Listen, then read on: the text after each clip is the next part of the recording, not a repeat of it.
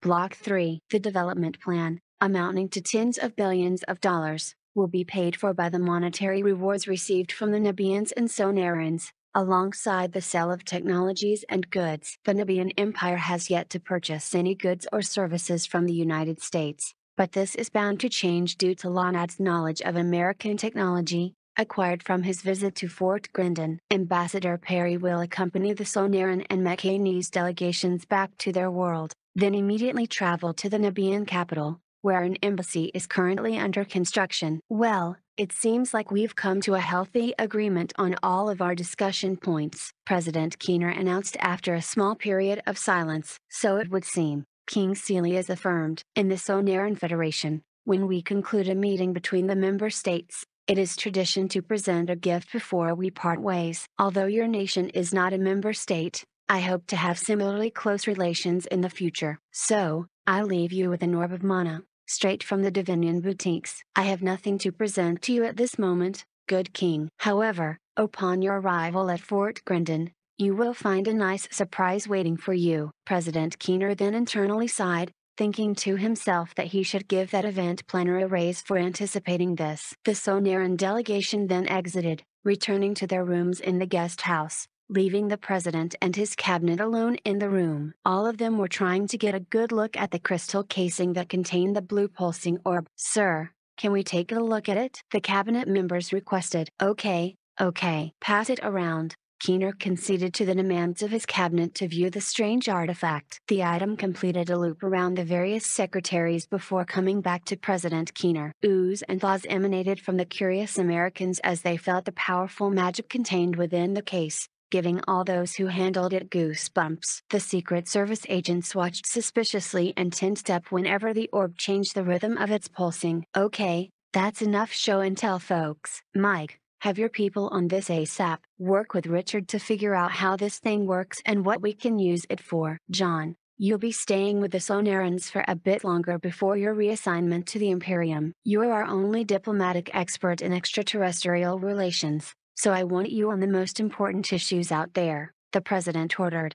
I don't think there's anything else, is there? Ahem. Oh, right. Everyone, Please clear the room. Rest up and prepare for tomorrow's meeting with the Mekanese. Samantha, let us head on back to my office so we can continue our discussion. The Oval Office. The Mekanese have been chatting quite a bit, sir. Samantha pulled up surveillance footage from the Mekanese rooms in the guest house. The third commander, Jean Danius, can be seen here preparing video equipment. Wow, that stuff sure looks antique. Although I must say, that machine there looks surprisingly ahead of their time. It looks quite like a VHS player. Yes, and we've confirmed that their recording technology is capable of color video and near perfect audio. If they have such technologies, surely they would be worried about surveillance? President Keener wondered. From what my people have been able to gather, they most likely have small recording devices. I can't tell if they're being truthful with what they're saying in these recordings, or if they know we're watching and are playing some sort of game. Then, about the WD engine stuff, it's all just a facade? I'm not too sure about that either, sir. It is likely they had access to a Helmagus site and somehow reverse engineered some technology there. Also, we know for a fact they have shield technology because of the encounter with that dragon back when they were first attempting to contact us. Yes, I do remember that. Perhaps they're just unaware of our surveillance, or maybe they simply have nothing to hide because they're that confident? Samantha pondered for a moment, scrolling through the recordings as she thought. They seem to believe that we aren't capable of learning any magic at all. I suggest you talk some more with the Sonarans. They might have some useful information. Alright, I'll take that into consideration. Anything else Samantha? No, sir. In that case, have a good night. I'll be sure to question the Sonarans tomorrow. Good night sir. Samantha then exited the room, leaving the president alone with his thoughts. The Mekanese seemed amiable, yet he couldn't shake the feeling that they had other agendas. July 6, 2019. The White House. Thank you once more for your hospitality, President Keener. We were quite satisfied with the amenities available to us during our stay here, and thank you as well for being such honorable guests. Please, take your seats and we shall commence the meeting. President Keener responded to the Mekanese greetings with a similarly tactful compliment. The first topic to be discussed was of course the most important one for both nations, technology exchange. The Mekanese desired the Americans technologically advanced equipment and scientific knowledge while the Americans wanted the Mekanese magical technologies, namely shields and engines. Will you permit us to prepare our video equipment, Mr. President? Prion asked. Of course. To President Keener. The video equipment looked even more astonishing up close. It even had multiple advanced functions such as the ability to rewind. The technology in the video player contrasted greatly with the technology present in the Mekanese vehicles that made up the initial convoy. The Mekanese Model T counterparts were as primitive as the earliest Earth automobiles, while their video technology reached well into the Cold War. Keener kept this in mind noting how their technological paths diverged and reminding himself to discuss this with Mike after the meeting. Prion finished his preparations with surprising speed, working his devices with the same ease an earthly contemporary would work a PowerPoint presentation. He inserted a cartridge and pressed play, denoted by a sideways chevron, similar to an arrow without the tail. The video began with an announcer's summary, spoken in a foreign language. It sounded a lot like a combination between French and Latin, with the narrator having inflections and tone similar to that of a transatlantic radio host.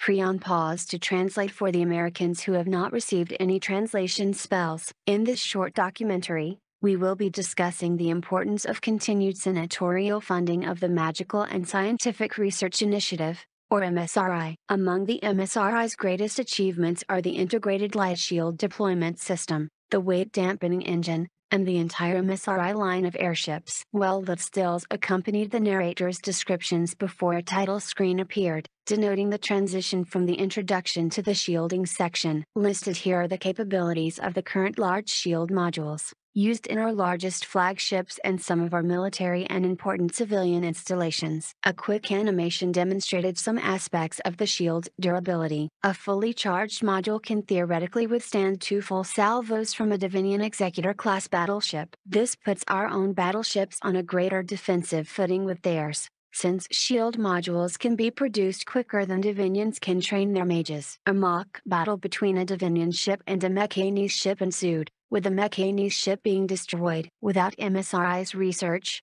an unshielded vessel faces complete annihilation with a loss of all hands. The animation then replayed, this time with the Mekanese ship having shields. As can be seen in this demonstration, the Mekanese vessel is able to defeat its Divinian counterpart despite having less powerful weapons. After a short recap of the benefits of MSRI shielding technology, the narrator continued on to explain their developments in gravity manipulation. This model represents a standard WD engine. While we won't go into detail on the precise mechanisms of this device, we will explain how it works. Using a set of carefully designed runes, the WD engine is able to replicate a special form of magic we discovered in the ancient ruins. Admittedly, Divinian mages would have been able to make the most of the discovery. It is fortunate that we at MSRI were able to get on the case. The Divinians would have conquered our nation a century ago if it weren't for our efforts. An edited diagram of the device's processes appeared on the screen. The information displayed was vague enough to demonstrate Mekanese technological prowess while also keeping state secrets untold. President Keener and his staff watched on with incredulity,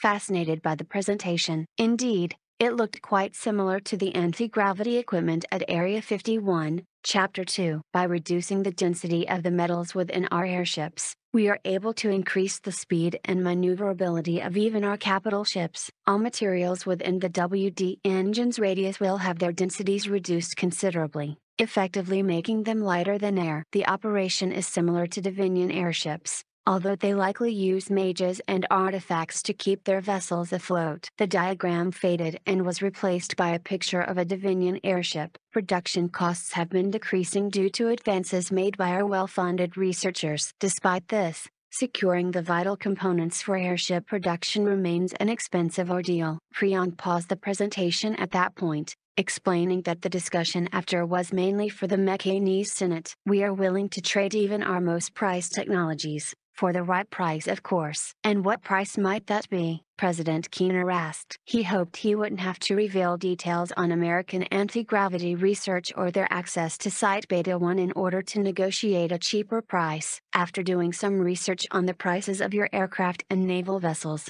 I believe we can sell you WD engines for 150 of your golden bullions, or $100 million per engine. Included in any sale are technicians to help manage the equipment. The technology itself and any magical knowledge associated with it will be on sale for $1 billion.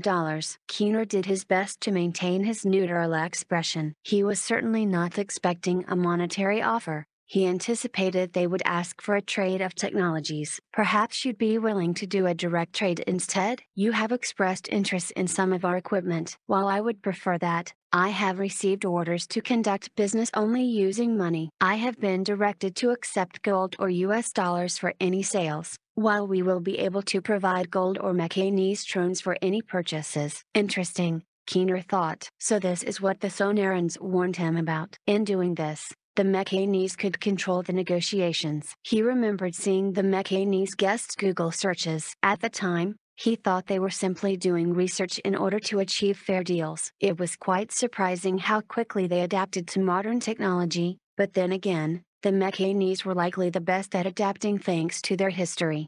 That begs the question is this an adaptation? Did the Mekanese president really issue this command? Or is Prion simply taking advantage of his unique situation? As it stands, Neither Keener nor any of the Americans in the room have any idea of the true values of the Mekanese products from the presentation. Prion on the other hand knows exactly how much American products are worth. A billion for WD engine technology? The United States has already sunk untold billions into the various alien technologies in the Air Force's Groom Lake facility. Their anti-gravity research alone amounted to nearly $3 billion and is nearly complete. Mekanese research could certainly help expedite the work being done on Earth, but this technology isn't a pressing matter. Suddenly, President Keener's expression brightened. Well, I don't think that will be necessary, Legator Naparius. In fact, we have our own anti-gravity technology already. Of course, we wouldn't show someone we've just met our greatest military secrets. We were simply interested in the importance of magic in your designs. Our curiosity is not that severe, to warrant a price tag of a billion dollars. We will, however, be open to collaboration between our scientists. We could share our designs, he suggested. A noble offer. Very well, the Mekanese people will deliberate on this when I return, and we will be able to work out a more detailed plan with our scientists. Glad to hear that, President Keener smiled. Now, as for our shield technology, we are willing to sell this for 2,000 golden bullions, or 5 billions per small ILSD system. This is outrageous, Keener thought. Seems a bit expensive, don't you think?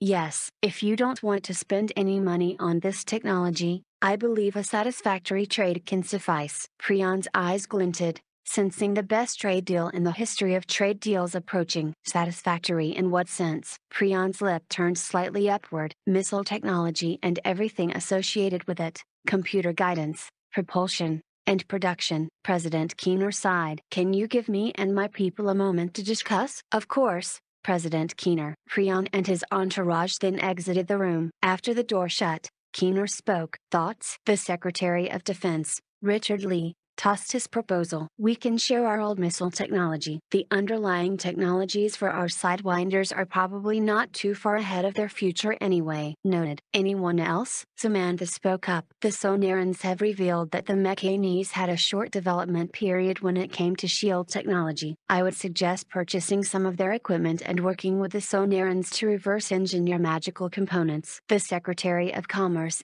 Bernard Rose, added, Sonaran trade deals have been more beneficial to us than even those we have with our closest allies in NATO. President Keener reclined in his chair, rubbing his chin. Yes, all right then. We shall purchase 20 units of the small shield generators and distribute them amongst our research facilities. The Mekanese were called back in and agreed to the trade, albeit a bit disappointingly since they hoped to make much more money. Once confirmed, the trade talks moved on to more general topics, such as shipping and the sale of certain goods to both nations. Meccan will receive full access to food and clothing items, the U.S. will receive access to any goods available on the Mekanese market with a flat shipping fee worth double the operating expenses of Mekanese cargo haulers. The meeting was coming to a close, when suddenly an aide rushed into the room. Mr. President, Sir, Priority message from Fort Grendon. President Keener scanned the slip of paper he received. Gravitational anomaly has struck the base. Five light injuries reported, no deaths. Power is down. Light vehicles have broken suspension systems. Teams in nearby settlements have reported similar events. Oh, President Keener said, a frown appearing on his face. That's not good. Author's note If you enjoy my story, please remember to vote and or submit a rating. I would also appreciate it if you all could share my story. You guys are the people who motivate me to write. Join my Discord if you wish to discuss more about my story. https colon slash slash discord.gg slash tbnw Chapter 39 What Goes Up 1 July 6, 2019 Fort Grendon, Lacey, you won't be able to salvage those experiments especially not after a second drop. The general is calling for all personnel with medical training. You ought to hurry up to the infirmary. Dr. Nikita Tesla yelled. Lacey Darwin nodded, hopping over the equipment strewn about the floor. Do see if there's anything that looks intact. I don't want to lose a couple months of progress, she requested. I'll see what I can do, good doctor. Tesla resumed his work, coordinating with his partner, Dr. Alan Oppenheimer. Together, they sorted the UN damaged equipment in the lab. Nikita, pass me that harness will you? Here, Nikita replied. I hope we won't be seeing a third anomaly. I do concur, my old bones are not made for this. Alan said. They fastened the remaining intact equipment and experiments, securing them to tables and shelves bolted to the ground. They then went to go find Lacey, carefully navigating through the maze of broken glass as they exited. The only source of illumination in the hallway was a dim orange lighting system, powered by the base's emergency generators. Complementing this orange was an intermittent red, which came from the alarm system. As the two scientists traveled to the infirmary, they experienced much traffic, Airmen ran about as they prepared for another attack. Others were attempting to gather supplies and secure the most important items throughout the base. An announcement came on, blaring itself through the few communications systems that managed to survive the two gravitational anomalies. It was a message from General Harding himself. All base personnel, Please travel through the interior of buildings unless it is absolutely necessary to go outdoors. All outdoor personnel must first acquire cushioning material in the event of another gravitational anomaly. All portal systems aside from Earth communications are to be shut down until further notice. Once they arrived at the infirmary, they noticed many more patients. Most of them shared the same injuries as the initial five,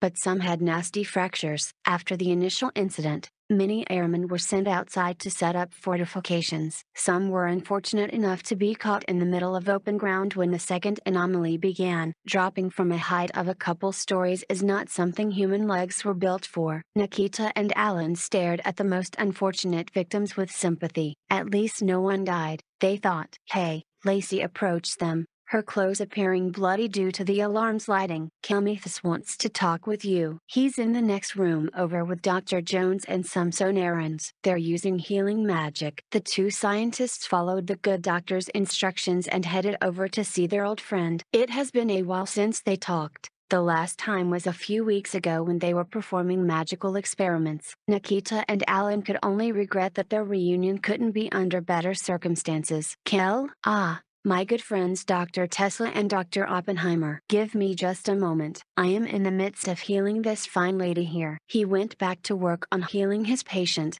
the glow on his hands regaining brightness as he resumed his work. Lieutenant Hayes? Nikita asked. What happened? Sarah Hayes groaned as Kelmathus magic restructured her broken leg back into the proper position. Ugh, I had a box of gold fall on my leg. I thought you were supposed to be establishing communications with the Beastie Alliance? Alan asked. Yeah, but we just finished our mission. Command sent over an ambassador type and so we returned with the gifts from the Alliance. Just so happened we arrived right when gravity turned off. Bad timing, eh? Yes, quite unfortunate. It is good though that we now have yet another mage helping out. Kelmethus interjected, gesturing at Aranmithus who was busy healing a man's concussion. All right, Lieutenant Hayes. You are now great to go. It's good to go, Kelmethus. Sarah smiled slightly at Kelmethus' effort at applying the new Earth terminology he learned. Oh, Kelmethus replied, flustered. I knew that, he quickly added, I just replaced good with great because my healing magic makes your condition great. Sure thing. Thanks,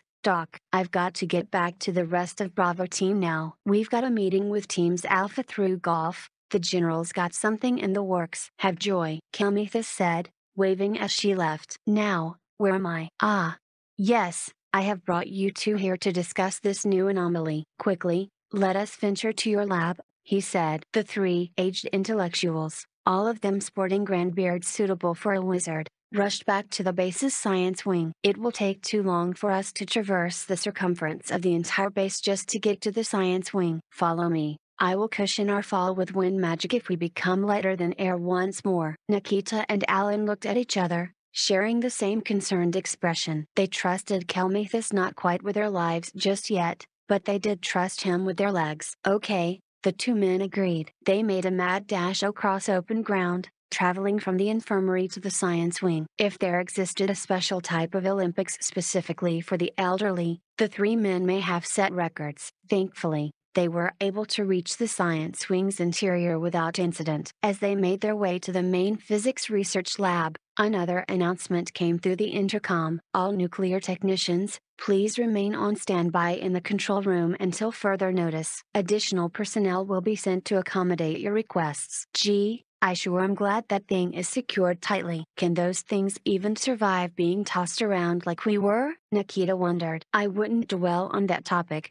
Alan said. Upon their arrival at their destination, Kelmethus began making his way to a terminal that was secured to the wall. I think I know some things about this anomaly, he stated as he typed away. I recall a time when King Celius sent me to work with some Mechani scientists as part of a research agreement many years back. They were working on a way to miniaturize their airship engines so that a small vehicle or even a person could use such a device in order to fly. They noticed that certain Divinian mages had the ability to fly without using wind magic, and could manipulate objects freely. Some could even throw heavy objects as if they weighed as little as a small rock before these objects regained their weight and came crashing down on their targets. Eventually, they stumbled upon an ancient suit of armor, and that is where my assistance was required. They needed me to unravel its secrets, but before my ship even completed its journey to the Mechanese port of, the artifact and several researchers vanished. Presumably,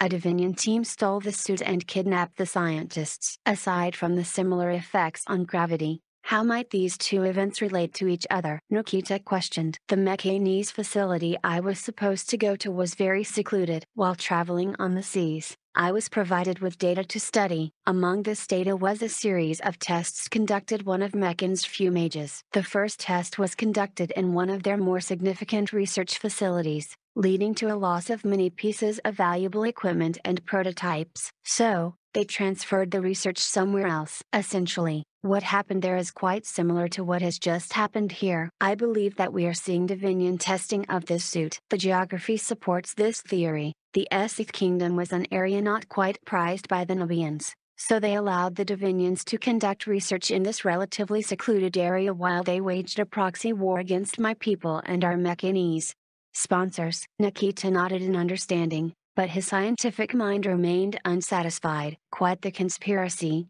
Cal. But then again, it all does make sense. Could it not be something else? Say, a mage experimenting with gravity magic, or perhaps even another suit was found? I suppose it could be, but I doubt another such suit exists. It is, after all, an ancient powerful relic. I highly doubt the existence of more. We would have found it by now, unless such duplicates reside in the wastelands of South Obig or the Forbidden Islands to the east. In that case, what are we doing in the lab? Alan asked. I am looking at the experiments we've done last week, with Dr. Jones and Omnis. I believe that we may be able to use Omnis to locate the source of this gravity magic, as Omnis was able to detect even the smallest of mana signatures during these tests. Come to think of it, I did notice some odd spikes in the data you recorded, Cal. What do you think of them? Alan raised his eyebrow. Kelmethus smirked. Yes, those anomalies make sense now. That odd data must have been due to powerful magical bursts. Quickly,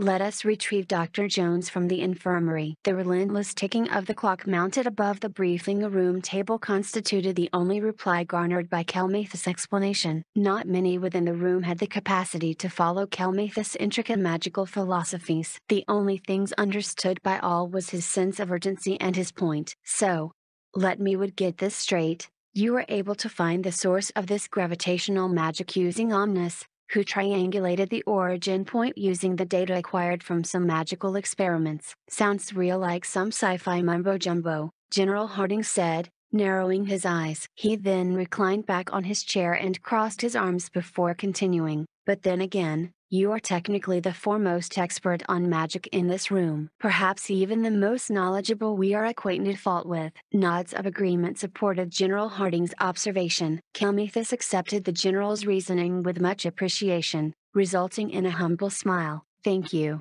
General. We have discovered the exact position of the source of this powerful magic, Mount Low, the closest in its respective range to the Hydra Forest. Hydra Forest A. Is it possible these magical events are somehow connected to the Hydra? The question came from a man dressed in a dark suit. His eyes were obscured by a pair of opaque glasses, clearly unnecessary inside a building. Given the context we now have access to, I would bet that your assumption is indeed true. I don't know much about the behavioral patterns of beasts to say for certain what effect such magic would have on one, but I can speculate.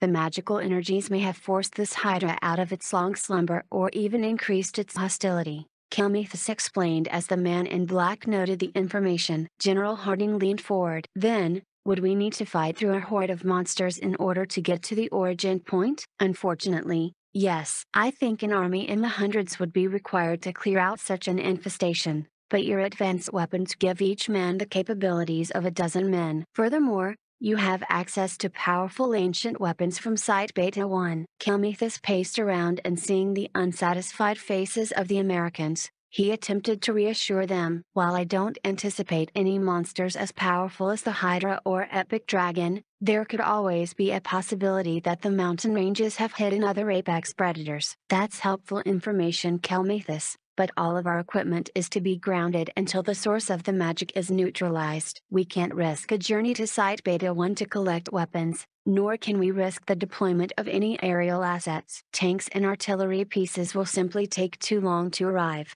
And don't get me started if one of them falls from several stories. General Harding shook his head and sighed. Teams Alpha through Delta will be authorized access to transport to Mount Low and will have two Tomahawk cruise missiles available for emergencies. Teams Echo through Golf will stay behind and provide support to our other installations. Any questions? Major Donnerger spoke. Sir, since when do we have cruise missiles? Officially, they don't exist. These are top secret post INF systems. Washington had some Mark 41B units brought here in order to conduct testing without the rest of the world seeing. I suppose now's as good a time as ever to try them out. Sir.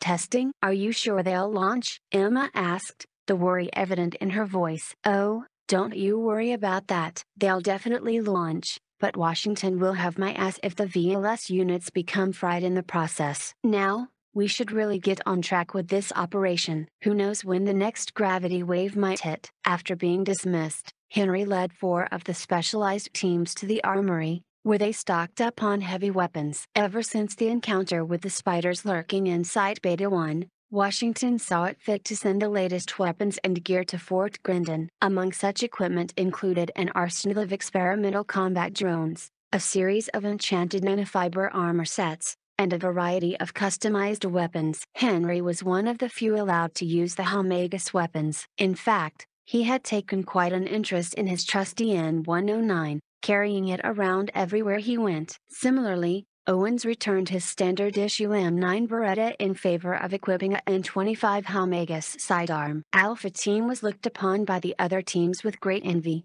as they didn't have such pickings. The rest of the team stocked up on more conventional items, such as C4 explosives and heavy ordnance, from enchanted grenades to launchers. Thanks to the minimal oversight in this part of the galaxy, these teams were also able to use chemical weapons, courtesy of the CIA, who had been testing such weapons on captured monsters and other creatures in a joint program with the Sonarans and Mechanis. Other personnel helped these teams find climbing equipment, in the event that the magic's source is located on the peak of the mountain, and cave equipment. Each team's mage carried with them a sidearm and a backpack, filled to the brim with monogems and materials for their special arcana. Kelmithus hurriedly stowed batteries in his backpack while his former students, Aranmithus and Scarnmithus each brought with them a selection of chemicals. The mages contracted by the U.S. military grew fond of certain types of science. For Kelmithus, it was electromagnetism,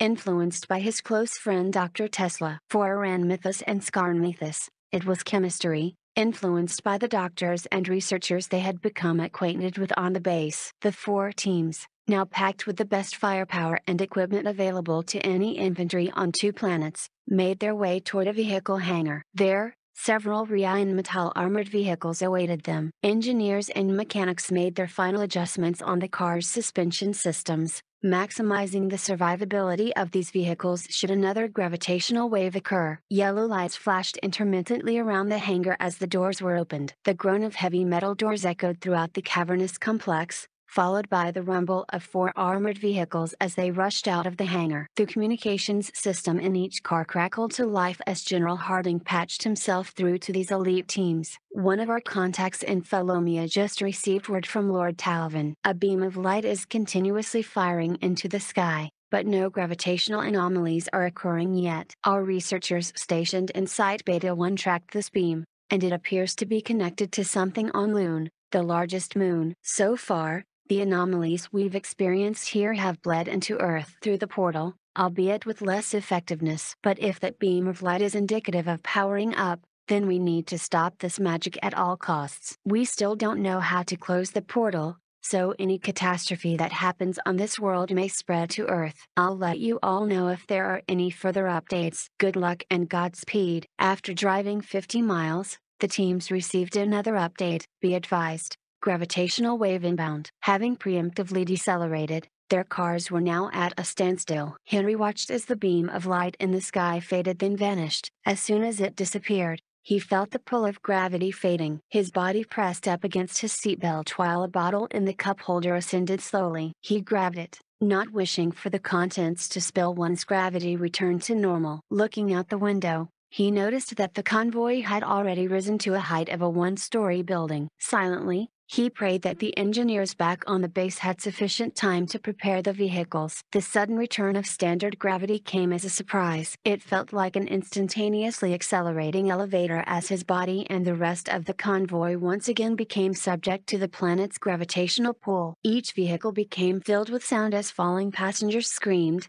their seatbelts fastened as tightly as possible. All of the vehicles within the convoy crashed to the ground with harsh metal clinking and the unsettling sounds of suspension systems pushed to their limit. With beating hearts and sweaty brows, the members of each group spread out into a defensive perimeter while a few select personnel checked the vehicles for damage. Emma analyzed each vehicle, corroborating her findings with a combat engineer from Charlie team. JLTVs are all good, Sir, she told Henry. Alright then. We've still got a hundred miles to go, let's get moving. Henry ordered, his loud voice a stark contrast to the quiet countryside environment. The four teams continued their journey in silence, staring out of the windows and taking note of the passing scenery. As they approached the epicenter of the anomaly, they noticed more damage. Dense fauna lay on the ground, their legs broken from tremendous falls. Some trees were uprooted, the normally grounded dirt around which their roots were entangled strewn about in a mess. The blood-red sun was beginning to fall under the horizon,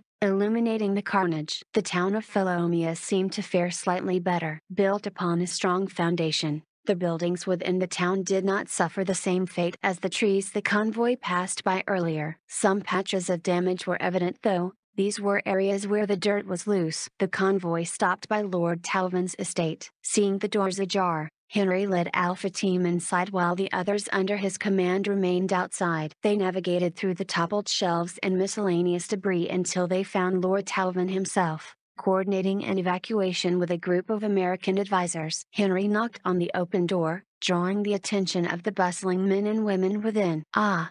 Major Doniger, Lord Talvin called out. It is good to see you. We tried to send a request to your superiors for evacuation vehicles, but your advisors have been distraught over something, he said worriedly. Major, an advisor continued. We can't establish contact with the base. Yeah, it seems like something's been messing with our communications. Our last contact was just 20 minutes ago, no clue what happened. Captain Lamar? Henry looked to Emma for theories. Sir, it is possible that powerful magic generates radiation that can interfere with our technology. In response, all of the Earthborn personnel began to frown. Of course, this isn't radiation we need to worry about, she quickly added. The mood within the room lifted until she inadvertently quashed it with her hypothesizing. Well, so far at least. We don't know how this radiation affects Earth human bodies, but I would assume that it is safe, seeing that Dr. Jones hasn't developed cancer.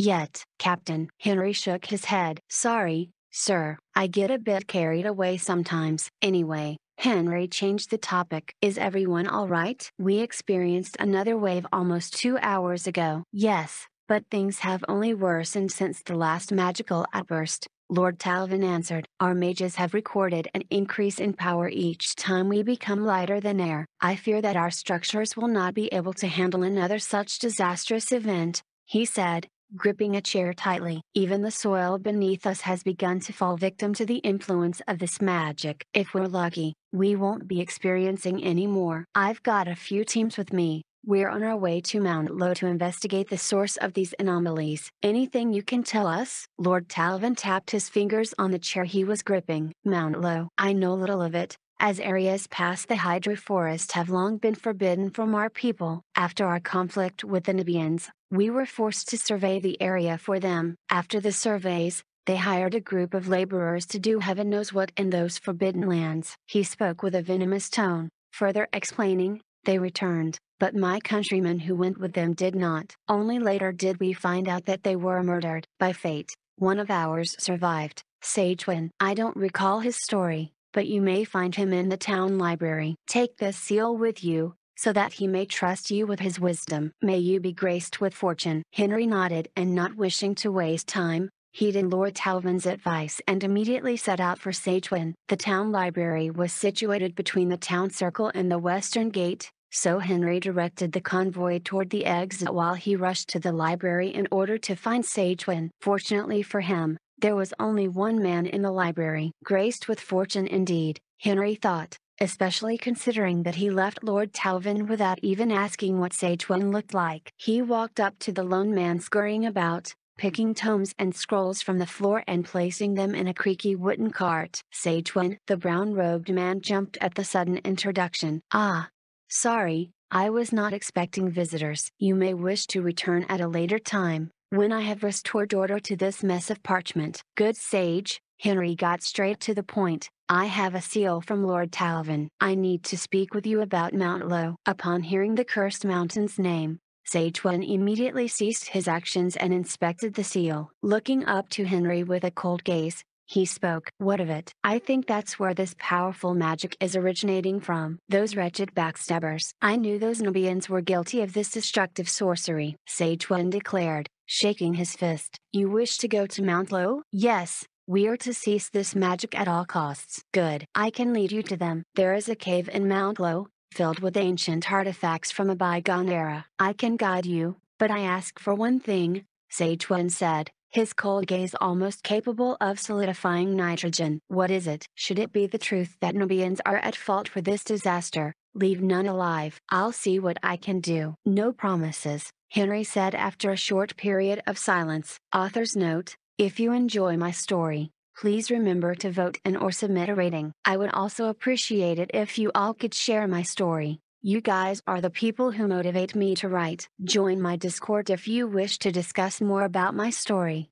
https colon slash slash discord.gg slash tbnw Chapter 40 Must Come Down 2. July 6, 2019. Mount Low. Storm clouds gathered overhead, a stark contrast to the clear skies during the beautifully bloody sunset just a few hours earlier. Rumbles of thunder pierced through the JLTVs, roaring louder than the engines. As Henry and his teams raced down a worn-down dirt path, they noticed an enormous flash of purple lightning arcing around the mountain's peak. How did this storm get here so fast? There were almost no clouds earlier and I have detected no traces of elemental magic. Kelmethus observed. His brows were furrowed in worry. His facial features were illuminated by the scarce brightness originating from the headlights of the vehicles behind them and on occasion, by flashes of lightning as the storm around them picked up. Emma piped up, suggesting, the gravitational anomalies must have created unstable pockets of air pressure in the atmosphere. By making molecules lighter, everything drifted upward and so the atmospheric density in this entire region must have been affected. Henry, struggling to see farther than a truck's length, responded. Are we too late? The howl of the wind increased in intensity, threatening to drown out the sounds of the passengers within the vehicles. No, sir. The storm is only localized to the mountain and its immediate surroundings. It'll pass in a few days once we've stopped whatever's causing these anomalies. Henry nodded and continued along the undeveloped dirt path. According to Sagewan, the path led directly to the base of the mountain, where an ancient archway stood watch over the entrance to the mountain's main cave system. There is a split in the road just up ahead, past the lake to our left. Remain on the left path, and you shall reach your destination true. Wen said, Where does the other path lead to? Ron asked as a flash of lightning revealed the imposing silhouette of Mount Low, to their right. Originally, it served as the main road. Not long after the Nubians began their shrouded rituals and unrestricted experiments, the main road became infested with monsters. Their vile sorcery corrupted the environment around them,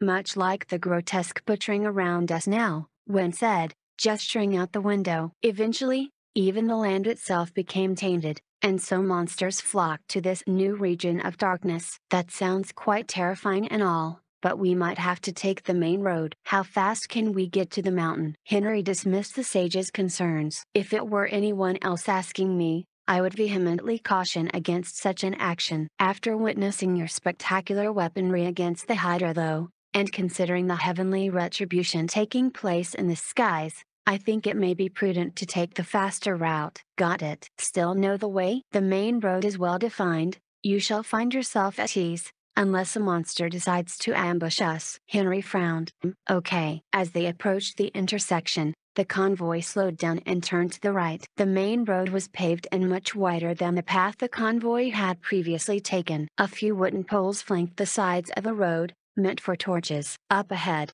a swirling vortex hovered over the peak, illuminated by constant flashes of lightning. I don't expect to see any monsters along the path. They may have fled away from the epicenter or perhaps retreated into their shelters to wait out the storm, Kelmethus said. I hope so. Henry muttered. The remainder of the drive was uneventful, aside from the frantic beating of hearts and the anxious checking of gear. The entrance to the cave lay ahead, esoterically illuminated by a bright blue glow from within. Those within the convoy looked at the pristine metallic architecture with profound admiration, as it was a striking contrast to the darkness around them. Yeah, it's Helmagus all right, Dr. Jones muttered as the vehicles slowly crawled into the entrance, wide enough to fit two JLTVs side by side. With the vehicles now safely tucked inside the facility, Henry signaled for the convoy to disembark. Dr. Jones, can you and Omnis figure out the layout of this place? Yeah. Immediately, Jones connected to Omnis,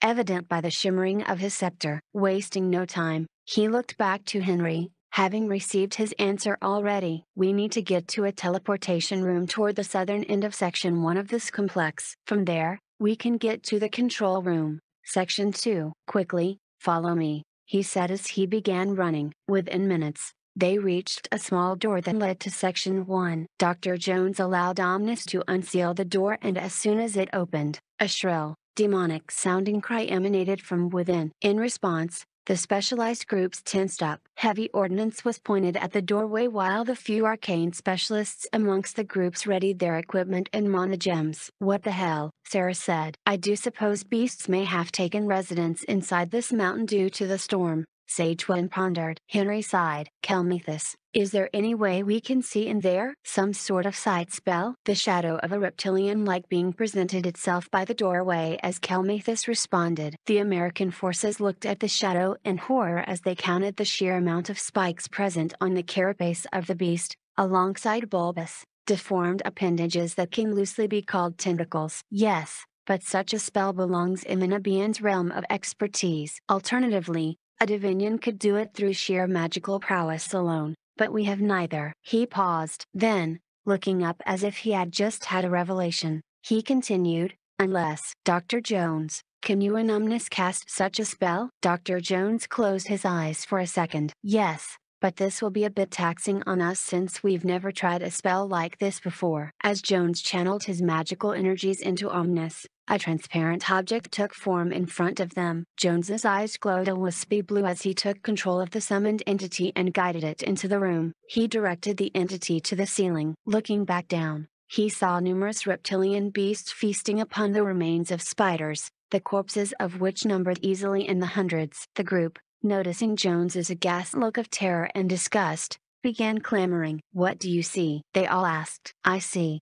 Deformed dinosaurs, like a mutated velociraptor, but three times the size and with way more claws, spikes, and teeth. And, those cysts. Are those tentacles? How many of them are there? Henry got Jones back on topic. I can count a dozen. They're all huddled up on the left side of the room munching on spiders. Can we sneak past them on the right side? Yeah, there's a bit of cover, but we need to be absolutely silent. Oh, dear. Henry gripped his N109 tightly as Jones ended his spell casting. Ready? Jones asked with a smirk. We don't have as much experience spelunking through ancient sites as you do. Emma said worriedly. Oh, just follow me and you'll be fine. The entire group, consisting of 20 people in total, slinked past the doorway and quickly disappeared behind various pieces of Helmagus equipment on the right side of the room. Moving from cover to cover, they snuck past the horse of feasting reptilians. One of the beasts suddenly jerked its head upward, causing everyone to immediately stop. It looked around, as if sensing something, before returning to its meal, much to the relief of Henry and his strike team. Minutes turned into hours for the nervous group as they inched across what seemed to them an entire runway. Eventually, Jones put his fist in the air, signaling to the rest of the group to stop. He then pointed at something in the distance, a doorway. Everyone's face lit up as they nodded and hurriedly moved to the doorway. Even next to the doorway, no one dared to let go of their breath. They sweated buckets waiting for Jones and Omnis to unlock the door. Eventually, the door began to slide upward, creating a metal scraping noise in the process. The sound was not much louder than the closing of a metal door back home, but given the context, it may have just been a jet engine. The group turned back in fear as the door seemed to open slower and slower. The reptilian beasts looked toward the direction of the scraping noise and began to make their way toward the door. Oh shit, oh shit, Jones hissed. The door's stuck. It's not opening all the way. He frantically clicked away at the control panel by the door. Everyone's eyes widened in horror as they turned back toward the leaping beasts. Already, they have traversed the distance of a basketball court. Switching to heavy ordnance,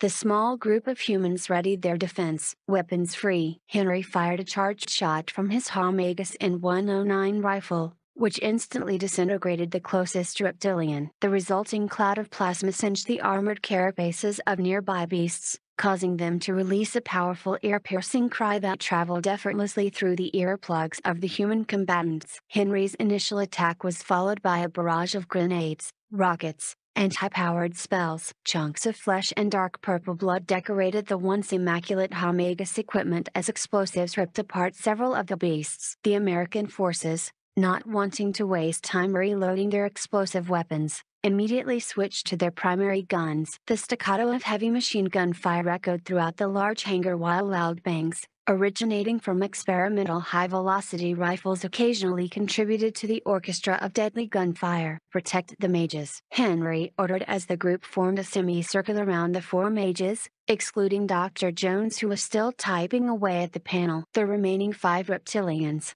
seeing their comrades cut down mercilessly by magic they had never seen before, Scattered. Moving through cover, they worked to flank the group instead of charging at them head on. Three right, two left. Ron called out as he fired a shot from his N25 Helmagus blaster, which was skillfully dodged by a reptilian who used a large generator as cover. A field of lightning spurted out from the generator as it malfunctioned, enveloping Ron's original target in a deadly storm of charged particles, electrocuting it. Henry, tracking down a new target, fired a charged shot at a large shelf that a reptilian was hiding behind. The sheer power of the shot turned the shelf into plasma, sending burning shrapnel into the beast which immediately cauterized its torso, now separated from its limbs. We're ready, the mages announced as a blue glow encircled them, increasing in intensity as their spells charged up. Kelmethus used his batteries in an intelligent fashion, combining magic and science into an enigmatic display of power as he used the electric potential of the batteries to accelerate them to incredible speeds. Each battery he fired produced a thunderclap and a bright blue flash as the objects were sent through the bodies of the remaining beasts and into the surrounding walls. Aranmethus used his selection of corrosive chemicals to melt down the hardened exteriors of the reptilians sometimes missing and causing valuable Helmagus equipment to melt down. Scarnmethus, having studied the applications of thermodynamics in magic,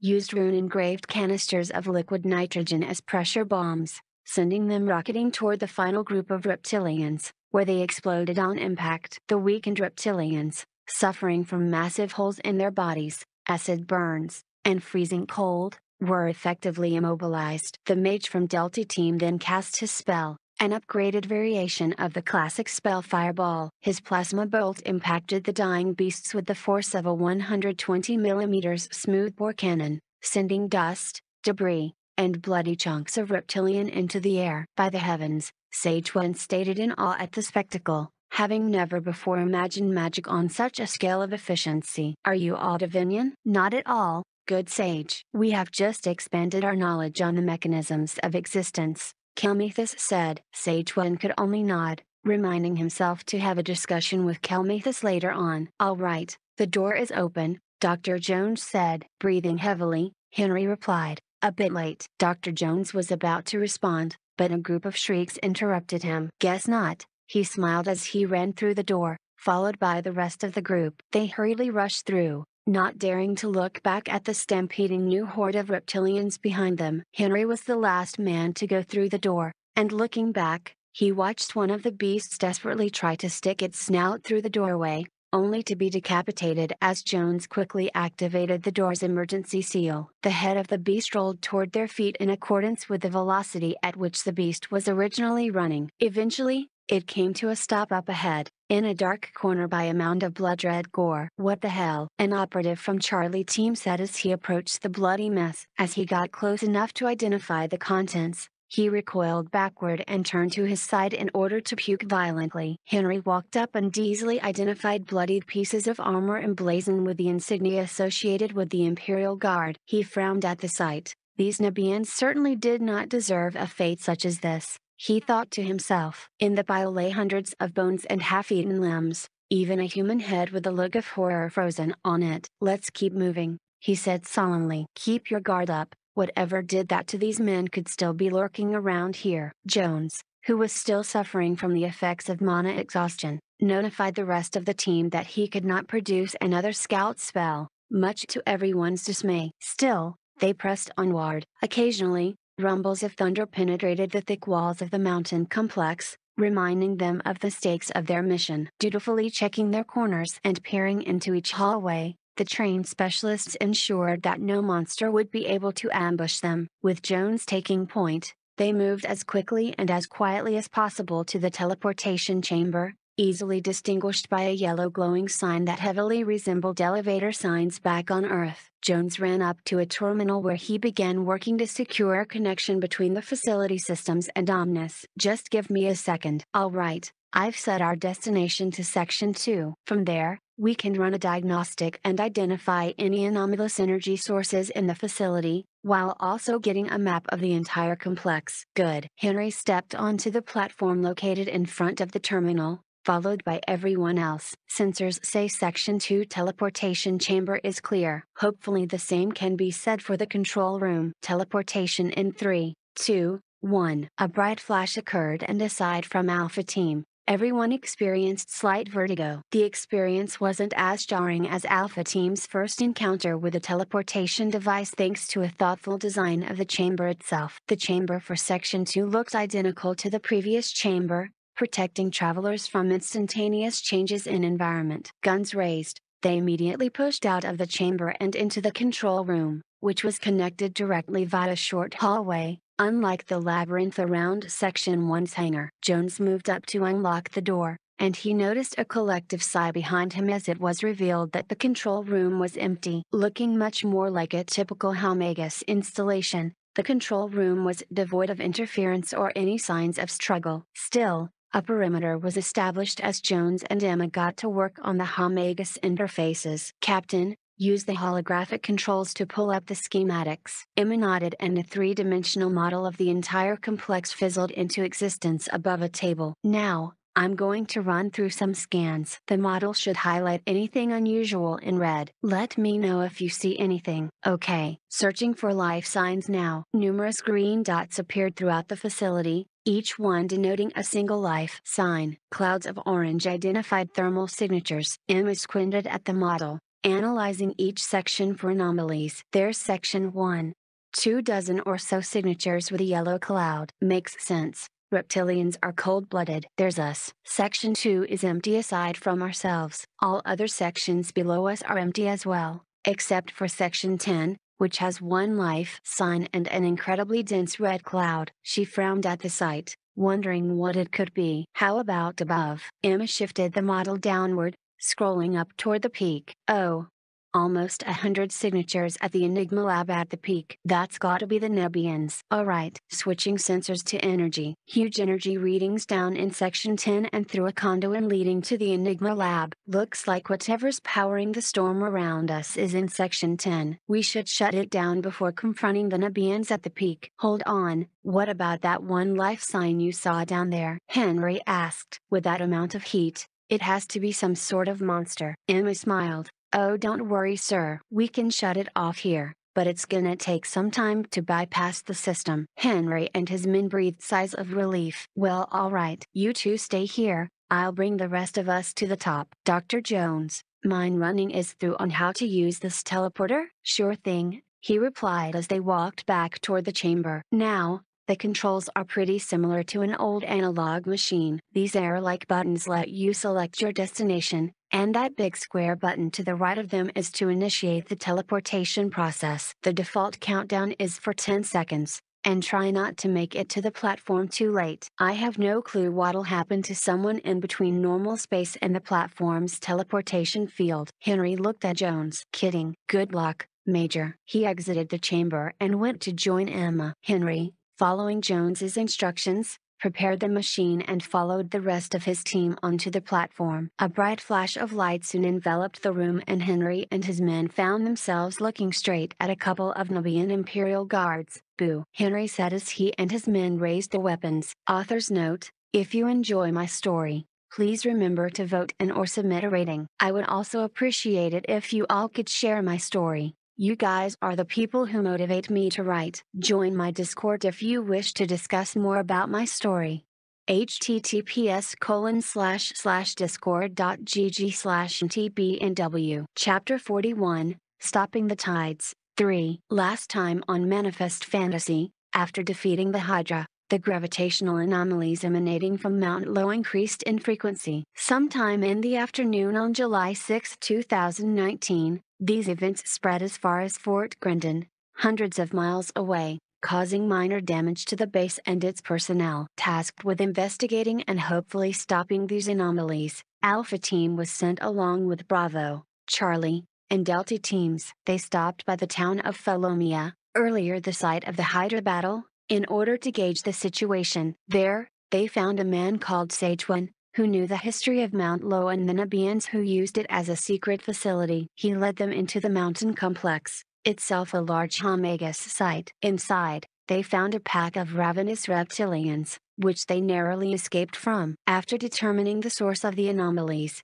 they developed a plan, Emma and Dr. Jones will stay behind in order to disable the facility's power while everyone else will push on to finally end the Nebian threat once and for all. July 7, 2019 Mount Low Facility Two suppressed shots rang out, instantly dropping the two guards by the teleportation chamber. Their steel helmets were enough to stop an arrow, but not a bullet. Henry took point as he approached the door, forcing it open with an access code given by Jones and Omnis. His men flanked the sides of the door as it opened. Two more Imperial guards came rushing through, having heard the unnational popping sounds from just a few seconds ago. Henry and Ron grabbed the two swordsmen and jammed their combat knives into the necks of the unsuspecting guards. While they dragged the bodies to a corner, the rest of the American strike team slowly peeked the hallway, fanning out as they searched their surroundings. With the hallway leading to the Enigma lab empty, Henry took point and motioned for his men to get ready for a breach. Sagewan, why don't you head back to Captain Lamar and Dr. Jones? They might need your help with the layout of this facility. There was a time I would have refused that suggestion and instead proclaimed my desire to fight,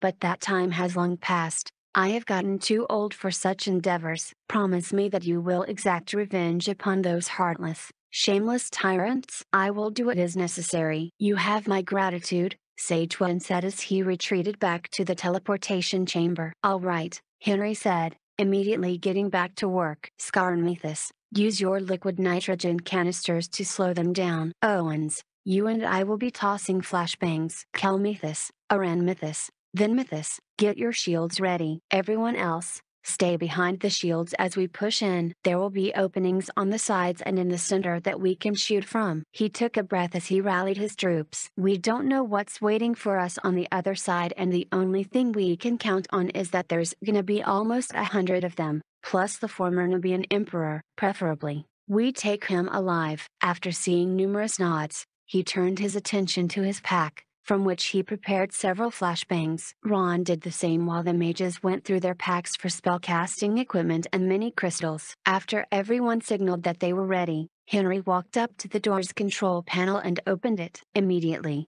two metal canisters were tossed in before detonating in a cloud of wispy blue smoke. Two flashbangs followed suit, then the strike team's mages. Blue light sparked and shimmered as enemy spells made contact with the shield's protective exteriors. Low-powered lightning spells were utterly ineffective against the US mages' shields, which were bolstered tremendously by scientific principles combined with magic. The Imperial guards that were guarding the entrance could not fight back in their slowed, disoriented state. Gunfire shredded through the primitive armor of the Nubians. Reinforcements, hearing the thunderclaps from the laboratory's entrance, funneled in from other rooms along the edges. We need more time for the Emperor. One of the guard captains announced. Henry, taking note of this, relayed a new set of orders. All elements from Bravo, Charlie, and Delta teams, remain here and engage the Imperial Guards. Owens and Kelmethus, you two are with me. We're going after the Emperor. Kelmethus fortified the shield bubble around them,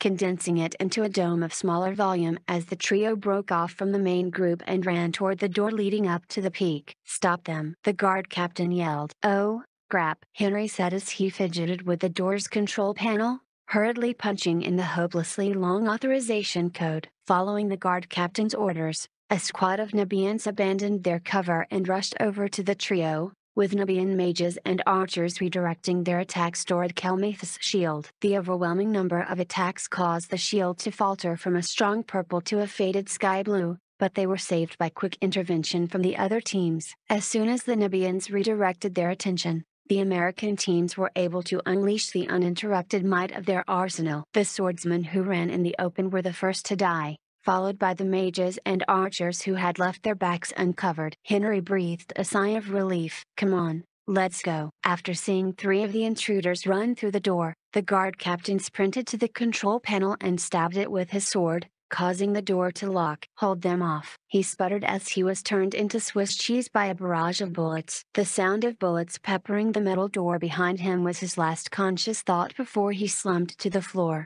lifeless. On the other side, the trio from Alpha Team heard muffled sounds of fighting. Looks like we're going to have to handle the Emperor ourselves, at least until they find a way around that door. Let's hurry it up, Henry ordered. They moved up a grand stairway that led to the peak. The eerie silence created a dramatic atmosphere. Combined with the cavernous spacing and the grand architecture of the complex, it seemed as if they were preparing to walk into a boss fight. With nothing but the sound of footsteps, shuffling gear, and heavy breathing to accompany the trio, they began to feel a sense of unease. The door at the top of the stairway bore similar resemblance to standard Omega stores, albeit being much larger and having a protective opaque shield in front. Indecipherable runes accompanied the control panel at the side. Looks like a blast door, Henry said. Kinda like the entrance to Beta 1? Certainly, Ron agreed. Let's hope that code you've got can bring us through. Henry typed the code into the panel,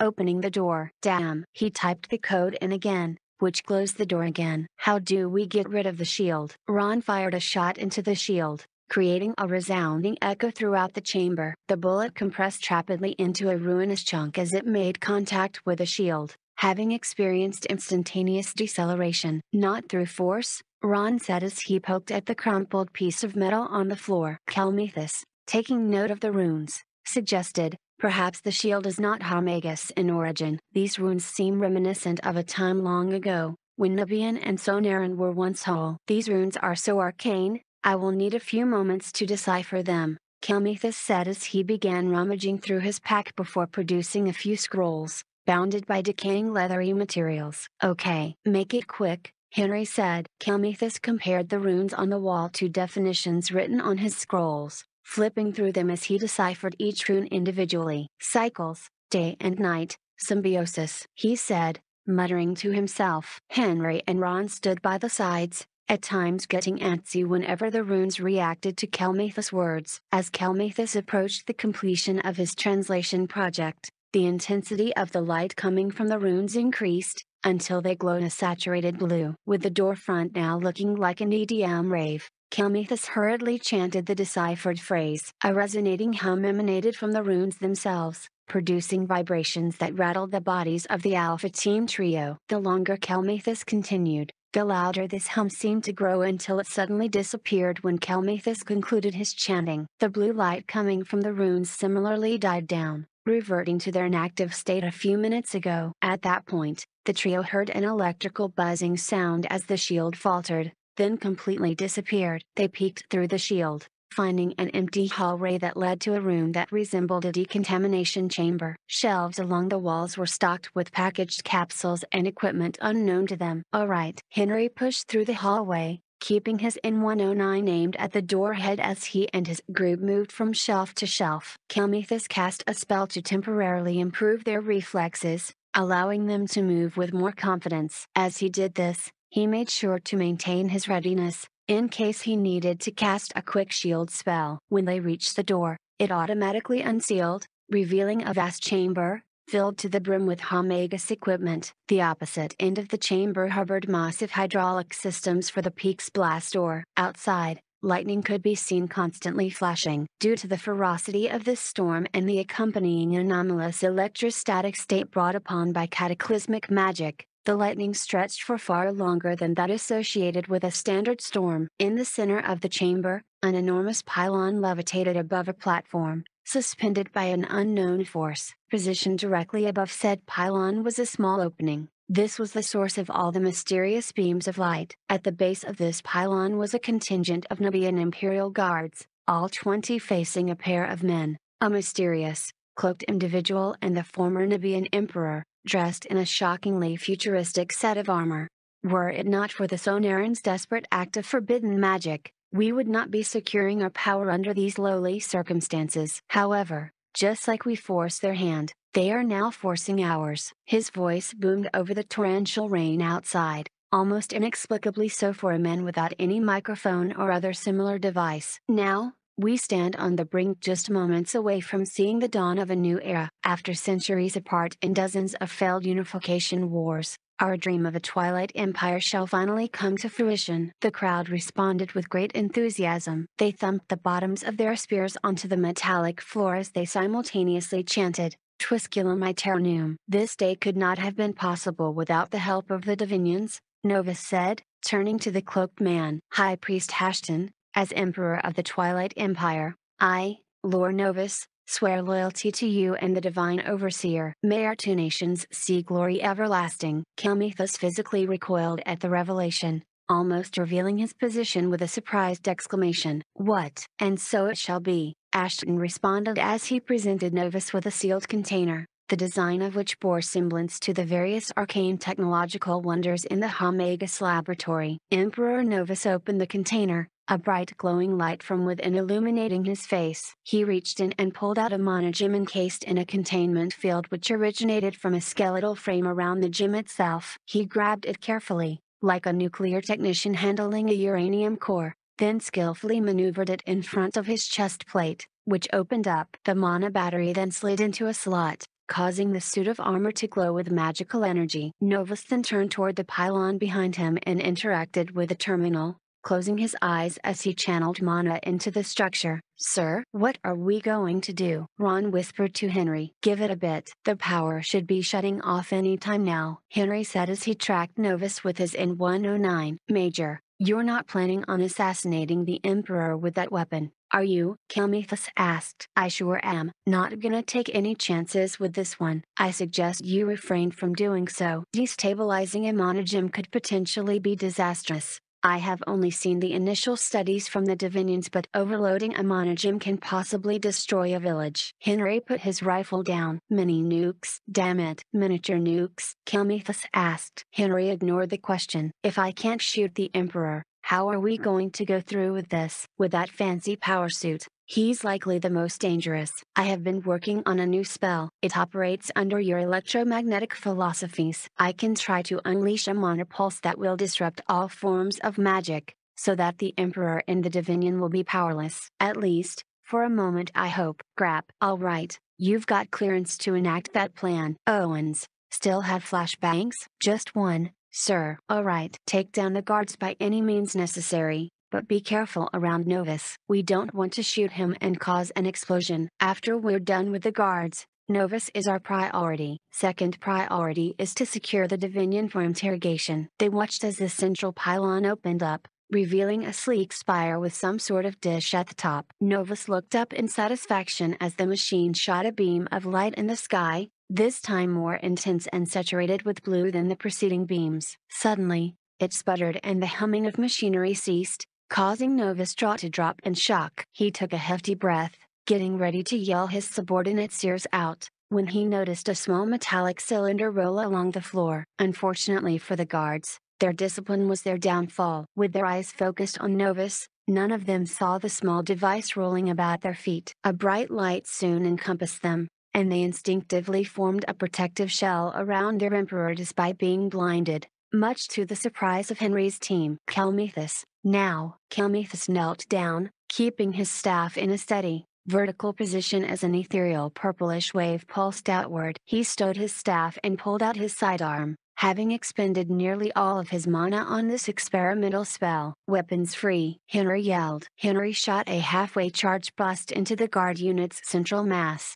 quickly incinerating the unlucky few who were directly hit by the shot and sending several more flying into their comrades. Ron and Kelmethus focused their fire on those who remained standing, who raised their shields in futility. Commotion and disbelief engulfed the Funibians who recovered as they witnessed their fellow guards crumple like their armor didn't even exist. Some of them attempted to cast magical shields, but instead waved at the air aimlessly. Realizing that they were somehow incapable of summoning any magical energy, they readied their spears. This action was for naught, as they were easily gunned down by Henry's team. Four guards remained. Valiantly, they charged Henry's team, laying down their lives for their emperor, who just recovered from the effects of the flashbang. Novus curled up his fists, seething with rage as he watched his guards get slaughtered without contest. You Mekanese imitators. Henry responded to the insult with amused confusion. Mekanese imitators? At least we didn't lose to Mekanese imitators. Give it up, Emperor Novus. Don't make us do this the hard way, he said, aiming his sidearm at Novus. You must be incredibly foolish to think you can fight us. Your mechanisms will not be enough to defeat Divinian magic. Lay down your arms and I promise you a quick death. Novus proclaimed. Us? You appear to be alone. Novus looked around, attempting to locate High Priest Hashthan. Uncertainty washed over his face for a split second before Novus continued his original bravado. No matter, I have a relic of the Ancient Ones. You will not prevent me from establishing my empire. Novus thrust his hand out, but nothing happened. Alright, that's enough fooling around. Hands behind your head. Emperor Novus did not comply. No magic? That is of no concern, for I can beat you down with my bare hands. Fight me like a man. Henry fired a shot at the ground next to Emperor Novus. Hands behind your head. Now, Novus glared at Henry as he slowly backed up. It is only a matter of time before you are swarmed by my men. If you run now, You may yet escape. Henry called his bluff and laughed. Your men? They locked themselves out of the lab. I won't ask a third time. Sir, Ron interrupted. He's trying to buy time. Damn, Henry muttered. He walked forward to try and subdue Novus, but suddenly felt his legs crumbling, as if his weight suddenly doubled. He looked down and saw nothing different, but noticed Ron and Kelmethus suffering under similar circumstances. What the hell is this? As I have said, you are incredibly foolish. Novus swiped his hand down, causing the trio to drop their weapons. The guns plummeted like cannonballs as they were subjected to a gravitational pull multitudes stronger than standard. Kelmethus collapsed onto the floor, struggling to push himself up while Ron and Henry trudged forward. Henry attempted to reach for his sidearm but eventually succumbed to the gravitational spell, his body unable to support itself under such conditions. Seeing all three of his assailants on the ground, Novus taunted them. I granted the opportunity for a quick death earlier. How unfortunate that none of you took it. Novus walked over to the Spire's control terminal, which was operating in reserve power mode before continuing to monologue. I admit, disabling the essence of these machines was clever, but only serves as a temporary barrier for the inevitable rise of my empire. I can transfer the essence within my armor instead. While I would much prefer not having to do this, a few more hours of patience is something I will gladly accept for dominance. I have grand plans for my subjects, and they are much more tolerable than the plans that the Imperium had for the beast people. All you want is power, Kelmethus hissed. Correct. I needed the combined resources and power of my Nebian Empire and the Sonaran Empire in order to challenge our northern neighbors. I could not bear to see our civilizations left behind while the Divinians and Mekanese quite literally progressed to the skies. Comparing the state of their cities to ours made me realize just how far behind we are. My subjects are a proud citizenry, but for what? In time I shall give ourselves a reason to be proud. And how will this secrecy and destruction lead to that? Ron asked, the strain of two, almost three, G's evident on his face. I have wasted enough resources on my unification attempts, only for them to be thwarted by the Sonarans and now, these alien Americans. King Celius is sure to capitulate once I present to him and his cities the power of the gods. Of course, I must select the perfect target.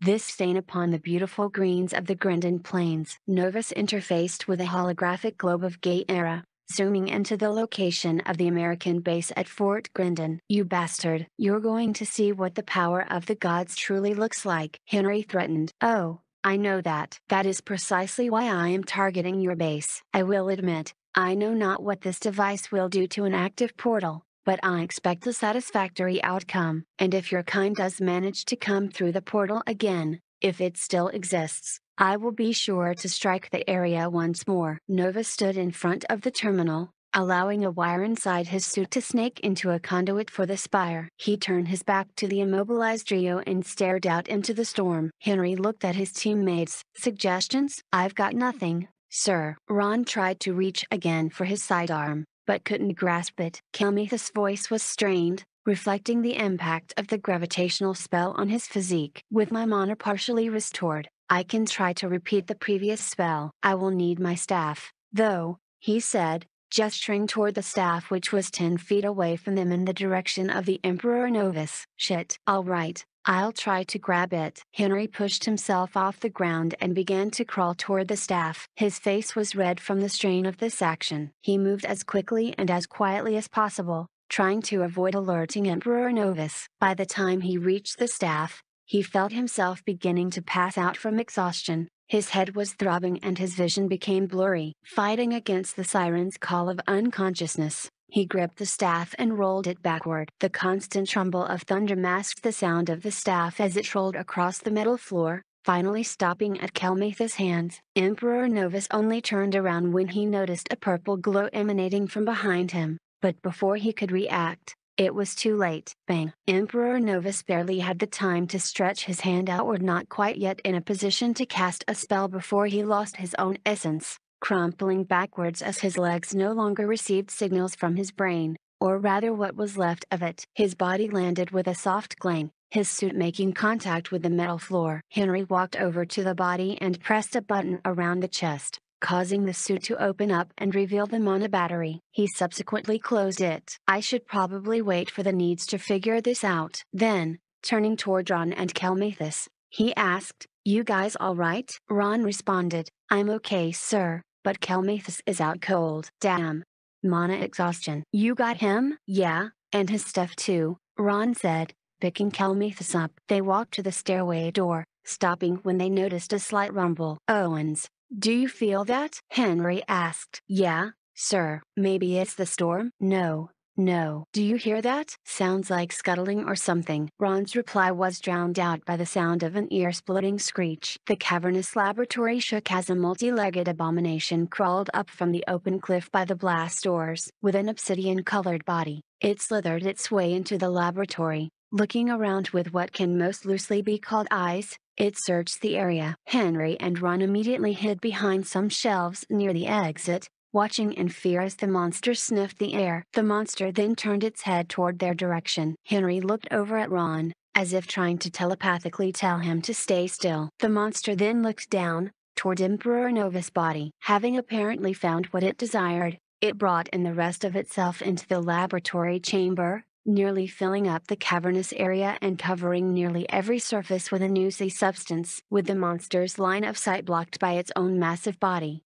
Henry and Ron slowly made their way to the door. As soon as the door unlocked, they bolted through, with Henry turning around and typing in a lockdown code for the door in order to seal it. Can't be too careful, he said. Exhausted, they descended slowly. When they reached the exit, they remembered that it suffered a malfunction due to the guard captain's reckless damaging of the control panel. Henry knocked on the door, hoping to elicit a response. Major, a voice called out. Captain Lamar, is that you? Yeah. I'm glad to hear your voice sir. I'll get this door open in just a few moments, Emma said. When the door swung open, he was greeted by many relieved faces. Doing a quick head count, he himself was relieved that everyone was present. What happened to Kelmethus? He's got a case of mana exhaustion. We should get back to base ASAP. Everyone turned back toward the teleportation chamber, eager to head back home. Right as everyone had their backs to the stairway, a shrill cry pierced through the walls. We locked the blast door up there. I don't think it can get through but we should most definitely get moving. Don't wanna take any chances, Henry said as he sealed the stairway door. Yeah, I was about to tell you. The life sign we found in level 10 moved up rapidly after we cut off the power. Without the main generator to feed on, it must have gone up sensing the power signatures up there in the lab. Shame. I bet the techs would have loved to mess around with the equipment up there. Come on, let's go home, he replied, massaging his arms. Hold on, what about those lizards? Oh, don't worry about them. We released a disinfecting agent down there. It'll be gone by the time we get there, Emma said. Well, alright then. Carefully avoiding bodies, broken glass, and shards of armor, Henry led the group back toward the teleportation chamber. When they reached Section 1, they found no trace of the lizards at all, nor signs of the combat from earlier aside from a few scorch marks along the walls. Unsettled by the otherwise pristine condition of the area, Henry called out to Emma. Lamar, what exactly did you mean by disinfecting agent? Oh, I'm not too sure sir. I guess the translation spell didn't work too well on that particular phrase. If I had to guess, I'd say it's probably a swarm of cleaning robots,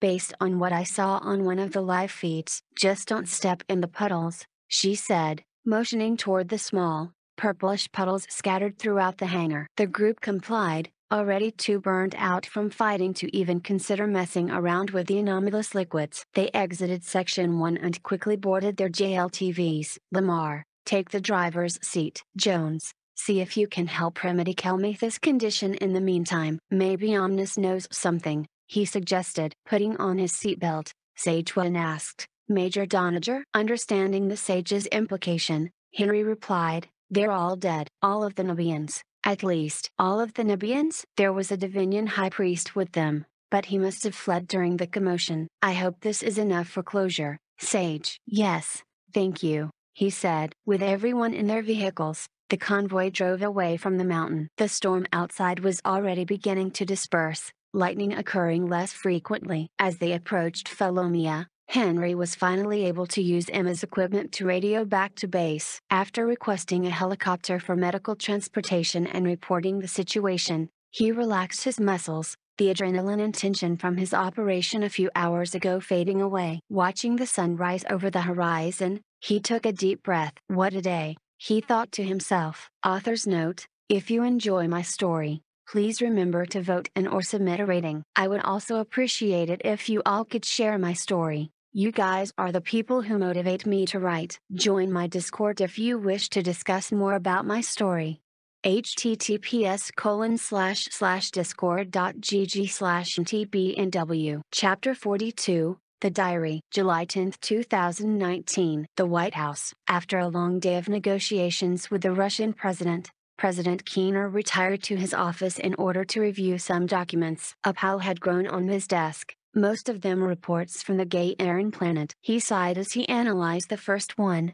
strategic resources. The Russians were grateful that the United States came clean regarding the announcement of the portal, and were even willing to support them in the upcoming UN Security Council meeting, as long as they received mana crystals and data relating to native flora and fauna. If he agreed to this, the Russians would effectively be receiving as much as loyal US allies, such as the United Kingdom. Well, at least this would bring the Russians closer into the Western fold something President Keener prioritized. Of course, he would have preferred to wait a bit longer before announcing the existence of the portal, but the planned Area 51 raid in just a few months from now represented quite the wrench in his plans. Even disregarding the planned raid, any large-scale operation involving the exploitation of strategic resources and colonization of Gaiera could not have progressed without the announcement. He grabbed his phone, quickly typing in a set of reminders and notes. Reflecting on his recent discussions with the Russian president, he muttered to himself, Gotta remember to reach out to foreign corporations, get him on our side. Also need new agreements ASAP. I should send Perry to sort this out. But then that means I won't have an experienced diplomat to send to that other country up north. What was it? The Eanif Imperium that can wait a couple weeks. Many other nations on Earth would certainly be jealous. America having total access to an entire world, without having to worry about observation? For all the other nations know, the US could have found a gold mine of new technologies and resources, enough to start a war over. He gave himself a reminder to set up a meeting later on to work out the details. After finalizing his notes on his upcoming foreign policy strategies, President Keener began flipping through the pages of the document. Working in tandem with Sonaran officials, our researchers have stumbled upon an ancient system of dungeons after reviewing scrolls and tomes provided by Sonaran wizards and scholars. The dungeons contain mana crystals and treasure, dropped from slain monsters according to one of the scholars. The data has been corroborated by Nebian scholars, who have also. President Keener smiled at this revelation. Exploring dungeons, slaying monsters, collecting loot, and leveling up. Some of the forces stationed there would certainly love to give this a shot. As he continued to read through the accounts of the Gaieran natives, he realized that the functionality of Gaieran dungeons were quite similar to the imagining of fantasy dungeons present within modern media. He wondered about the types of artifacts they might be able to find, and the potential boon this could represent for science. President Keener typed a note to recommend dungeon exploration, Although this might mean having to redeploy some special forces teams to help out with the more difficult dungeons, the Mekanese could also have more detailed information about these magical dungeons, assuming they also exist on their continent. Other sections of the report detailed slow progress with ongoing surveys, as their presence in Gaiera was still not enough to thoroughly explore the newly acquired Esith and Arsal territories, gifted by the Nebians and Sonarans respectively. President Keener finished up the report regarding strategic resources and moved on to the next one, trade. The report was relatively short, on account of the U.S. being a new player in the Gaieran economy and the low output of native pre-industrial societies. Despite this, President Keener felt a smile growing on his face as he saw that Ambassador Perry was able to iron out a complete trade deal with the Mekanese. The report detailed several tons worth of mana gems arriving at Fort Grendon within a few days, exchanged for American industrial equipment and infrastructural development. Additionally, American diplomatic teams were able to secure mining rights to several rare metal deposits, including mithril, lithium, and uranium. Securing the latter was incredibly easy due to rumors of the site being cursed. With trade growing at a surprising rate, American logistics and Gaiera would need to be expanded in order to accommodate road development, trucks, and cargo planes. To Keener's dismay, the report concluded that shipbuilding would not be an option for at least a few months, until the ports can be properly surveyed and developed. Moving on from the trade report, Keener leaned back on his chair, picking up General Harding's report. After the events in the Mount Lowe facility, General Harding submitted a request for a meeting with President Keener and the Pentagon in order to review U.S. military presence on Gaiera, which consisted of 5,000 personnel, mostly split between security teams and patrols. General Harding hoped to increase this number in order to better handle possible hostile incursions, such as the Battle of Fort Grendon. Makes sense. President Keener thought this could be a perfect opportunity to hide additional troops and stockpiles from the prying eyes of Russia and China. I should probably authorize more storage and research facilities there. We can finally test new equipment without having to worry about the prying eyes of spy satellites or drones. That only leaves the possibility of spies on the ground. Perhaps there's a lie detection spell or something like that? I'll need to have General Harding ask the natives. Letting go of his train of thought, he returned to the report. The operation at Mount Low ended with only a few injuries and was a complete success. The gravitational anomalies ceased immediately, with a company of General Harding's men assisting the small town of Felomia with reconstruction and security against monsters. Kelmethus conditions stabilized over the past few days, causing President Keener to breathe a sigh of relief. The special exploration teams have been given a short break in order to recuperate, with new missions scheduled for the next week. Mapping of the area around Fort Grendon proved to be a tedious and slow-moving task, but constant reconnaissance flights were able to produce complete geographical knowledge within a 400-mile radius of Fort Grendon. This process will be expedited by the introduction of two RC-130 reconnaissance aircraft which are expected to arrive in two days. Thanks to Fort Grendon's near equatorial location, construction of a launch platform has progressed smoothly, with SpaceX receiving a development contract. Placing satellites into Gaiera's orbit might be possible in about a month's time. General Harding concluded his report with an analysis of the current political climate in Gaiera. Emperor Lonad's efforts to unify his father's empire have been successful thus far, with no threat of civil war. The Bracton Gang, according to the Sonarans, has been mostly dissolved after the devastation of their camp. However, surviving groups still roam the wilderness of the Aerosol province, harassing merchant convoys. Since Aerosol is now in American territory, they have a responsibility to secure the area. Refugees from the now fractured Beastie Alliance have begun to seek asylum in the Eseth territory. From their accounts, the Eanif Imperium is a highly militaristic and expansionist nation, which might prove to be an issue later when it comes to diplomacy. President Keener frowned. The Eanif Imperium dwarfs the Nubian Empire in size, taking most of the northern half of the continent. Estimates from American allies on the planet put their population in the hundreds of millions, with a standing army of at least 2 million combat personnel. If they decided to launch an assault to conquer the rest of the continent, they would likely succeed because American forces are constrained by the portal and rising tensions back on Earth. Finally, he selected the rather chunky report on his desk, which was a translation of a diary. The diary was written by a researcher named Manus Manislor, working in one of the Helmagus outposts, particularly the one in which Alpha Team discovered a group of Nubians. Some of the entries contained words arranged in a peculiar manner, untranslatable by magic or technology, although the linguists working on the alien discoveries should be able to work out a structure eventually. Words that the translators were uncertain about were placed between brackets. The rest of the text however, was in English. Upon landing on Gaiera, I immediately felt ashamed for having scolded my peers. I told them that such a discovery was impossible,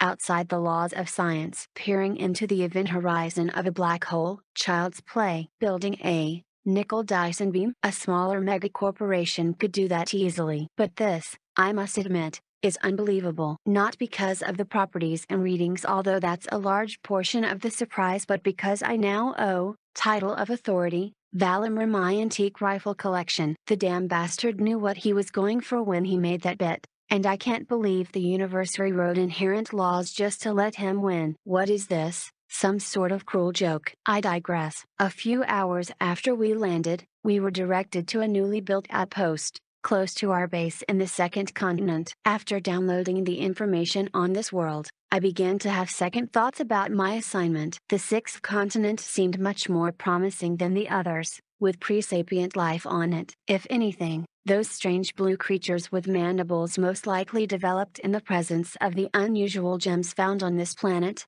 making their research value even greater. Speaking of this planet, I found it a bit odd that the gravity is similar to home, despite the world being much larger. I am now going to board the transporter and receive my directives. The second entry was written several days later. Calamity. An indecipherable block of scribbles followed. The quality of the writing diminished, the ink becoming faint. The next paragraph though saw the return of legible writing, consistent with the rest of the diary thus far. I have returned from my treatment. I had to be placed under stasis. The doctors required time to synthesize an antidote. Certainly, I shan't find myself exploring alone ever again. If only I could have seen the face of my adversary before passing out. Nevertheless, my strength is restored. I did hope to exact revenge upon the beast that harmed me so, but I am content with the knowledge that my coworkers were able to wipe a good lot of these vile arachnids from their nest. I shall be leading the exploration team back into that cave in order to conduct research upon a cache of tools and gems, long abandoned by the pre-sapient natives that once called the cave their home. Keener,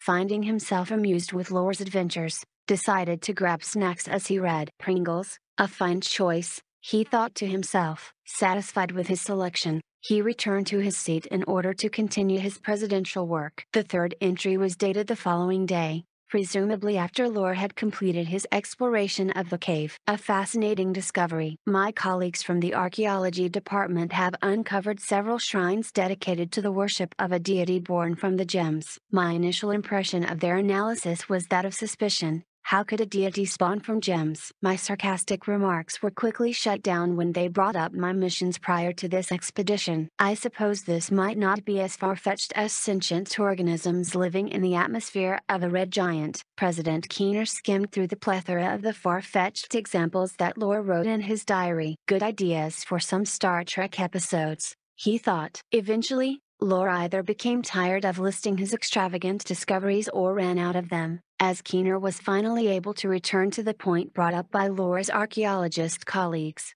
Their claims became more believable as the minutes passed. I can't shake the feeling of something watching me as I write this. Even the sensors on our mechanisms are going haywire. Readings from the void, inconsistent data which violate established scientific laws, the list goes on. I've met non-corporeal beings before, and this feels quite similar. I am going to pull my expedition and send mechanicals in our place, at least until my paranoia has subsided. The next entry was written several days later. The mechanicals found nothing, all scans reported the same uneventful readings. I theorize that this is because the mechanicals don't have souls. I shall steel myself in order to test this hypothesis. I have now gathered a few volunteers and a security detachment to venture back into the anomalous region. It seems I was correct. The anomaly only surfaces itself in the presence of living beings of at least a certain intellect. It remained dormant in the presence of critters and insects and I theorize that the blue pre-sapients must have used this cave as a place of worship before being driven away by hostile fauna. Whatever this entity is seems capable of communication,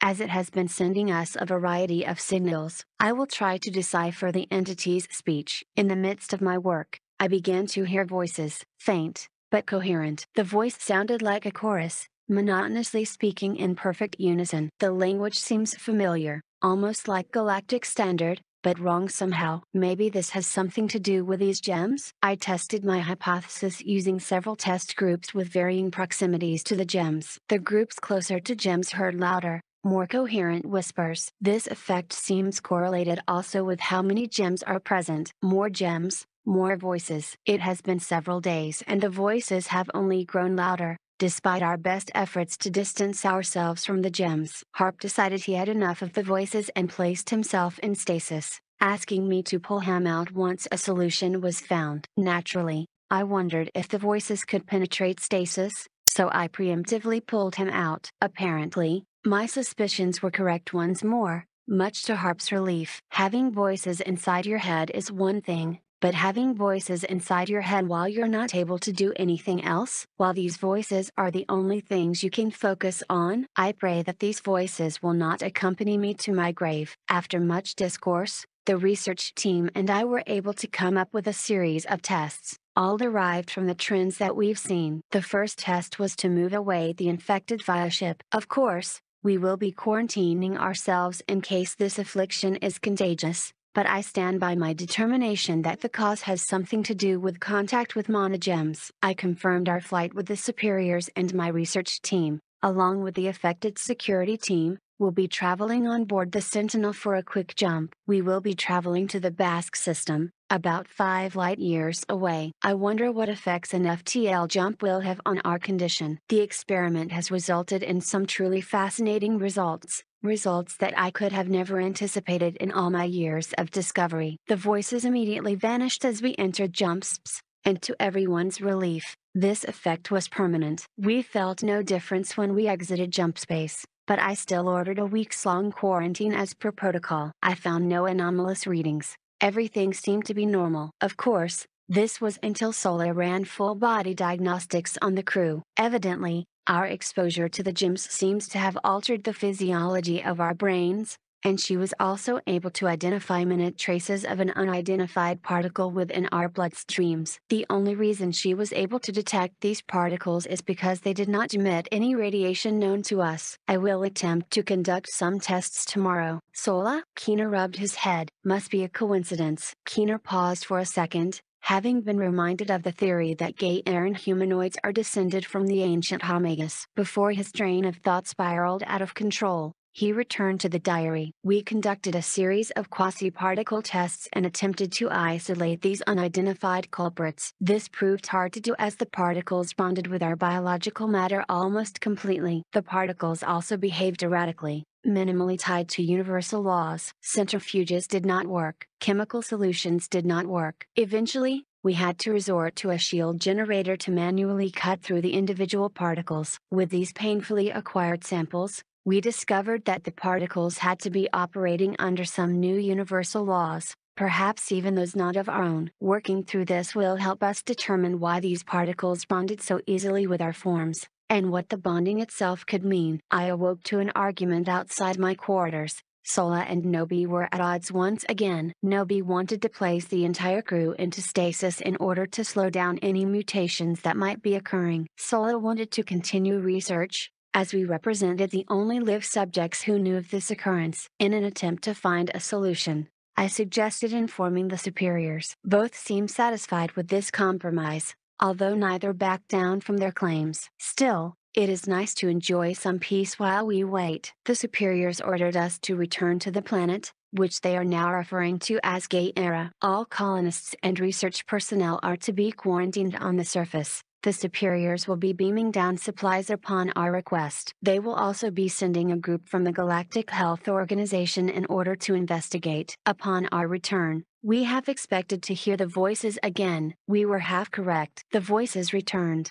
but in a limited manner. No longer did the voices pester us consistently with gibberish, they spoke with a degree of clarity akin to a professional orator. The voices came to me as I was pondering the functionality of the previous particle, which they described to me as a magitron. Several days have passed since our return. Since then, the mutations have grown rapidly, changing us. Our appearances looked no less human, nor did the overall physiology of our bodies. Rather, our brains seem to have evolved. This is evident in my test subjects' higher reasoning capabilities and in more extreme cases, inexplicable arcane summonings and violations of the laws of the universe. Earlier, the colony experienced a power outage as old generators were replaced with new ones. At this time, Sola was in the medical laboratory and she subconsciously created a ball of light in order to illuminate the room. The event was indeed magical. The diary continued with entries detailing more subconscious spell casting and voices before eventually culminating in a final experiment. Over the past couple of weeks,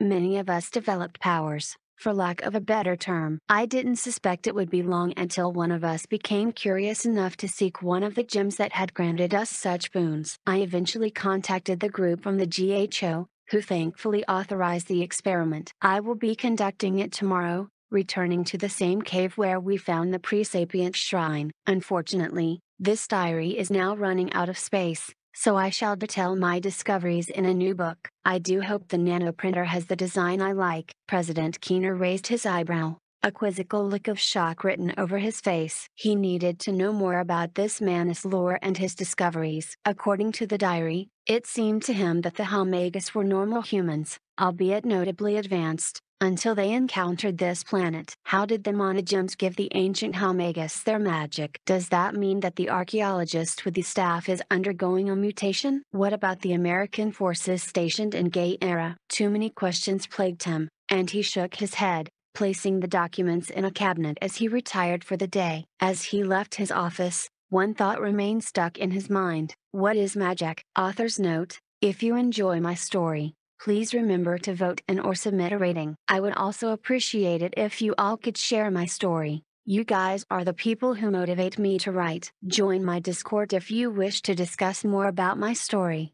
https colon slash slash discord.gg slash tbnw. Chapter 43, Lost Colony. Author's note, the revised versions of Chapter 1 and 2 are now out. I have more than doubled the length of Chapter 2, adding 1500 words to it. https colon slash slash discord.gg slash tbnw. July 15, 2019. Fort Grendon. Henry sat in a hospital room, his head slumped on his hand. His light snoring was an odd contrast to the subtle yet persistent beeps from the medical devices in the room. A knock on the door startled him as he stiffened up, awakening from his slumber. Sir, Ron acknowledged entering with a box. Henry nodded his head in reply. How is he? Ron asked, gesturing toward Kelmethus, a look of concern evident on his face. Henry glanced over at Kelmethus. Doc said he's doing better, thanks to Jones's help. Kel should be able to be up within a week. That's good to know. I saw Kelmethus' daughter the other day.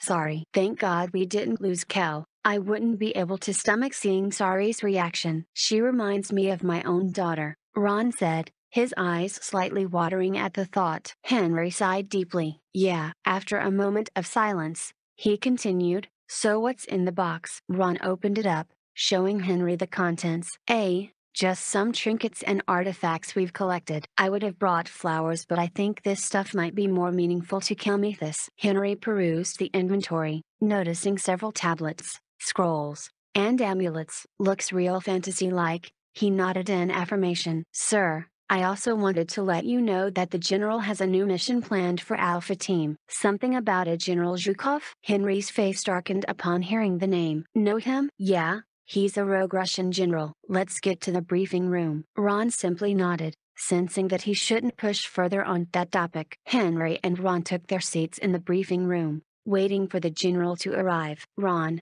taking note of Henry's brooding, remained silent as they waited. Hi Owens. Hi, Sir, a feminine voice called out. Henry turned around. Hey Captain, how's Kelmethus doing? She asked, her tone greatly contrasting with her upbeat attitude when she entered the room. He's doing better. Should be up and about in a week or so, he said as he watched him take a seat. Ah, well that's good to hear. I wish I could visit more often, but I've been real busy helping out Dr. Tesla and Dr. Oppenheimer with Project Gateway. Oh, How's that coming along? Henry asked. The Helmagus data we found is helping out a lot, and so is Omnis. The other teams are already making good progress with Helmagus generators and computers to actually run the portal. But as for us, we've been able to narrow down the initial search parameters from hundreds of petabytes down to a few terabytes but we still have to sift through what's left. We've found several designs detailing an extremely advanced type of math,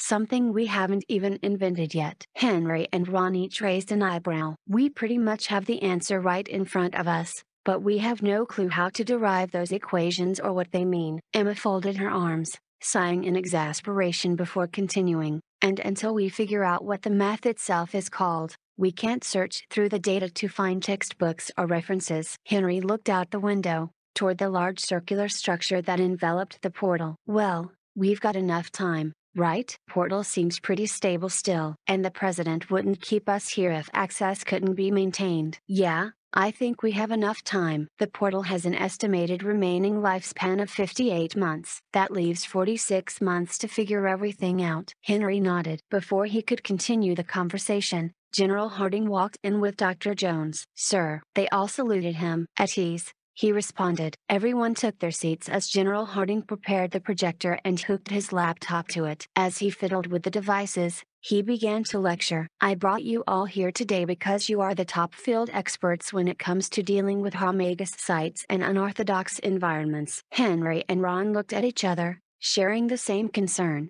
How might this be related to a rogue Russian general on Earth? General Harding began the presentation, showing satellite imagery of a mountain complex. What I am about to discuss is classified information under a need to know basis. Due to the nature of your next mission, it has been determined that you all need to know. General Harding passed around several folders. Our target is this man. General Zhukov. The projector displayed a portrait of General Zhukov in full military dress, taken during his time in service of the Russian military. His face seemed permanently contorted into a snarl, with several scars adding to the man's unpleasant demeanor. The information inside the folders detail his background and affiliations, but you can study his history later on. Three years ago, our intelligence agencies lost track of his whereabouts. After his gruesome skirmishes in Donetsk, he vanished. Until last month, we had no clue where he could have gone. General Harding paused as he allowed his subordinates to take in the information. I'm sure you're all wondering how a rogue general is related to our time here on Gaiera. If you flip past Zhukov's background, you'll find a report detailing an investigation,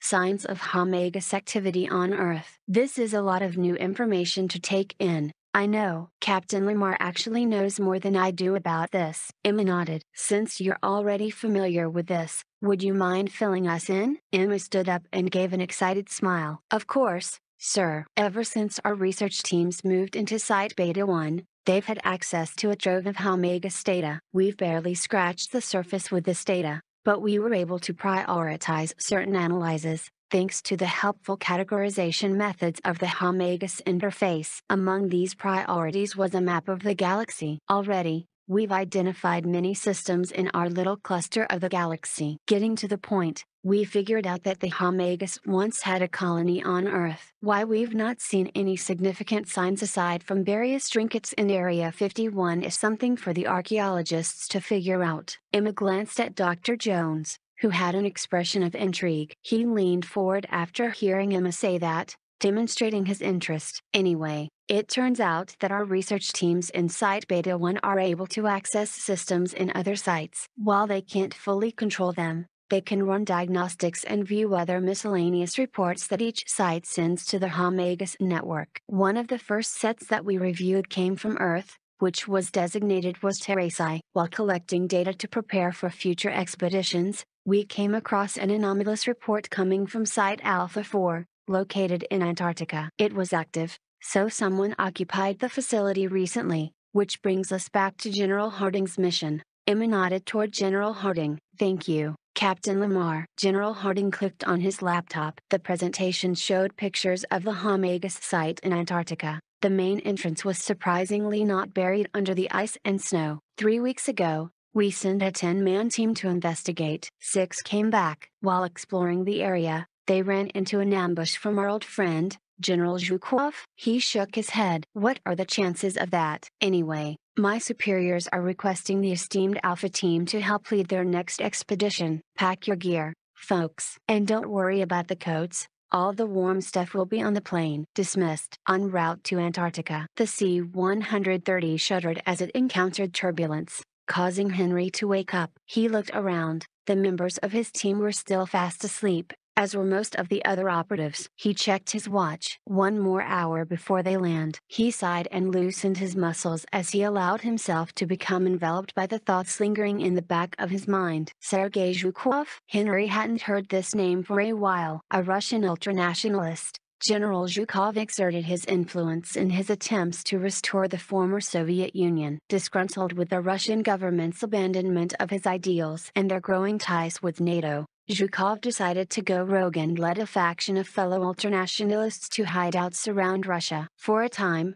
the Russians paid no heed to Zhukov's antics, as he had friends in high places. Many even sympathized with his passion, but for the sake of foreign relations kept their thoughts to themselves. A few skirmishes took place, but for the most part, the United States and her allies ignored Zhukov, fearing political backlash if they got involved. They didn't realize their mistake until the showdown in Donetsk. As a result of Zhukov's subjugation of the region, several rebellions and protests sprung up. Coincidentally, several NATO affiliated diplomatic teams were also present at the time. It was a recipe for disaster, with the unruliness throughout the city forcing the diplomatic teams onto predictable paths. Zhukov orchestrated a coordinated strike on the teams, capturing almost all of them. This series of unfortunate events was followed by another, with Henry caught in the middle. Henry was on a routine patrol in the area when he encountered a squadron of trigger-happy Zakhovians who insisted that he was violating their airspace. They fired the first shot, then everything went to hell. His countermeasures were more than enough to keep himself alive, but he was unable to keep his fighter airborne on account of an overwhelming number of enemy units. Forced to eject and without functional communication equipment, he landed somewhere in the city, where he had to fight his way out. Wading through dead crowds of civilians caught in the crossfire was horrific, but he managed to push himself to safety. Navigating through this foreign environment and making it out alive with dozens of confirmed kills netted him a posting in Area 51, where he demonstrated his superior ability to adapt. As a result of his feats in Donetsk, he was assigned command of Alpha Team when the time came to explore the mysterious portal that appeared out of nowhere. Until now, he never expected to revisit the tragedies that occurred on that fateful day in Donetsk. Now, as he looked out the window to see the beautiful ice sheets illuminated by the Antarctica summer sun, he could almost forget the reason he came here. A feeling of anticipation began to build up within him anticipation for vengeance. Zhukov,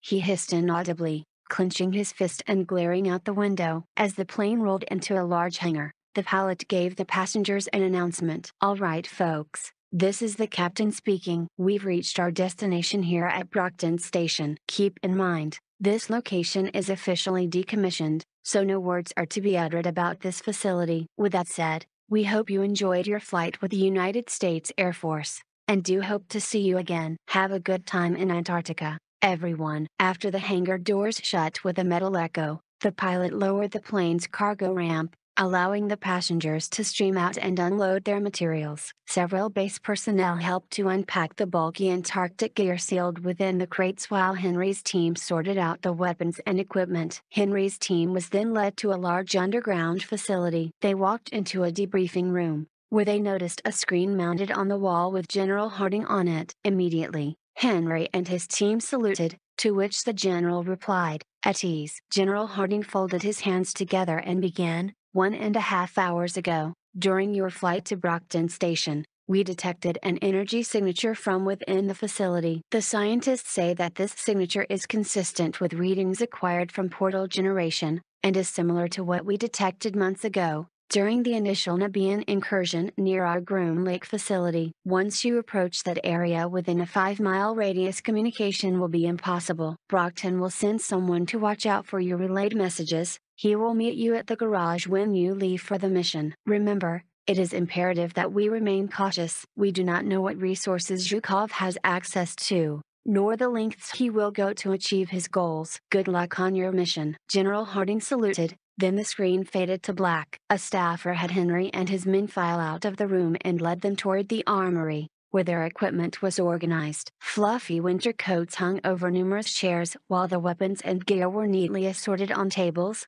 separated by name. Most of Henry's men looked enviously at the advanced Helmagus selection available to Alpha Team, and were most intrigued by the scepter that laid on the table under Dr. Jones's name. With everything ready to go, they entered the garage, where they found several snowmobiles waiting for them. A man holding flare guns and flags approached them. I'm Corporal Alex Dunn, he saluted, I'll be sitting back within communications range of the base. This equipment here will represent your only means of communicating with us. He placed the colored equipment on a table. The flags and flares were separated into four categories red, yellow, green, Blue. Red represents a complete failure of the mission and serves to warn us of an impending attack. Yellow will signify your retreat, and we will come and assist you. Green will signify a successful mission. Blue will let us know that you have wounded, and we will send a team to extract them. In the event that you are unable to use flares, use the flags to relay the messages. I will have binoculars and will be spotting for your communication. Henry's team nodded and asked no further question,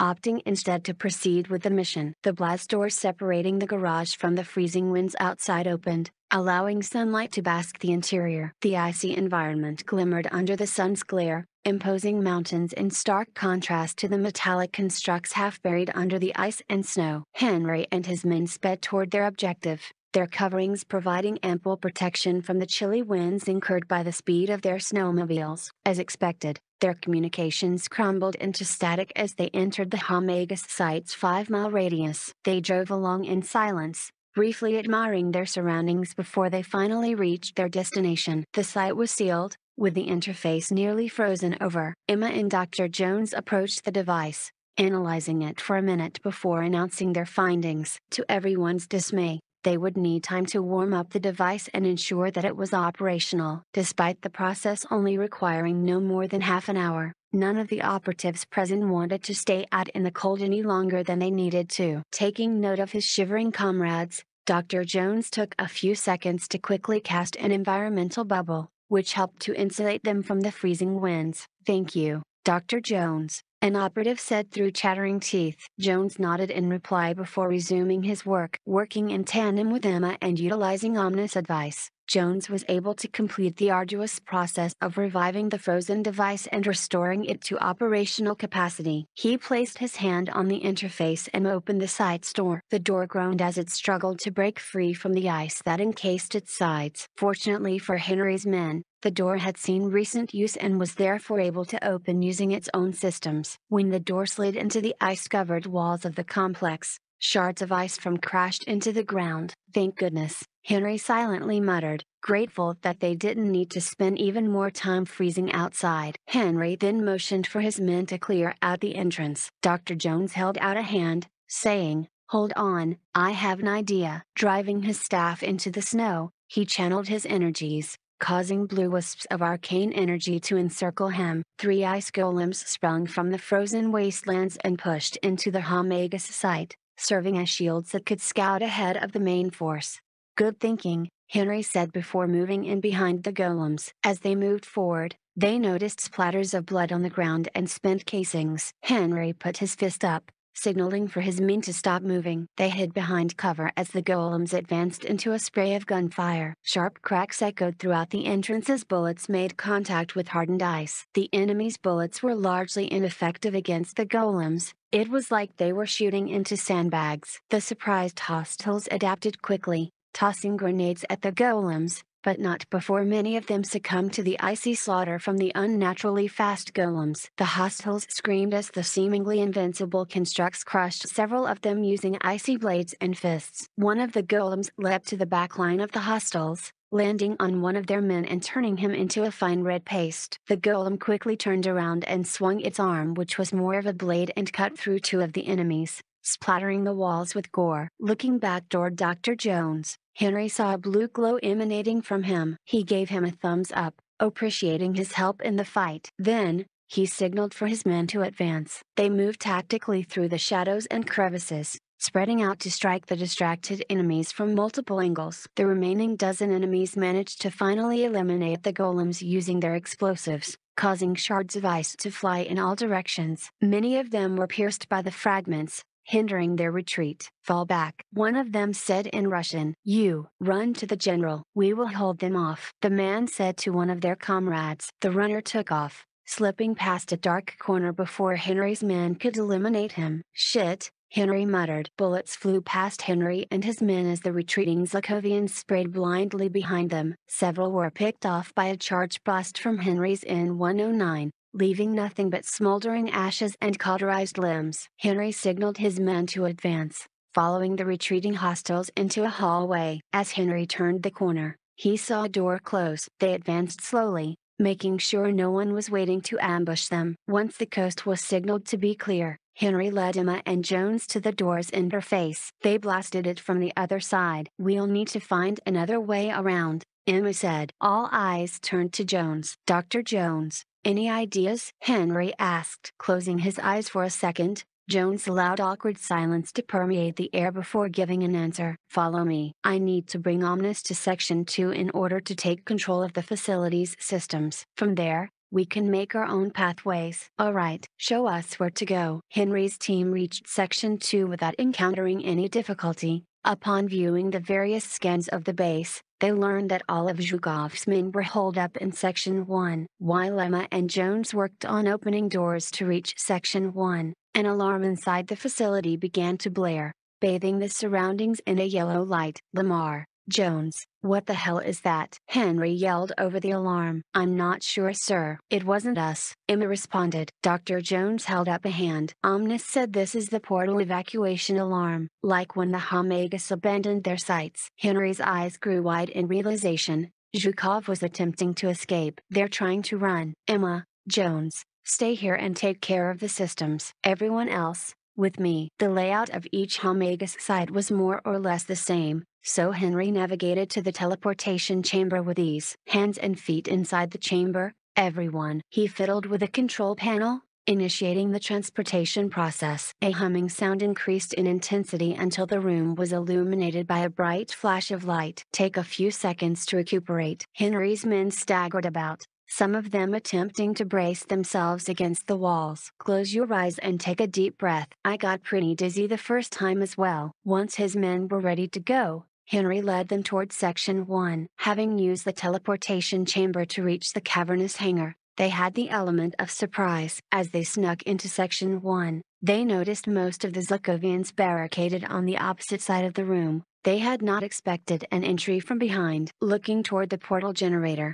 they saw numerous men carrying boxes into it. Take as much as you can carry. We will not be coming back here, a man said in Russian, his voice dwarfing even the sound of the blaring alarms. He was dressed in an officer's uniform, unlike the other men who were wearing dark combat outfits and armor. General Zhukov? Henry raised his rifle, charging up his weapon to full power. Scowling down his sights, he lined the crosshairs right on Zhukov's chest. As he was about to fire, one of Zhukov's men ran across his weapon's line of sight, rushing around with a box. The blast intended for Zhukov was inadvertently blocked by one of his men, who was immediately detonized by the fully charged blast, causing the entire cavern to shake. Blue wisps of plasma flew about, scalding some of the unfortunate souls who were hauling boxes near the now atomized man. Zhukov saw the spectacle and immediately dashed into the portal. He was followed by a horde of his men who didn't even try to fight back against Henry's team. Seeing this,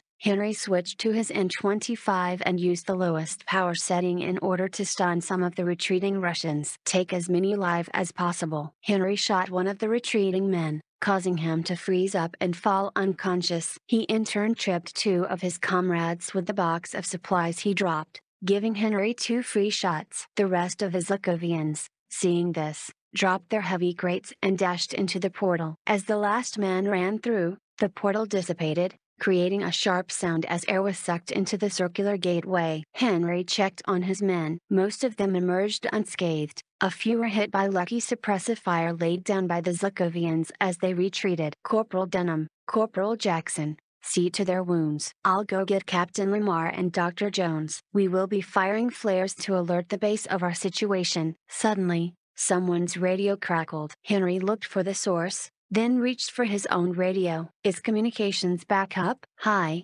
Sir, a high-pitched voice called out. Captain Lamar? That's right, communications are back online. Looks like the Russians had unknowingly jammed our communications with their portal generation. I suspect that newly generated portals create electromagnetic distortions, and need time to stabilize. The one in Area 51 used to be quite disruptive to our gear, but nowadays we can bring all of our electronics near and through it just fine. Okay, Captain, that's good news. I'll go on and radio Brockton Station. Then, turning around to face his men, he congratulated them on their good work. We came out of this with only a few injuries, That's some good work everyone. We might not have been able to nab General Zhukov, but I reckon we won't be seeing him for a while. Somewhere in the Eanif Imperium. Halt. Identify yourselves. A musket-wielding man pointed his weapon at the intruding outsiders. Before he was able to issue any further warnings, he was shot in the head. Take control of this facility. We will deal with the locals later. General Zhukov ordered. Author's note, if you enjoy my story, Please remember to vote and or submit a rating. I would also appreciate it if you all could share my story. You guys are the people who motivate me to write. Join my Discord if you wish to discuss more about my story.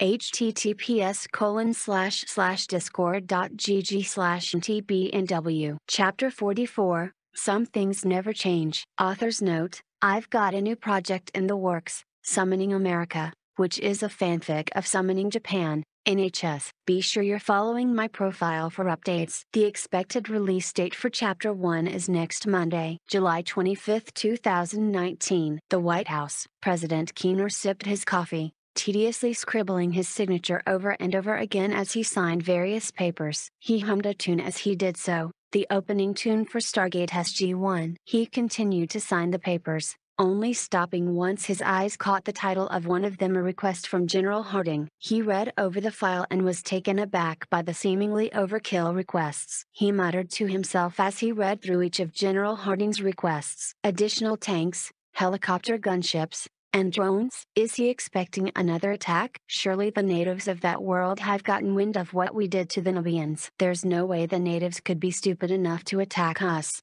Perhaps he's worried about more monsters? Keener read further, disappointed that he found more questions rather than answers. Looks like I was partially correct. He put his head down as he let out an exasperated sigh. Why can't things ever be simple? General Harding's request was supported by several other documents, reports from CIA observations in the Eanif Imperium alongside various testimonies from beast-like humanoid refugees flooding into the Esith territories. High-altitude photographs accompanied the reports, displaying troops' movements and a buildup of forces near Nubian, Esith, and Sonaran borders. The CIA reports corroborated the atrocities committed by the Imperium against the subhuman beast people. In many Eanif cities, they were used as slaves, with gladiatorial combat amongst these species being a popular entertainment choice among wealthy Eanish. These unfortunate souls were considered to be the lucky ones. The unlucky ones, by contrast, were tortured to death in the most sadistic ways possible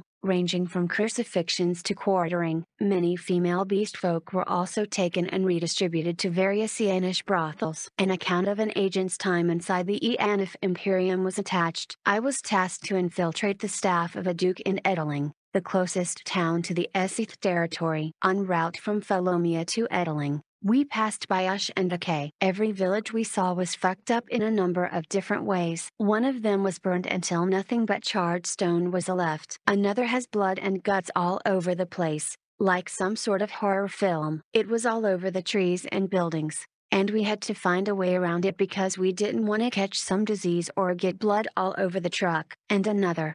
It looked untouched from a distance, but we found out we were wrong in the most horrible way imaginable. The bodies were petrified, like the Pompeii volcano victims. Out of curiosity, one of my guys tried to poke one with a stick. It crumbled into dust. It was beyond messed up. We rolled through the town and saw a bunch of them huddled up together, all frozen in that gray dust like the rest. We saw some more towns in the distance, but they were out of the way. From what we've seen so far, there's no way anyone could have survived, unless they escaped very early on. My team got out of the convoy, and the diplomatic team went forward with their mission. After checking our gear, we entered the town disguised as travelers. We split up, and I went to go check out the local businesses and catalog their currency, prices, and other aspects of their economy while the rest of my team went to their respective objectives. They use a standardized currency consisting of bronze, silver, and gold coins. They don't use paper currency like the other superpowers in this world. Keener skimmed through the economic rundown,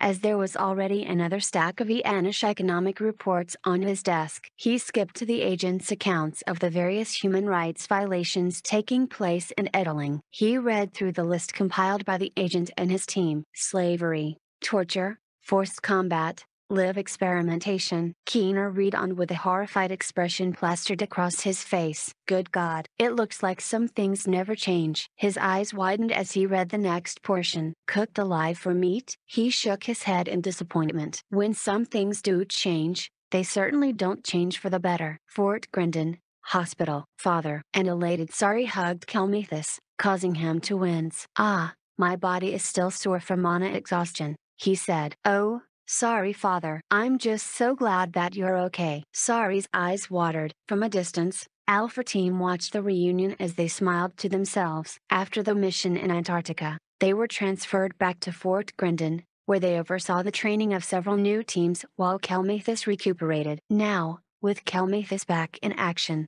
it wouldn't be too long before they set out once more to explore the dangers of Gaiera. Henry, upon seeing the interaction between Kelmethus and his daughter, silently vowed to ensure that everyone under his command would return home safely. Kelmethus walked up to his teammates. Sorry, this is Alpha Team. You've met them before, in Sophias. You're the strange otherworlders who rescued me. She stared wide-eyed at her saviors. We sure are, kiddo, Henry nodded, offering a small pack of Kit Kat. Sorry accepted the gift and began munching on it. MMM.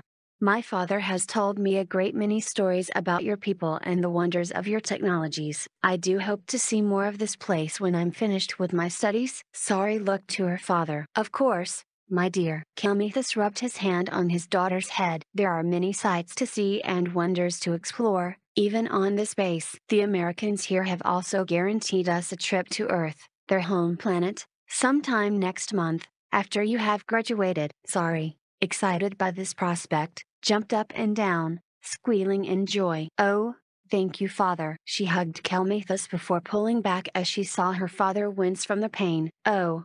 Sorry.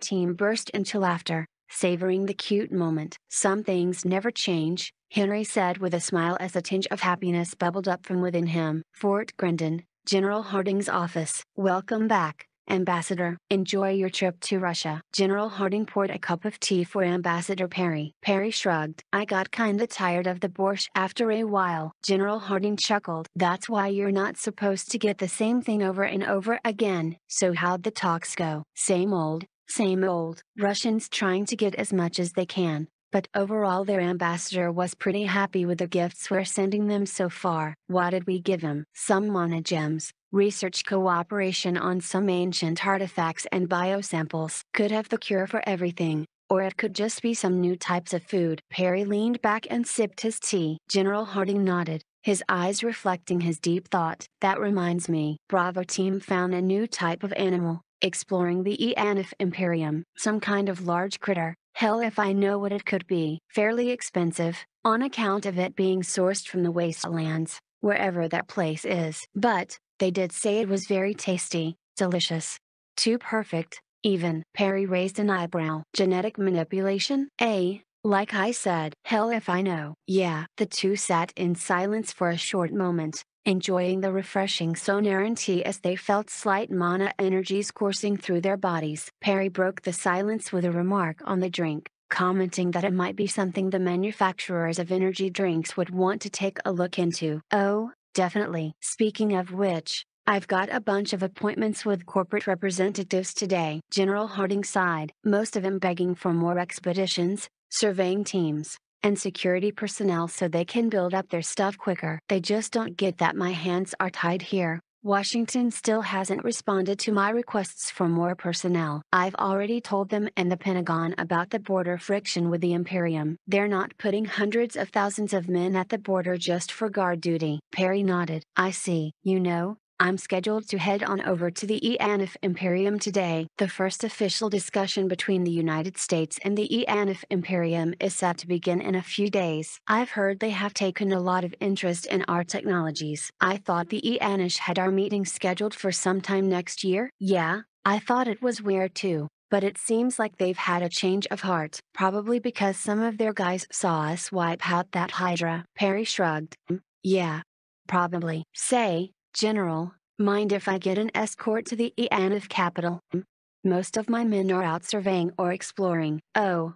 Alpha team is available. I would hate to put them on a mission right after Kelmethus' recovery, but this will probably be more like a vacation. Ah, the famed Alpha team. Perry smiled. I'd be honored to have them escort me. He stood up, leaving an empty cup of tea on General Harding's desk. Alright, if you'll excuse me, I'll go ready my things. Hey, Sarah, just wanted to let you know that I'm off to the Eanif Imperium. A shriek pierced through Perry's phone, causing him to flinch. Did you say Eanif? Don't you know how barbaric they are? They're awful. Yeah, I know. They've assured us safe passage though, so we should be fine. My people have contingencies in place should anything go wrong. I'll be okay. The short silence seemed lengthy given the context, and he held his breath as he awaited Sarah's response. Finally, an exasperated sigh reached his ear. Okay, promise me you'll be safe? Yes, I promise, Perry said, his cheeks turning red. I've got to go now, we're leaving soon. Wait, when will I be hearing from you next? Um,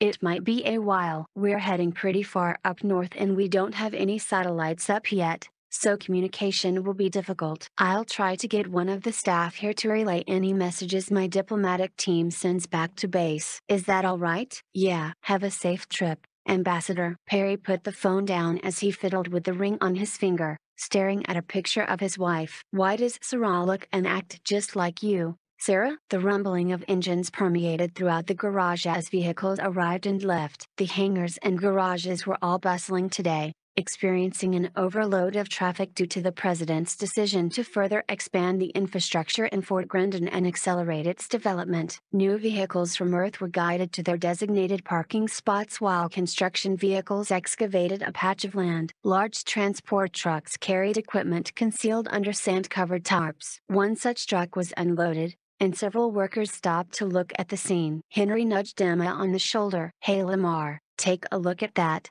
He pointed toward the bright white cone, squinting as the object glinted under the sun. Emma lit up in a similar fashion, as her eyes radiated a luminosity akin to a child who had just opened a Christmas gift. They're finally launching satellites, she gasped, not even trying to contain her smile. Looks like it. Henry looked at the other trucks, which were now being uncovered, revealing other parts of a large rocket. Henry recognized some of the components as key parts in modular assembly, from pieces of the hull to the satellites themselves. However, one piece of uncovered equipment piqued his interest. Is that the engine? He asked Emma. Yes it is, sir. She took a deep breath. Ain't she a beauty? Looks a bit more futuristic than what I had imagined, he responded, analyzing the sleek design of the thrusters and the slender appendages on the end.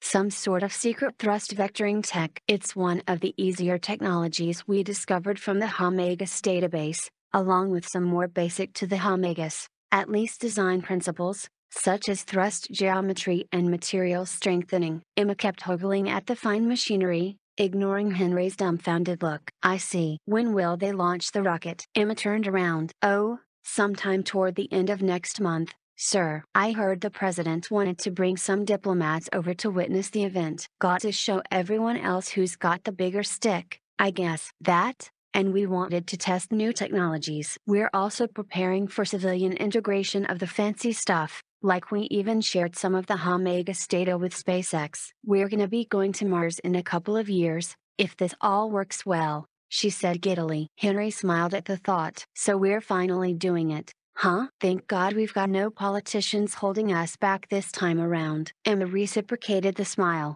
nodding in agreement. As the equipment from the trucks were led into various storage units, Henry and Emma returned their gaze to their vehicle, where Ambassador Perry and the rest of Alpha Team waited. Henry walked up to them. Everyone all geared up? Hey, of course. We had all the time in the world while you two were busy, Ron winked at Henry and Emma. Henry looked away as Emma blushed and did the same. You know we're not allowed to do anything like that. Henry's awkward response garnered several snickers among their group and several workers nearby. Anyways, Ambassador Perry interrupted. We've got quite a deadline to meet. Looking around, Perry asked Henry, is it just going to be us making the trip all the way to Ina? No, sir. We will be tagging along with the supply convoy. He gestured toward a group of trucks and JLTVs waiting outside. And, Iana, shouldn't it be Ina? You know, like Enif, Perry shrugged. Beats me. The Sonarans, Nubians, and Mekanese all said it's supposed to be Iana or something like that so that's what we're going with. Henry nodded and hopped into the driver's seat. Looking back, he offered a chord to Ambassador Perry. Wanna play some tunes? Sure,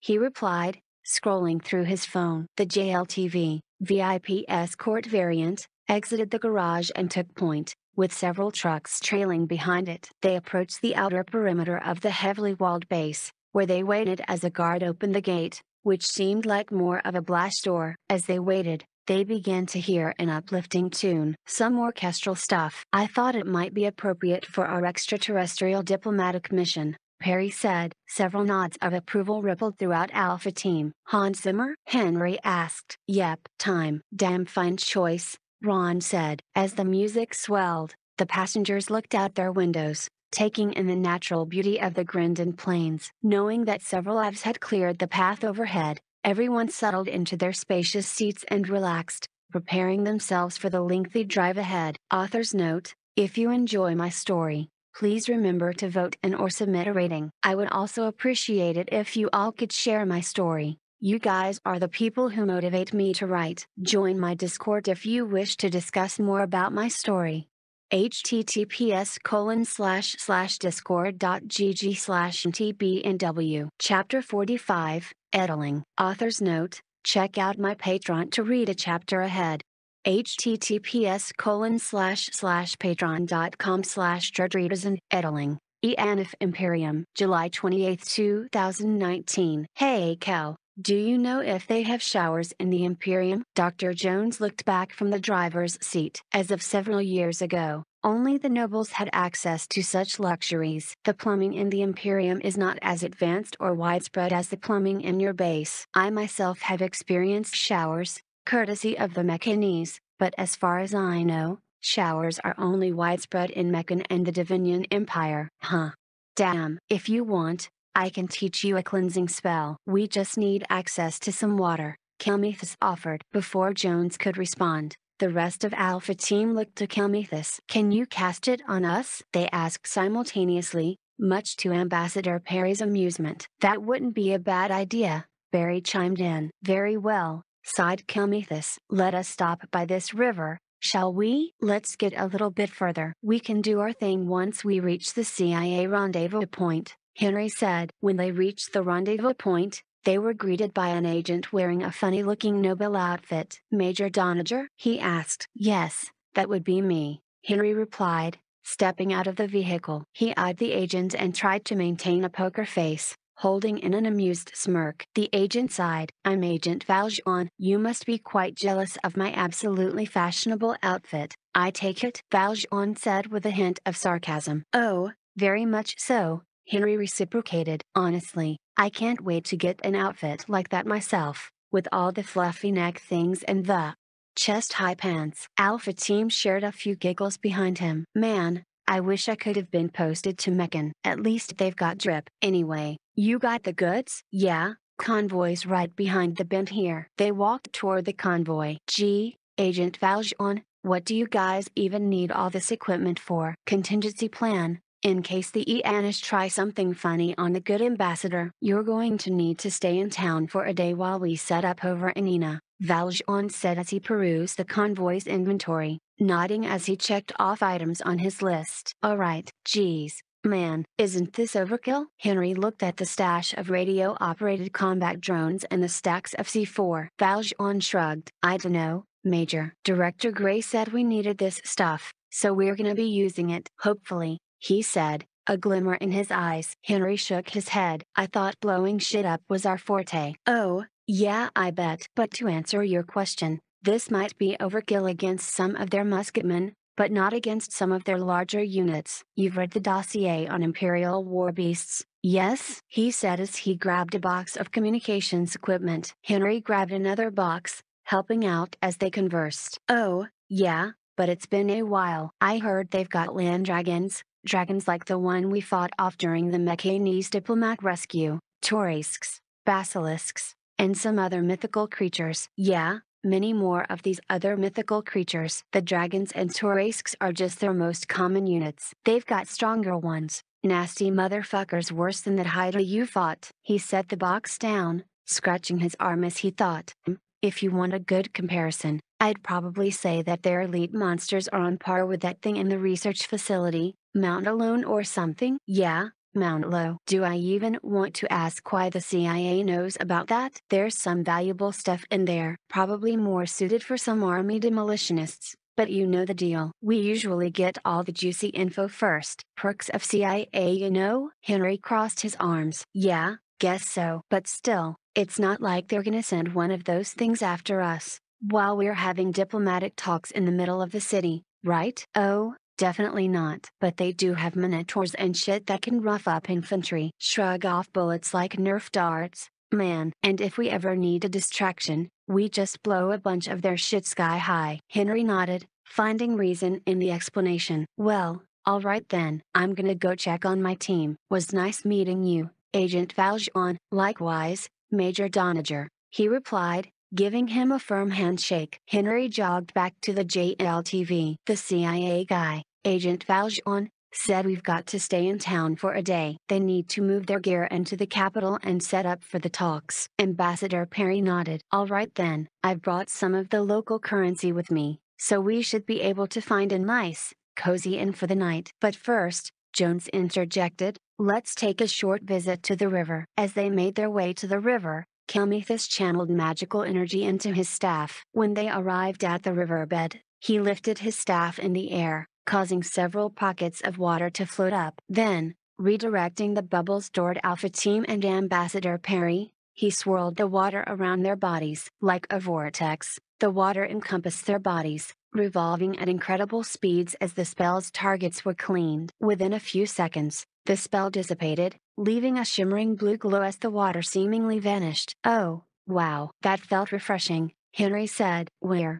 Dry? Emma noticed. Kelmethus cast the same spell on himself as he explained. Think of it like a cleansing mist. The swirling water scrubs dirt off, enhanced by magic to provide a similar experience to bathing, while the dispelment of the vortex dries you up. Using shampoo or soap might be interesting, and I'll actually need to test the utility of your technological cleaning materials for this spell. Fascinating. So, something like this. Jones imitated Kelmethus' process forming a few levitating bubbles of water and then swirling them. Kelmethus nodded. Quick learner. The cleansing spell he casted into himself wore off. Now, I haven't been to the Imperium many times in the past, due to my duties in the Academy, but I do know one thing for certain, the people here are quite arrogant. Let us try to find an inn, shall we? Alpha team made their way into the town, escorted by Agent Valjean, who helped familiarize them with the various landmarks and places to avoid. They easily made their way past the front gate, on account of Agent Valjean having acquainted himself with many of the town's residents already. Aside from seeing several Eanish nobles punishing some disobedient slaves, the town seemed like a quaint fantasy town one that tourists from Earth would likely love to visit. After touring the town for a couple hours, Agent Valjean directed Alpha Team and Ambassador Perry to an affordable inn, operated by an abolitionist merchant. The Wyvern's Nest,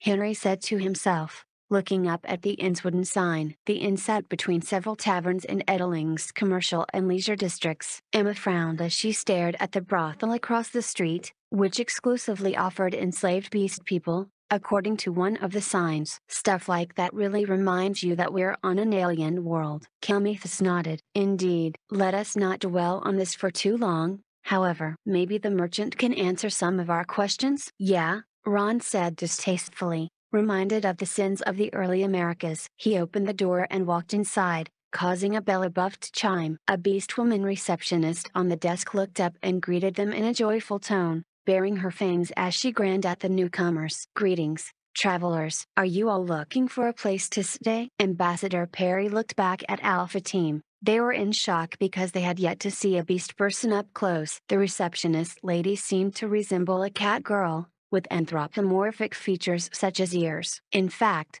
what surprised the Terrans was the receptionist's astonishing similarity to humans all except for the fur covering her body and her ears. Kelmethus on the other hand was not so shocked. No surprise there, Barry thought to himself. Kelmethus walked up to the receptionist and analyzed the signs above. We're looking for the owner of this place, Sir Bincolin? The receptionist nodded as she studied the newcomers. And what might be the reason for this visit? Henry answered, We were referred by Pierre. Seemingly satisfied with their answer, she stood up from her desk. Oh, very well then. I shall send for Sir Bincolin. Please wait a moment. She exited the room, moving upstairs. As she did so, everyone was able to catch a glimpse of her tail swinging from her dress. Dr. Jones gave a slight wolf whistle, prompting Emma to slap him on the arm. Perv, she said, rolling her eyes. Hey, come on now. This is like a fantasy dream for a lot of people back home. And it sure is fascinating, isn't it? Jones smiled, appealing to Emma's inquisitive nature. Yeah, I suppose so. They lounged about, walking around the room and studying the various illustrations and paintings hung on the walls. A few minutes later, the receptionist returned with a clean-shaven man wearing a top hat and a similar outfit to Agent Valjean. The members of Alpha Team suppressed their smirks. Ambassador Perry saw this and decided to take the initiative. Sir Bincolin? Ah, you all must be the friends of Pierre. I'm glad to see more supporters of our cause, he said in a jolly voice. Are you referring to the abolitionist movement? Yes. And who might you all be? Ambassador Perry introduced himself followed by the members of Alpha Team. Pleasure to meet you fine folks. Say, you folks sure do have some strange apparel, he said, leaning forward to inspect their clothes. We're on a diplomatic mission from the United States. We're headed for Ina and we are looking for a place to stay for tonight, Perry said smartly. Oh, oh, okay, since you're friends of Pierre, I can provide a discount. Five bronze per person? Sounds good, Perry said, handing over a bag of coins. Sir Bincolin handed the bag to the receptionist, who began counting the coins. Let me know if you need anything. Oh, and do be careful with discussing the abolitionist movement. You may find yourselves in quite the predicament if you do so. His face darkened. It's quite unfortunate that we as a civilized nation have not yet improved our society by ridding ourselves of such disgracefulness, as the Mekanese and Divinians have. The people here will not take kindly, and might even have you arrested if they find out about your support for the abolitionists. He turned and began walking back up the stairs. I have several meetings in a few moments. Remember, if you need anything just talk to Miss Quicktail downstairs and have her ask for me. Ron looked to Henry. What do we do now? Sir, Henry shrugged. Explore the town? I'm starving. Everyone nodded in agreement and they ventured out onto the streets in search of Eanish food. Roasted calf with Pelourinho sauce and a side of potato. Henry muttered. Hmm, that doesn't sound too bad. What about this restaurant? Emma said, pointing to the fancy-looking establishment next door. Tribbles delicacies. They even have illustrations of their food. Posted on a sign outside the restaurant was a menu, displaying a couple dozen food items, each with their own painted illustration. Ron pointed to the third item on the list, some sort of broth with an exotic meat from the wastelands. This looks promising, he said, his mouth watering as he eyed the cooked meat and vegetables. Henry moved Ron's finger away and pointed to the number next to it. This costs four silvers. Our rent for the day, for all of us, doesn't even cost that much. Ambassador Perry tilted his head. Well, didn't Agent Valjean give us a bag of like, 50 golds? We're supposed to save it in case we need to bribe someone around here, Henry replied in a low voice. Oh come on now, I'm sure we can do away with a few silvers. I mean, just look at that, it just oozes Parisian excellence. Perry said, gesturing toward the illustrations. Henry sighed. Very well. Just try not to spend too much. Emma smiled. Thanks, Sir. Henry smiled back. Yeah, I guess we might as well enjoy the alien stuff while we're here. They entered the restaurant and emerged into a brightly lit interior, reminiscent of luxurious dining halls of the past. A waiter with an exquisite French-looking mustache greeted them. Good day, sirs and madam. How many shall we be serving today? Six people, Henry answered. Okay. Please follow me the waiter said, leading them to their seats. He brought the party of six to a comfortable booth with an intricately crafted glass table. Here you are, he handed them menus. Would you like anything to drink? They said, staring at the menus. What do you have to offer? Kelmethus asked. The waiter eyed Kelmethus and Jones's staffs. We have red wine, blue wine, imperial gin, pink berry juice, and for you, my good Sonaran sir, we do have some fine Sonaran ale available, he said to Kelmethus.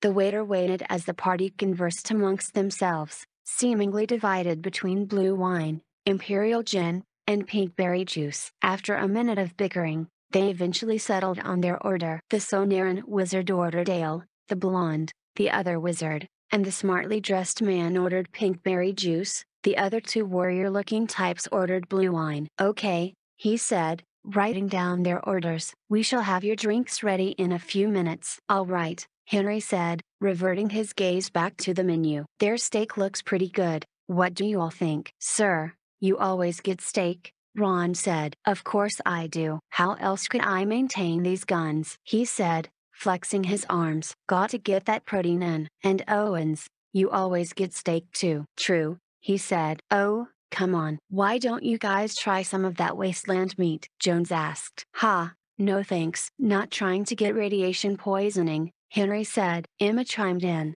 Not that type of wasteland, sir. It's probably just a desert or something. A. Maybe. Okay, I'll get the wasteland broth and then we can share the steak, Emma proposed. Yeah, all right then. The waiter returned with a cart full of drinks and placed the glasses on the table. Are you fine travelers ready to order? The travelers nodded. The two warriors ordered calf steak with parsley seasoning and Wendt sauce. How would you like your steaks done? We have reddened, medium reddened, and no reddened. We'll go with medium, Henry answered cautiously, unsure what the cooking styles for this alien world were. The blonde ordered a wasteland hound broth.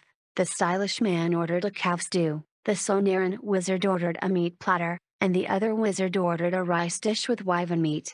Excellent choices, fine travelers. I will return in 20 minutes with your dishes. So, Kelmethus, do you know anything about this wasteland? Henry asked. I have not heard much of it, from the stories I've read, the wasteland is a desert somewhere to our north and the Imperium's east. They say it was once fertile land, and if you look at it from a map, the desert itself looks unnatural. It stretches all the way to the coast, and is spread out in an equidistant circle, all originating from some sort of mountain or stone spire in the center. The wasteland hound is a type of monster that is said to inhabit this desert, a perfect killing machine, and it is also said to have perfect meat, to the point where the meat even provides beneficial qualities to the consumer, such as enhanced strength, faster healing, and greater intelligence, for a time. But because the meat is so hard to source, it is very expensive.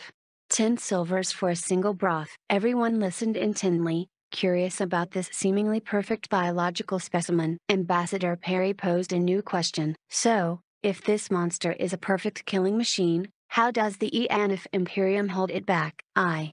I am not sure, Kelmethus said, stroking his beard. I don't think they hold it back, rather, they have been lucky enough that the monsters tend to stay in the desert rather than venture out and attack Eanish cities. Huh. Makes me wonder if the Imperium has ever tried taming them, Henry said. Kelmethus shook his head. They most certainly have, but I doubt any of them have ever succeeded. These wasteland hounds bow to no master except that twisted spire. I'm not even sure if they can feel hunger. To me, it seems like the only motivation these fiends have is to spread death. Henry nodded. I see. Then, spotting the waiter to his left, he announced to his group, Oh, looks like the food's here. Fine sirs and madam, I present to you, the culinary excellence of Lord Dibble. The waiter approached them with a cart and lifted the silver covers off the dishes, releasing the succulent aromas contained within the delicious cooking. Alright folks, let's dig in. Henry declared. Author's note,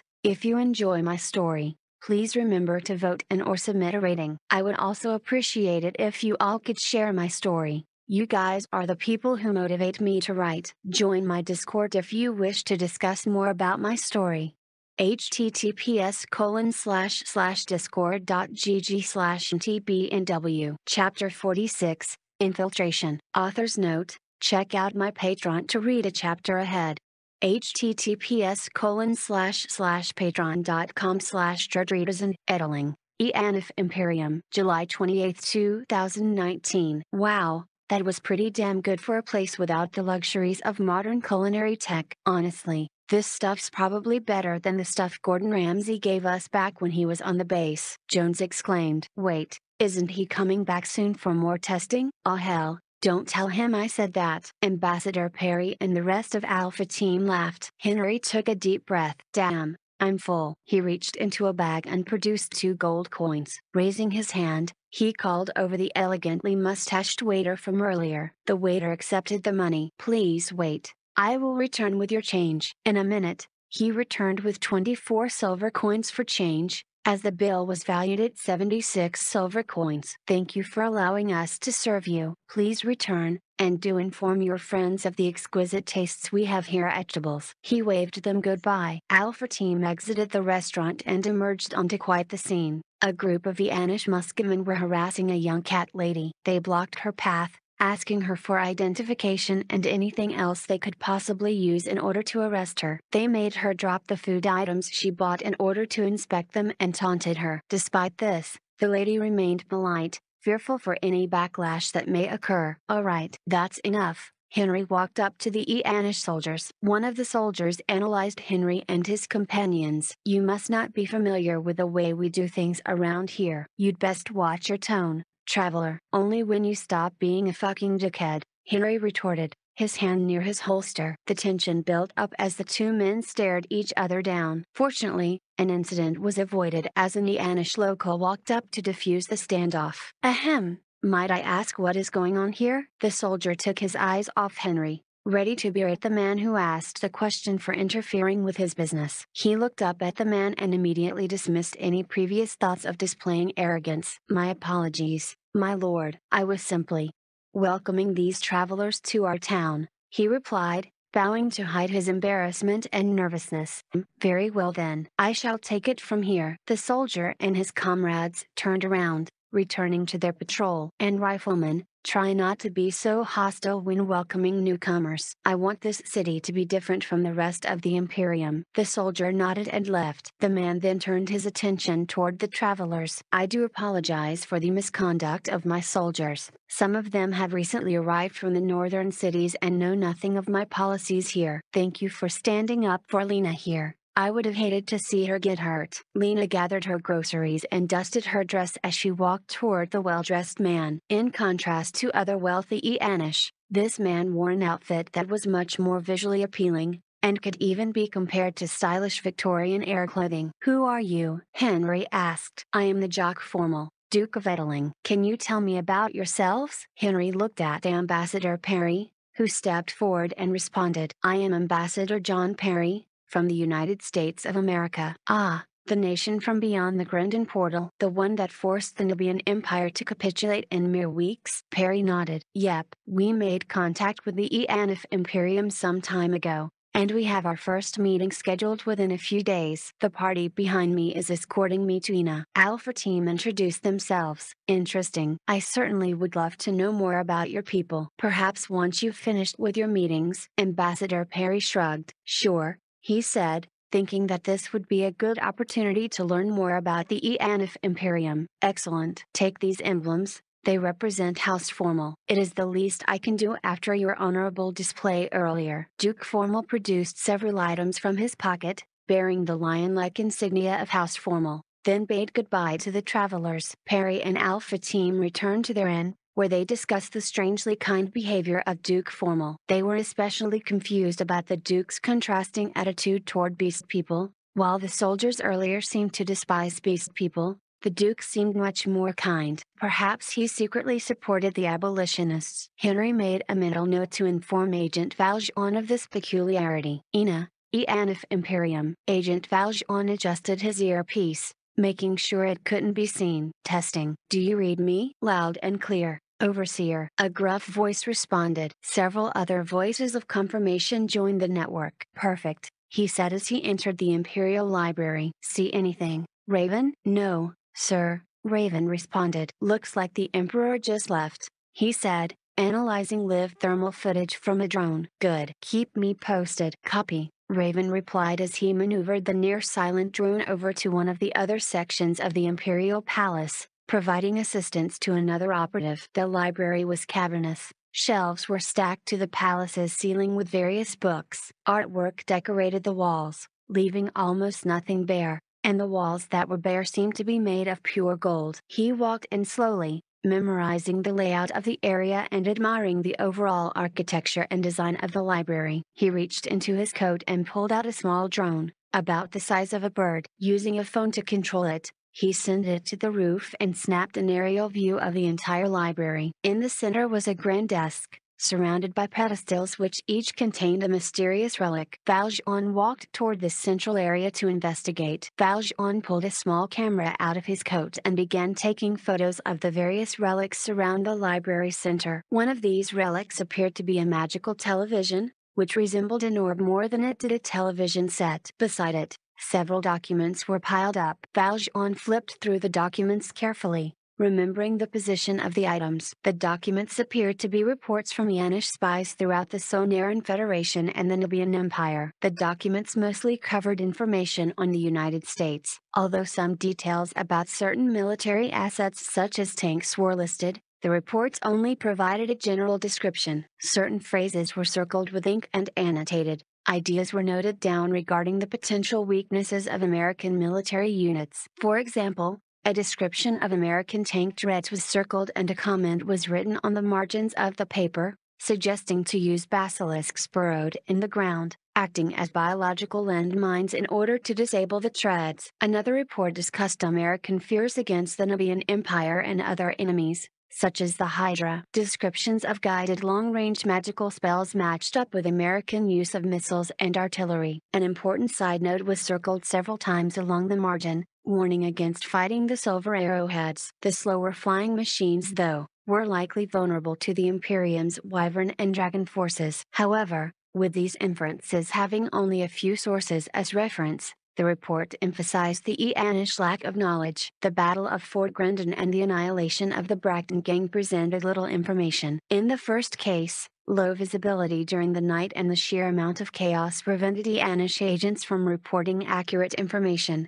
The only reliable information was a shoddy video taken of the engagement. In the second case, the Eanish spy sent to infiltrate and influence the Bracton gang succumbed to madness, committing suicide after witnessing so-called demonic power. Fire falling from the sky like a directed volcano seemed more like the delusions of a madman indeed. Valjean carefully took pictures of all the documents, making sure that they were returned to the same position as before. He then looked at the magical television set. Several buttons were laid out across the device's stand.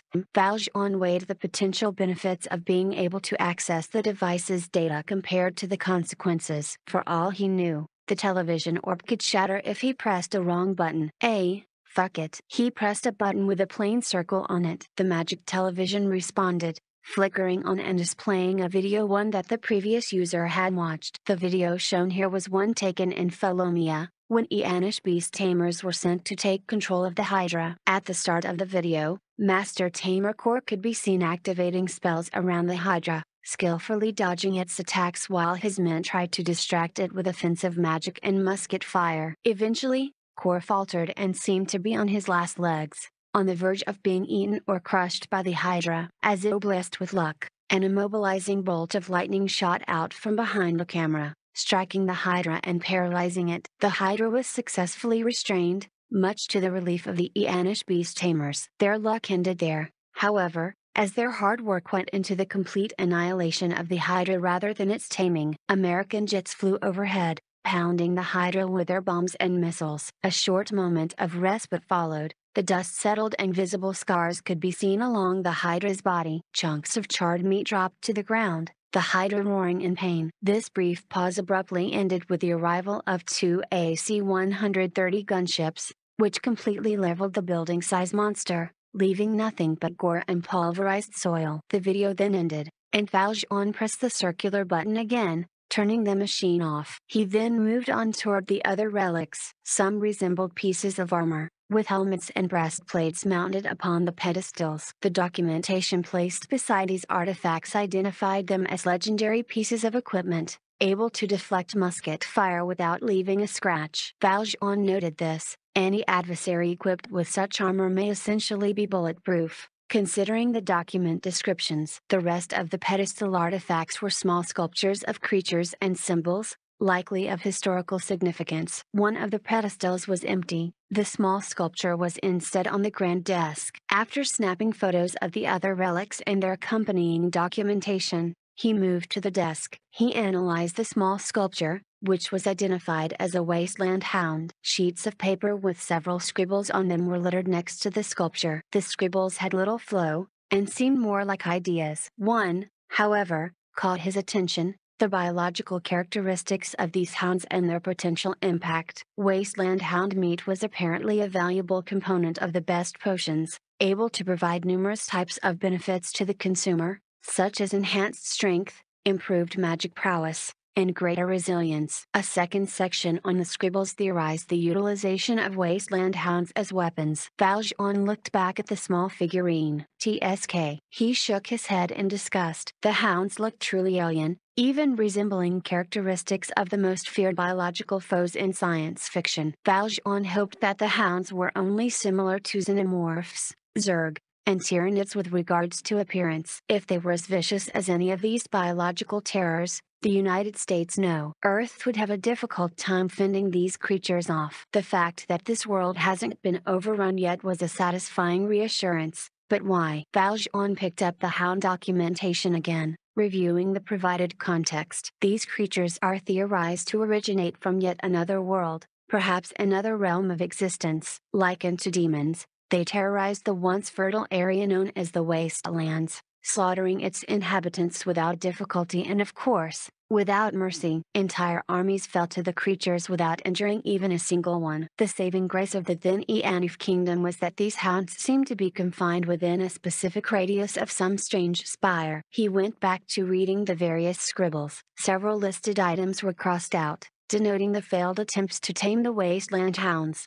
but one wasn't. At the bottom of the list, this item seemed fresh. The ink was still wet, likely the observations of Emperor Evalian. This final listed item described an optimistic outlook for the most recent set of experiments, dubbed the Unborn Project. Valjean shivered at the thought of hordes of these hounds assaulting the Grendon portal. After taking photos, he set the hound-related documents aside and analyzed the note on the center of the desk. He approached it and read it. It was a letter addressed to High General Tarkin. High General, this man from Earth that you have sent me has been quite useful thus far, although I am wary of any hidden intentions he might have. He says he is only helping us because of our plans to initiate hostilities against the United States, only hoping to see damage inflicted upon these Americans. Regardless, the information he has provided is valuable and is certainly supported by reports from our spies throughout the continent. I recall you back to the capital to redraft our war plans. The crackling of radio static in Valjean's ear nearly caused him to jump. Contact approaching, 30 meters out. Raven warned. 20 meters now. Whoever this contact was must be running. Valjean was faced with a split-second decision. Should he try to snap a photo and risk getting caught, or slip away and have a much higher chance of escaping. He decided on the latter and dashed behind several shelves just as he heard a door open. Emperor Voxivalian ran into the library, speedily dashing toward his desk with the aid of a spell that augmented his movement. He scanned his surroundings, suspiciously eyeing the pedestals around his desk. He then brought his gaze upon the items in this desk. The quill he had left on top of his paper earlier was now moved to the side. He looked around once more. Author's note, if you enjoy my story, please remember to vote and or submit a rating. I would also appreciate it if you all could share my story. You guys are the people who motivate me to write. Join my Discord if you wish to discuss more about my story https colon slash slash discord.gg slash tbnw. Chapter 47, Divinian Embassy. Author's note, search for my other story, Summoning America, a fanfiction of Nihonkoku Shouken A Summoning Japan. Discord, https colon slash slash discord.gg slash tbnw. Check out my Patreon to read a chapter ahead https colon slash slash patreon.com slash and August 1st 2019 Ina, Eanif Imperium shining in golden splendor. Ina came into view as Ambassador Perry's carriage entered the city's outer limits. He sat with Major Doniger and Kelmethus while the rest of Alpha Team rode behind them in a separate carriage. Along the cobblestone road, numerous straight caravans lined up, waiting to be inspected and admitted into the Eanish capital. Perry looked out his carriage, sighing as the line inched forward ever so slightly. How do the people here travel between cities with lines like this? He complained. It is usually quick. I guess this is just one of those days, the driver replied. Say again, what business are you here for? Diplomatic, Perry replied. I represent the country from beyond the Grendon portal. The driver looked back. Oh? I've heard of that portal but I always thought it to be a fairy tale or something of the sort. Why, I only recently started to believe it when some of my merchant buddies came back to me showing off some new wrist watches he bought down there in the Sonaran Federation. Perry rubbed his watch's links. Oh, we're most definitely real. What can you tell me about Ina? Well, the city's never been better. Sure could thank them beastie folk and the spoils of war. Hell, we're itching to get even more goodies after we take the Nubian Empire and the Sonaran Federation. You're going to war again? Henry asked. It ain't official, but it's the talk among many of the soldiers. Hell, they just got done fighting and both sides have got their armies pretty much wiped out. Would be a waste not to take advantage of this situation. Ambassador Perry hid his discomfort. So, he said, tugging on his collar, what does that mean for us otherworlders? The driver thought aloud. I'd reckon you portal fellows should be fine. Emperor Evalian ain't fond of taking big risks, so he'll probably leave you folks alone. But if you really want to be safe, His Excellency has generous tendencies. Before going to war, he always gives the option to surrender peacefully and even offers those who surrender a chance at imperial citizenship. Not a bad deal, eh? Perry nodded. Yeah, I guess so. A bell ahead rang. Oh, the driver said. Looks like it's our turn. He pulled out several documents, which an inspector came and reviewed. After receiving approval from the inspector, the carriages made their way through the crowded, magically lit streets. The architecture was heavily reminiscent of Victorian-era European architecture, as if chronologically connected with the nation's Napoleonic-era weaponry. Compared to Edeling, Ina truly demonstrated the wealth of the Imperium. As they made their way toward a state-provided guest house, they saw magical illusions flutter about, acting like holographic signs and advertisements. They saw a group of mages casting magic on a building's wall, immediately cleaning it and rendering it indistinguishable from a sparkling new product. They also saw shining towers, magically enchanted to increase their reflectivity. To say that these towers glimmered like diamonds under the sun's light would be an understatement. It surprised the American visitors how the citizens didn't get blinded by the perpetual disco lights decorating the buildings. The towers bore a great resemblance to the spires in the Sonaran Federation, but the Eanish towers were built much higher, thanks to improved magical capability in the field of material enchantment. The carriages stopped within the bureaucratic district outside of the imperial domain, distinctly separated from the circularly arranged commercial and residential districts of the city. The American guest house was situated next to the Mekanese and Divinian offices. The Mekanese offices employed traditional Greco-Roman architecture, to the Americans' surprise. The Divinian offices, bordering the grand gate that separated the imperial domain from the bureaucratic district, looked much more alien in design. The structure was decorated with intricate, artful protrusions and statues that were impossible to engineer using modern building materials, but were likely possible with the inclusion of magic. The color scheme gravitated toward white and gold, conveying an atmosphere of opulence. Above the building, a slowly spinning symbol floated above, representing the insignia of the Divinian Empire, two swords forming an elongated chevron, with an emission of light where the sword tips met. The meeting with the Eanish representatives is scheduled for tomorrow, so Perry surmised that this might be a good time to get further acquainted with the Divinians. He and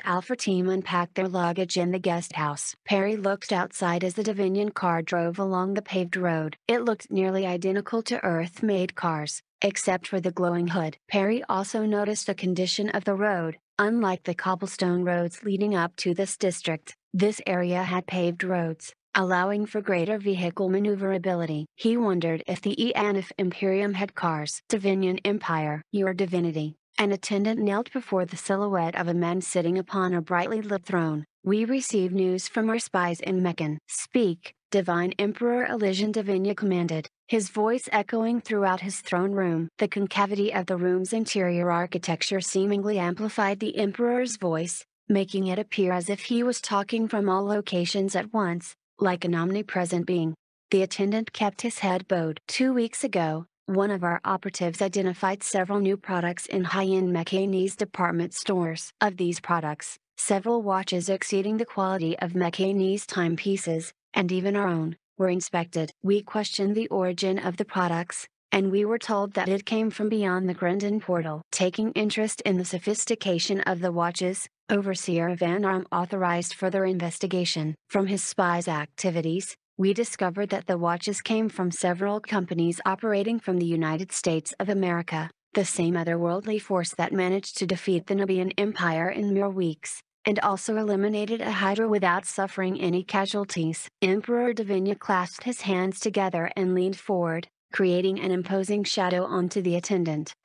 So, yet another technologically advanced nation appearing through a portal. This Eternal Reich, and now this United States of America. Yes, Your Holiness. Overseer Van Arm has also discovered several trade deals and technological exchanges between the Mekanese and these Americans. It seems that Mekan sees American technology as much more advanced than their own. Van Arm thinks this may pose a problem in our rivalry, and he has sent several operatives to gather information from Mekanese reverse engineering projects. So, it seems High Priest Ashton was reasonably justified in his failure. Very well, have Overseer Tyrell reinstate Ashton's position. I shall do so at once, my lord. The attendant kept his head bowed, remaining still. And convey my orders to Tyrell. Investigate the Grendon portal in greater detail and establish relations with these Americans. If Van Arm thinks they are so advanced, they might prove useful in the coming battles against the Axan Empire. You may leave now. Thank you for gracing me with your presence, my lord. The attendant retreated to carry out the Emperor's will. After unpacking, Perry walked to the Divinian embassy, accompanied by Kelmethus and Henry. Kelmethus in particular was excited to see the Divinians, due to the vast distances separating the Divinian continent from the others and the level of technological development outside of the Divinian Empire and Mekan. Most people have only heard fantastical tales of the superpower's exploits. Aside from stories and a quick observation of a Divinian officer during the initial battle at the Grendon Plains, Kelmethus knew nothing of their kind. To him, the beautiful architecture of the embassy granted merit to the legends of Divinians having insurmountable magical technology. The steps leading up to the front door seemed like they were made of marble, although with a faint glow. Henry noticed this and commented, Say, these Divinians sure do love their glow, huh? Perry answered as they continued walking up, I would suppose it's part of their namesake, being divine and such. The color scheme certainly radiates holiness, but we shall see if their people live up to that name. If I may add, Kelmethus interjected, many stories of the Divinians speak of pure-hearted heroes in their lands. Well, I don't think that very much adds up with the talks of warfare between the Mekanese and Divinians a few decades back. Perry lowered his voice as a Divinian official walked past. They seem human just like the rest of us. I doubt they're anything like saints. Perry pushed open the door and entered the embassy, which seemed to be made entirely of that same marble material. He was greeted by a beautiful lady who wore a glowing dress. Hello there, I'm Lova. I don't believe I've seen you before. We're new here, Perry explained. I represent the nation from beyond the Grendon portal, the United States of America. Oh, she giggled. I thought those were just rumors. Well, wait here just one bit. She left and went towards one of the offices. A few minutes later, she returned with a more serious look. I apologize for my behavior earlier. Please, come this way. She led the group to a more extravagant looking office space, decorated with golden columns and floating orbs. Please, have a seat here and someone will be with you shortly. Thanks, Alova. After the receptionist lady left, Perry took some time to look around the room. Paintings of various heroic stories adorn the walls, depicting victories against ancient evils. Many of them depicted a man clad in sophisticated, white armor fending off demons and other foes, likely propaganda for their emperor. Out of curiosity, Kelmethus approached a glowing orb, recoiling as he leaned forward to smell it. Oh, he coughed. What happened? Henry asked. This seems to be a very strong scent releaser. A lot like the air fresheners you Americans love to put everywhere. Interesting, Perry said. He was about to ask how a magic air freshener worked, but someone entered the room. Perry looked up at the elegantly dressed man, who almost seemed like a priest of sorts. The flashy man introduced himself. Greetings, Otherworlders. I am Overseer Tyrell. I manage all Divinian affairs in the Eanif Imperium. Pleased to meet you, Perry responded, offering his hand. I am Ambassador John Perry, representing the United States of America the country beyond the Grendon portal. Oh, Tyrell shook Perry's hand. I've heard many tales of your people. I heard you managed to defeat a Hydra without suffering any casualties. Indeed we have, Perry replied. He followed Tyrell, who gestured for them to sit down by his desk. So you have. Now, what is the purpose for this visit? We would like to establish relations with the Divinian Empire. Perry got straight to the point. Interesting. I assume you're in Nina for a different reason though. Yes, we initially came here to establish relations with the Eanif Imperium, but our meeting is tomorrow. And so you decided to drop by our embassy in hopes of starting a relationship. Perry nodded. That's right. So tell me, why should the Divinian Empire seek a relationship with a country it knows almost nothing about? We are quite busy with other affairs, you know. Perry pulled his laptop out of his briefcase, readying a demonstration. Please give me a moment, he said to Tyrell who was eyeing the American device curiously. I will be showing you a video about American lifestyle and culture, along with our achievements. Tyrell nodded and waited patiently. While Perry initiated his PowerPoint demonstration, he thought about Tyrell's words, analyzing them. If the Divinians thought of the Americans as beneath them,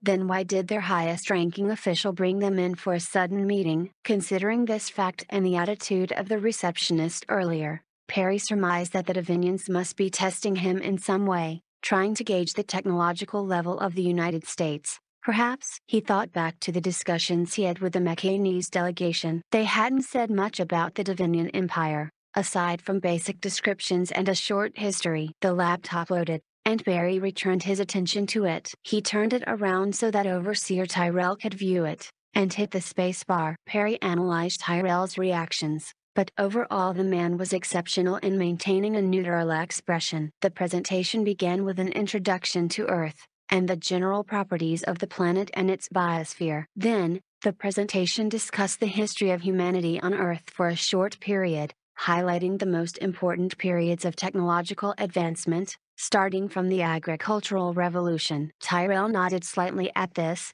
recognizing the importance of this information. Then, the video moved on to the history of the United States, how it was founded upon principles of liberty. Tyrell raised an eyebrow at this. Revolutions and rebellions were nothing new to him, but a revolution birthing a republic, and a successful one at that, caught his attention. He subtly lowered his left eyebrow back to its original position as the video continued. The Industrial Revolution in the United States was of particular interest to Tyrell as it provided similar context for Mechan's own industrial revolution, several decades back. He leaned forward slightly, analyzing the information and doing his best to memorize it for future reference. Then, he reached the section discussing the world wars. Clips of tanks and bombing formations slightly unnerved him, as the onslaught of mechanized forces reminded him of the war against Mecha nearly 50 years ago. He paid close attention to the details of the monoplanes shown in the video, as they were similar to current Mekanese planes. If seeing these clips is too much,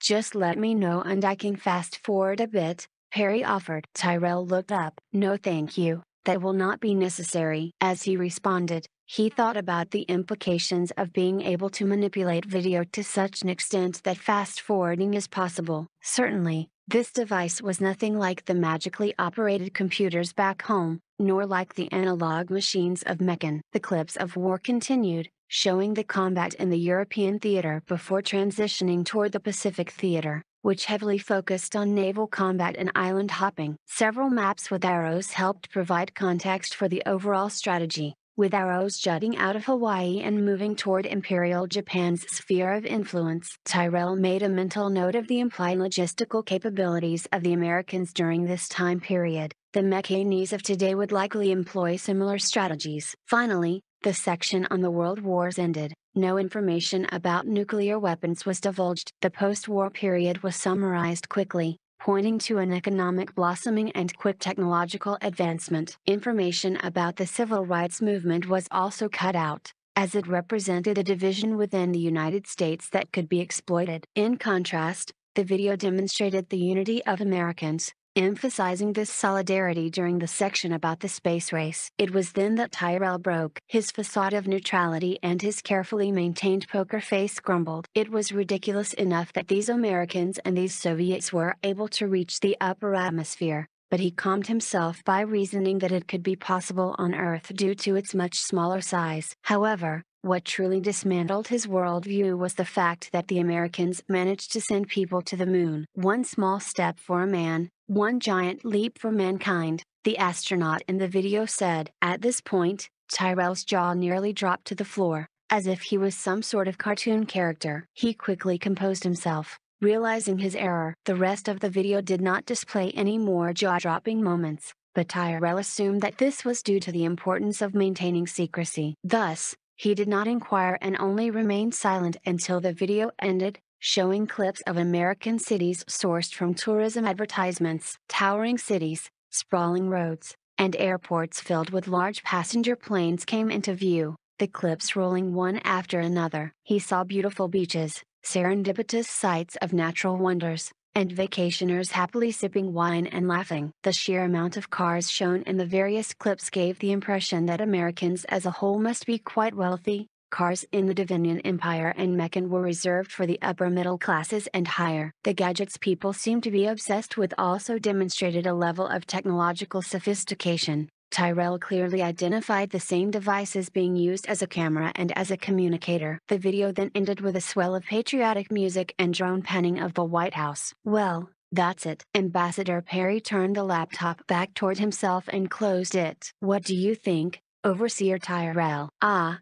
Ambassador Perry. I must say that was quite the demonstration. I even asked myself how much of this was faked or edited, but even then, the technology required to fake or edit such a work is tremendous. All I can say is, You've proven yourself worthy for a relationship with the Divinian Empire. Please schedule an appointment with Alova once you're done with your talks with the Imperium, and we can discuss our future friendship together. Chapter 48 Imperial Warning Author's Note Search for my other story, Summoning America, a fanfiction of Nihonkoku Shoukan aka Summoning Japan. Discord, https colon slash slash discord.gg slash tbnw. Check out my Patreon to read a chapter ahead. https colon slash slash patreon.com slash dreadreaders August 2nd 2019. Ina, Eanif Imperium. Henry groaned as his alarm rang. He groggily sat up, rubbing his eyes before looking at his watch. Today's the big day he muttered. The provided guest house was fortunately equipped with utilities associated with the modern era, such as a restroom complete with a toilet and faucet. As he pulled out a toothbrush and turned on the water, he felt relief, even gratitude, that the facilities here were at least somewhat modern. He shuddered thinking about bathing in a river or urinating in a bucket, as was the case for most medieval and even Renaissance era societies. After he finished his morning activities, he changed into his dress uniform before heading downstairs, where the rest of Alpha Team and Ambassador Perry were waiting. Everyone good to go? Perry asked. They nodded in response. Okay. Remember, we need to have a good first impression. They've got what appears to be an advanced version of Napoleonic era weaponry, on top of a bunch of magical capabilities that we know little about. I doubt they'll be able to match up against our tanks and jets, but these guys own pretty much the whole continent, so we need to be cautious with our approach. Officially, you all are part of my security detail. Unofficially, the President needs you to analyze the EANISH capabilities based on whatever they tell us during the meeting, Perry lectured as they walked toward their carriages. Got it, Henry said. Ambassador Perry led his group into the EANISH Foreign Affairs Office, an imposing building situated far from the other administrative structures in the district. This design enhanced the office's atmosphere, most visitors felt a tinge of awe simply walking across the extensive gardens to get to the office. In an attempt to emulate Divinian architecture, the office even included rounded design aspects, such as domes, although it did not share the same white gold color scheme. Still, it was a sight to behold, and Ambassador Perry found himself taking several pictures of the landmark. When they entered, They were pleasantly surprised by the interior. While not as glamorous as the Divinian embassy, the Eanish Foreign Affairs Office still demonstrated their wealth and power clearly. The excessive extravagance of this building was intended to intimidate diplomats, this impression of Eanish economic might was enough to cause numerous formerly independent nations to willfully submit to the Imperium. Ambassador Perry wondered what approach the Eanish officials would take with regards to the United States. Having arrived early, they were seated at the lobby until Perry's Eanish counterpart was ready to begin the meeting. In a few minutes, a staff member directed them to a lavish room, dazzling with golden mithril. A man was seated on the large, elevated desk in the center of the room, with an elongated couch situated in front of the desk. The position of the couch required visitors to look up at the Eanish Foreign Affairs Minister, creating a feeling of inferiority. For the Americans, this was not much of an issue, as they were well over six feet tall, and therefore could speak with the Eanish official eye to eye.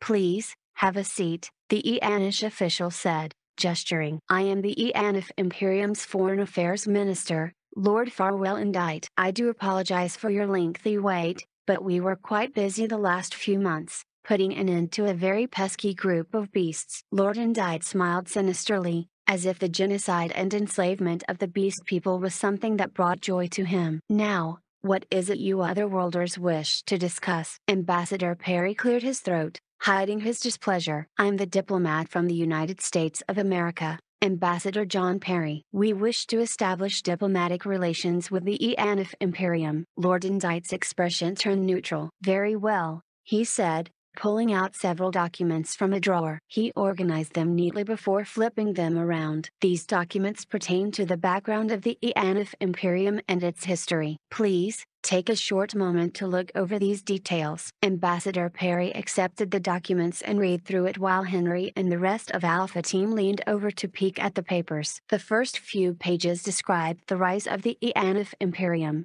as well as basic details such as population and GDP. The following pages, in contrast, displayed the accomplishments of the Eanif Imperium. Surprisingly, it even included printed pictures of the numerous beasts they tamed from the Tarrasque to the Basilisk to several elemental dragons. Clearly, this section of the introductory document was meant to further intimidate any newcomers, as if the building and its design was not enough. Ambassador Perry, however, did not display any overt expressions, maintaining a poker face as he read through. Alpha Team conducted themselves in a similar manner, although they reacted to the images with a bit more enthusiasm, fascinated by the existence of such creatures. Lord Indite did not seem amused. Internally, he was disappointed that the Americans hadn't shown any shock from the overwhelming might of the Eanif Imperium. He reasoned that they must be on par with at least the Mekanese, as was suggested by numerous Eanish spies within the Nubian Empire and the Sonaran Federation. As Ambassador Perry put down the documents,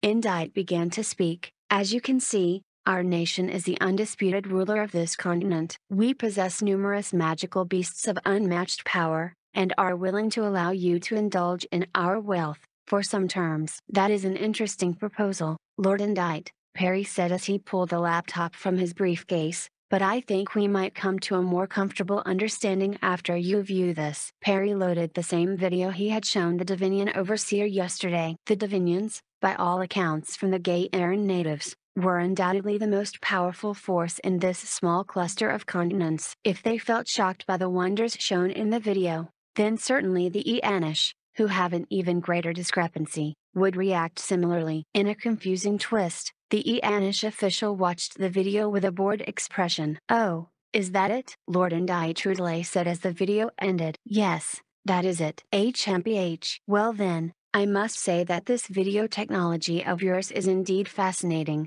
but not unlike our very own magical projection spells. Upon first glance, to me, it seems like your people have nothing to offer mine. Put bluntly, we mostly trade with the Divinian Empire, and sometimes with Mekan for their vehicles. I can tell your nation has vehicles of high quality, but as you can see, he said, gesturing out the large glass window behind him, there is little opportunity for us to actually drive them. As for the various technologies you have incorporated into your society, such as electricity, our cities operate on magical energy and are incompatible with whatever you can offer. I see. How about your merchants? Eanish merchants and their American counterparts may engage in trade, I suppose. However, you will need to agree to our tax terms. Lord Indite produced a small paper detailing tax rates. Ambassador Perry analyzed the paper, then recoiled in shock. What the?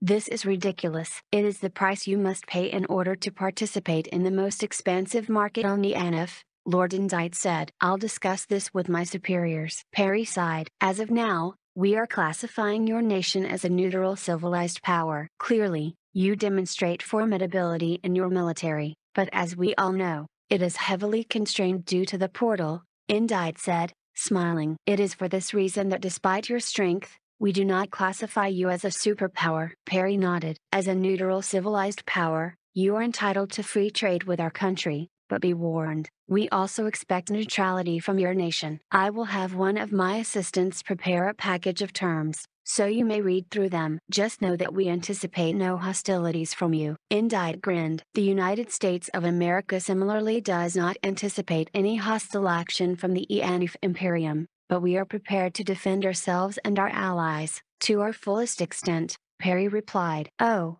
how honorable. Let me tell you something, Ambassador. Honor does not guarantee your safety, nor your survival. No matter how honorable a hero may be, he is but an ant when facing legendary dragons. On Eanif, we are the legendary dragons. He leaned forward in an intimidating manner as he spoke. Then, he ended with a smile. My assistant will meet you outside with the documents. It was nice to become acquainted with your kind. And you as well, Perry said before exiting the room with Alpha Team following close behind. The White House. Mr. President, we have an incoming priority call from Ambassador Perry. An aide walked up to President Keener with a tablet and offered it to him. Thanks Bob, he said, Nodding. The aide nodded and exited the Oval Office. President Keener accepted the call. Hello Ambassador, what can I do for you? Ambassador Perry looked a bit worried, based on the movement of his eyebrows. Mr. President, I just concluded diplomatic talks with the Eanif Imperium, but something about the man I spoke to seemed off. Keener raised an eyebrow. Off? I have reason to believe that they are planning something big in the near future, like an offensive, Perhaps. Against us? Not particularly, but potentially. The man I spoke with, Farwell Indite, emphasized the importance of our neutrality. I believe he has plans against the Nubian Empire and the Sonaran Federation, but does not want to fight against us. President Keener nodded. Interesting. So, they want to take advantage of the weakened Nubians and Sonarans, but they also recognize our strength, and don't want to fight a battle they don't need to? Perry nodded. Precisely, Sir, this is troubling. We have an obligation to defend the Sonarans, and there is also the matter of our new Eseth and Arasal territories. Sir, how would you want me to handle this situation? Keener shook his head. Damn it. Eh, you've already shown them the introductory video, right? Yes I have, sir. President Keener gasped with incredulity. And they still want to be aggressive, despite seeing that World War II footage? and footage of our jets and tanks? Perry shrugged. It would seem that way. I don't think they comprehend the power of modern weaponry, simply because they're so heavily reliant on biological weapons of war, primarily monsters. Like that Hydra? Yes, Sir, I'll be forwarding a document detailing some of their units in a bit. It should match up with whatever our spies have found so far. Okay. Damn, so the video didn't work, Huh? They're really dead set on this. This corroborates the troop movements we've seen on the recon flights. What are our other options? Perry sighed and hung his head. Sir, I can try talking to the Eanish again, but I doubt they'll rescind their deployed troops after having spent so many resources mobilizing them. Your best bet might be to shore up our defenses and hunker down. Prepare for another war. Another war. Keener muttered. Yeah, sending our troops probably might not be so popular until the Eanish are actually knocking on our door. If you need public support, I can try to film the Imperium's actions. Slavery is common throughout the Imperium. You can try to get the public riled up enough to send troops. Keener nodded. Mm, yes, that's a sound idea. I'll have to do a press release though, talking about the various nations and Gaiera. I wish I could have kept this a secret for a bit longer, but lives are at stake. Thank you for letting me know about this, Ambassador. Is there anything else you'd like to report? Ah,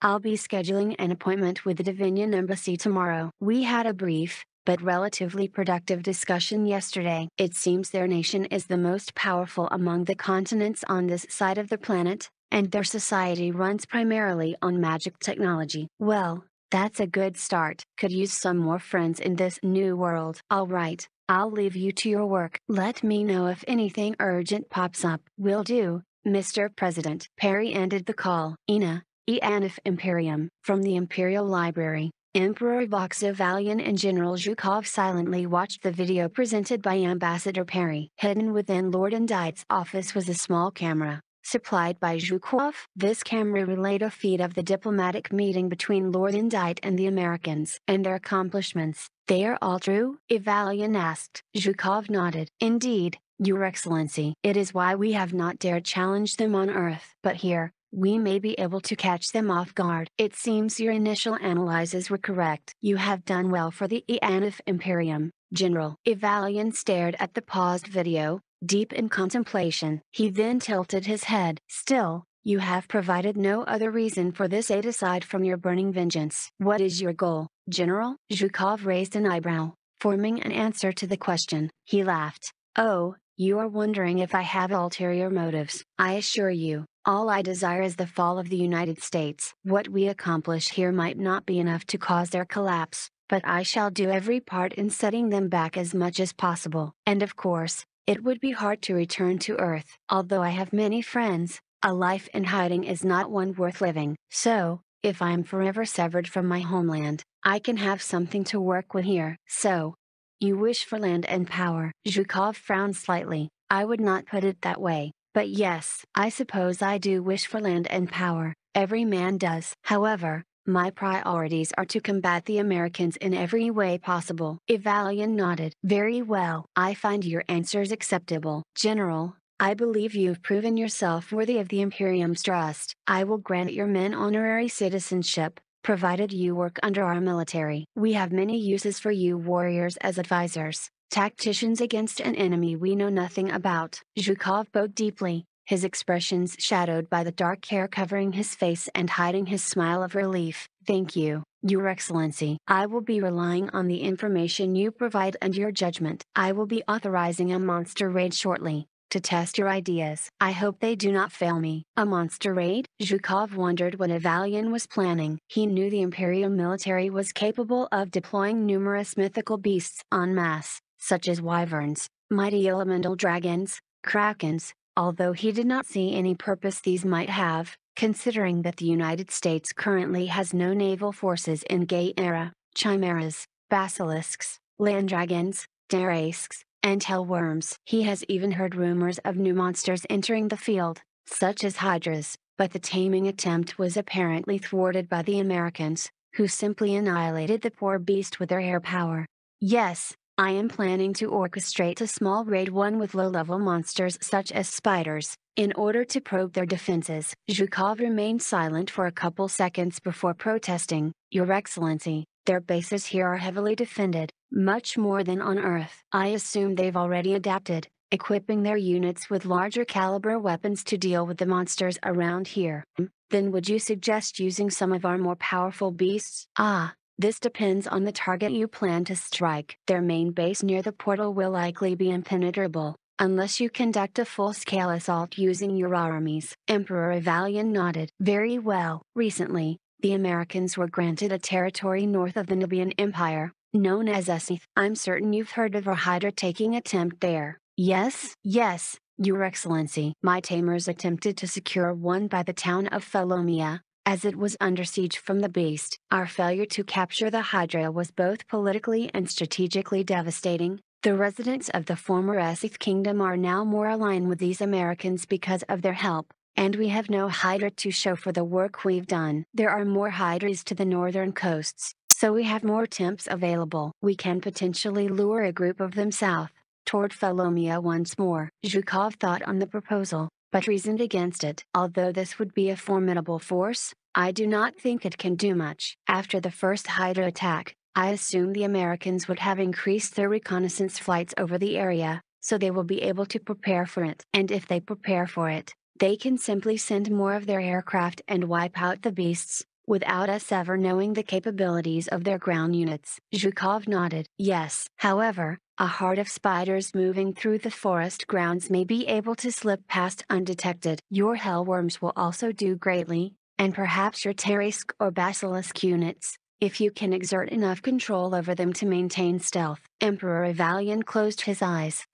These are good proposals. He then opened his eyes, a spark visible within them. Very well, we shall commence the operation against Felomia. Come to the war room at noon tomorrow, we have much to discuss, General. Chapter 49, The Tarrasque. Author's Note, Search for my other story, Summoning America, a fanfiction of Nihonkoku Shoukan aka Summoning Japan. Discord, https colon slash slash discord.gg slash tbnw. Link is also available on my profile. Check out my Patreon to read a chapter ahead https colon slash slash patreon.com slash August 12, 2019 Washington, D.C. President Keener rested his hand on his arm after finishing Ambassador Perry's report on his meetings with the Eanif Imperium and the Divinian Empire. The Eanif talks were less than productive, most of his time spent there consisted of listening to the Eanish boast. There was one thing that worried him,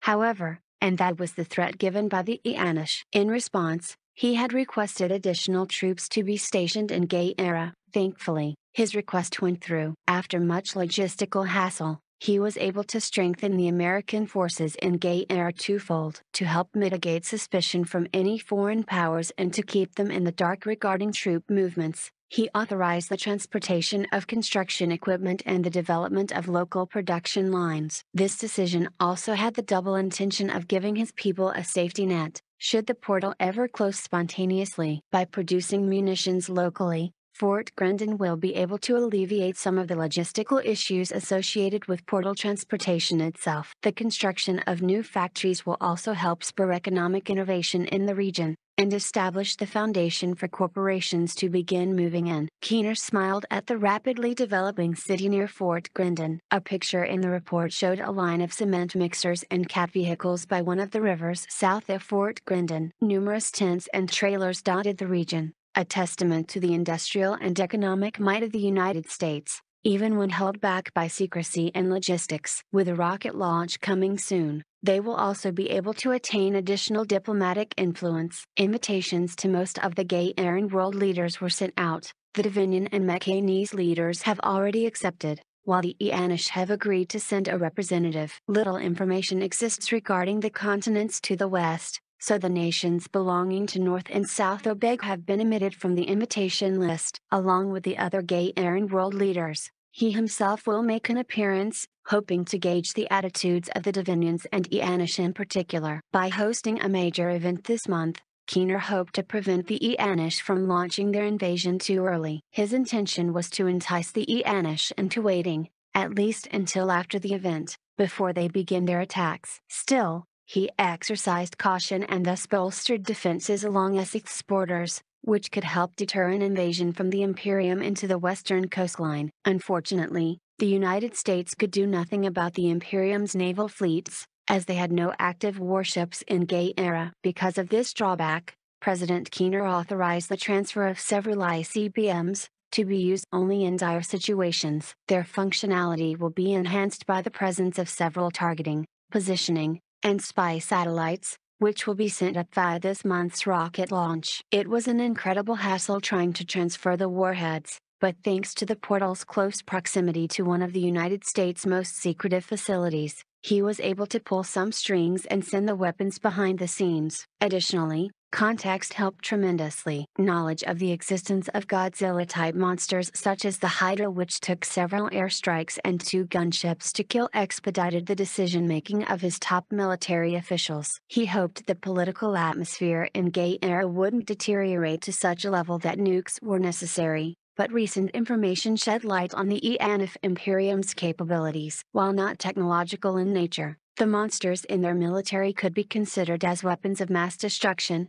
particularly considering that they didn't just have one or a few of these beasts at their disposal. Keener shuddered thinking about the wasteland hounds, and what they could be capable of if the Eanish ever figured out how to control them. Keener's deep thoughts were cut short by a phone call. He picked it up. Hello, President Keener speaking. Mr. President, we detected a massive horde of monsters moving toward Felomia from the northern forests. Monsters, like the ones commanded by the Eanish? Um, I'm not sure sir. Most of these look like the same arachnids encountered by Alpha Team in Site Beta 1.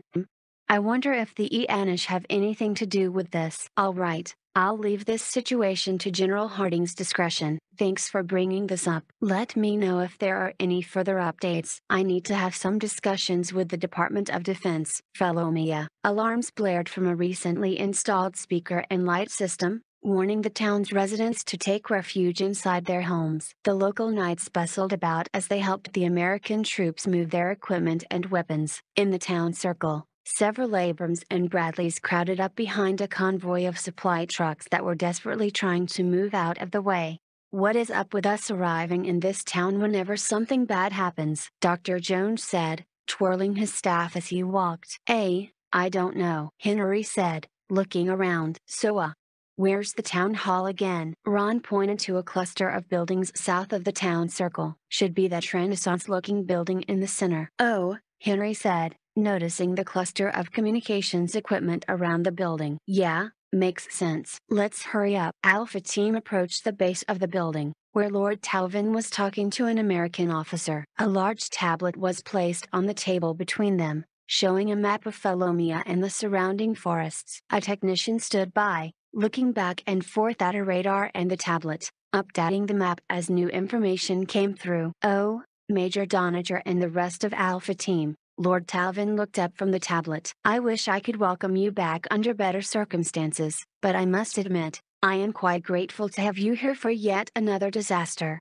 he said. Glad to be of assistance, Henry said. He then looked at the American officer and his rank. Sir, he saluted, Alpha team following closely. At ease. I'm Colonel Sanders. Yeah, I know, like the fried chicken. I've recently been assigned here, I'll be managing the defense of the Esseith territory from now on. Since you folks have experience with these spiders, I'd like you to help coordinate the defense along the northern gate. We'll be updating you on the situation. Major Doniger, you'll be in charge of the company stationed there. Good luck. He then turned to Perry. As for you, Ambassador, the President would like to speak with you regarding your missions. Follow Charleston over here, he'll show you the way. Sir, Henry saluted. He led Alpha Team back toward the northern gate, passing by the stuck convoy. Something tells me this is gonna bite us in the ass later, Emma said. Come on now, don't jinx it, Dr. Jones replied. Kelmethus analyzed the vehicles. I've been studying gravity recently, ever since the anomaly several weeks ago. I may be able to lift up these trucks to allow your heavy vehicles to pass through. Henry shook his head. You may, but how much experience do you have? How much mana will that task consume? I think it's better if we save your energy for the upcoming fight. Kelmethus nodded. Good idea, Major. I will admit, I have only been able to lift up a few boxes so far. Alpha Team continued to the northern gate, where they heard popping sounds. Sporadic gunfire echoed every now and then as the defenders eliminated monsters that ran ahead of the main pack. Archers, mages, and American soldiers patrolled on top of the three-story high wall, creating an interesting contrast. The local commander approached Henry and saluted. Major Doniger? He asked with a surprised look. Yeah, I'm Commander Richard Olmec. I'm glad to have a legend here to help out. Henry felt a sense of accomplishment from the compliment. Thanks, Commander. I wouldn't really say I'm a legend, though. Just at the right places at the right times. Olmec smirked. And poetic too. Well, I'll give you a quick rundown of what we've got so far. I've got about 60 men in my company, plus an additional 200 from the local forces. He lowered his voice. No offense to them, but I don't think their knights and archers will be able to do much. The mages, maybe. Makes sense. I've also got a group of armor coming in. They should have been here by now. Oh, Henry said, Thinking back to the stuck convoy, they're in a traffic jam, probably won't be here for the next half hour at least. Olmec sighed. Alright, we've called for support. A squadron of fighters should be arriving soon, but given the size of the horde, the best they can do is thin their numbers a bit. Command's also sending in a group of hellos, but it'll take them a couple hours to get here. Give or take. I see. And what about the defenses along this wall? Can it hold against monsters? I hope so. I talked with one of the knight captains and he said that the walls were built specifically to deter monsters from the forest. As for our defenses, I've mostly got small arms. We have a few heavy weapons spread out between us, a few launchers and machine guns, but nothing that can really hurt a spider. According to the debriefing, if you concentrate fire on one target, 5.56 and 7.62 could get the job done reliably, although it might take a bit, Henry said, recalling his time in Site Beta 1. Is this it though? When I looked at the feed, it looked like there were hundreds of the damn things. Olmec rubbed his chin. Well, we did have our engineers lay down some explosives, so that could take out a good chunk. Oh, I almost forgot. We also have 10 wyverns from the Escythians. Not as good as an Apache, but they should be able to help out quite a bit. Henry nodded silently as he looked at a tablet. The main horde of spiders were just a few minutes away, so he decided to prepare. Alright, looks like they're almost here. Commander, how do we get up on the wall? Henry gripped his N109, preparing to charge it up while the rest of his team prepared similarly scanning the distance and preparing spells. While he waited, the radio beside him flickered to life. All units, be advised, hostile tangos will be arriving in three minutes. Wyvern support will be arriving momentarily, they are friendly so hold your fire. Henry charged his rifle minimally and picked off a spider in the distance, setting the nearby vegetation ablaze and engulfing a few more of its brethren in plasma. He looked to his right and saw several soldiers loading their launchers, waiting for the main group to arrive. To his left, his team used their assigned Helmagus weaponry, careful not to deplete their charges too fast by using the highest settings. Archers fired off volleys to little effect, but a few were skilled enough to land shots along the spider's weak spots. The knights cleared a path for the American vehicles, creating a lane large enough for two vehicles side by side. They also helped ferry ammo and equipment from the town circle, easing concerns regarding resupply. Then, inhuman chittering echoed from the edge of the forest. With their guns trained on the forest outskirts, the American forces watched the horde of spiders pour out, trampling over each other in order to reach the walls. Ten wyverns flew over the walls, unleashing fireballs onto the oncoming wave of flesh and carapace. The fireballs detonated in center mass, burning groups of the critters as they surged forward. Light 'em up. The defenders positioned atop the walls simultaneously fired at the monsters. Arrows, spells, bullets, and grenades all flew toward designated kill zones, drawing a picturesque scene of modern technology intertwining with fantasy. Fireballs and spells of all colors impacted the swarm, making the battle look more like a rave than an actual fight. Explosions caused by American and Helmagus weapons caused nearby spiders to stagger, their senses debilitated by the pressure waves. While Henry was obliterating clumps of spiders with his overcharged rifle, Olmec approached him. Sir, new update. He handed him a tablet. This isn't the only group. We've got another one still in the forest. By the looks of things, this second group is twice as large as the first. Shit, Henry paused to analyze the tablet. Sir, Dragonslayer Squadron is almost here. Do you want them to strike the current group, or hit the group further back? The spiders coming from the forest still hadn't breached the rows of explosives set by the engineers and it seemed like the wall defenders were holding fairly well, but the stream of spiders was slowly inching closer. The bodies were beginning to stack, becoming indistinguishable from live enemy targets. Henry made his decision. Split the squadron in half. The first group will target the force we're currently engaging, while the second group will bomb the second monster horde. Got it. Olmec moved away, relaying Henry's order into his radio. Dragon Slayer Actual, Major Doniger has requested. Henry returned his focus back to the spiders. He checked the power supply on his weapon. He cursed under his breath realizing that he had expended too much of the weapon's charge. Owens, Lamar, how y'all holding up? Ron stopped firing and checked his weapon. Burned through half of the capacity already. Might have to switch to good old American gear in a bit. Same here. Emma said. Henry looked at Kelmethus and Dr. Jones. Y'all doing alright? Yeah, Dr. Jones said. He took a quick glance at the box of mana gems beside them. The locals sure gave us a crap ton of gems.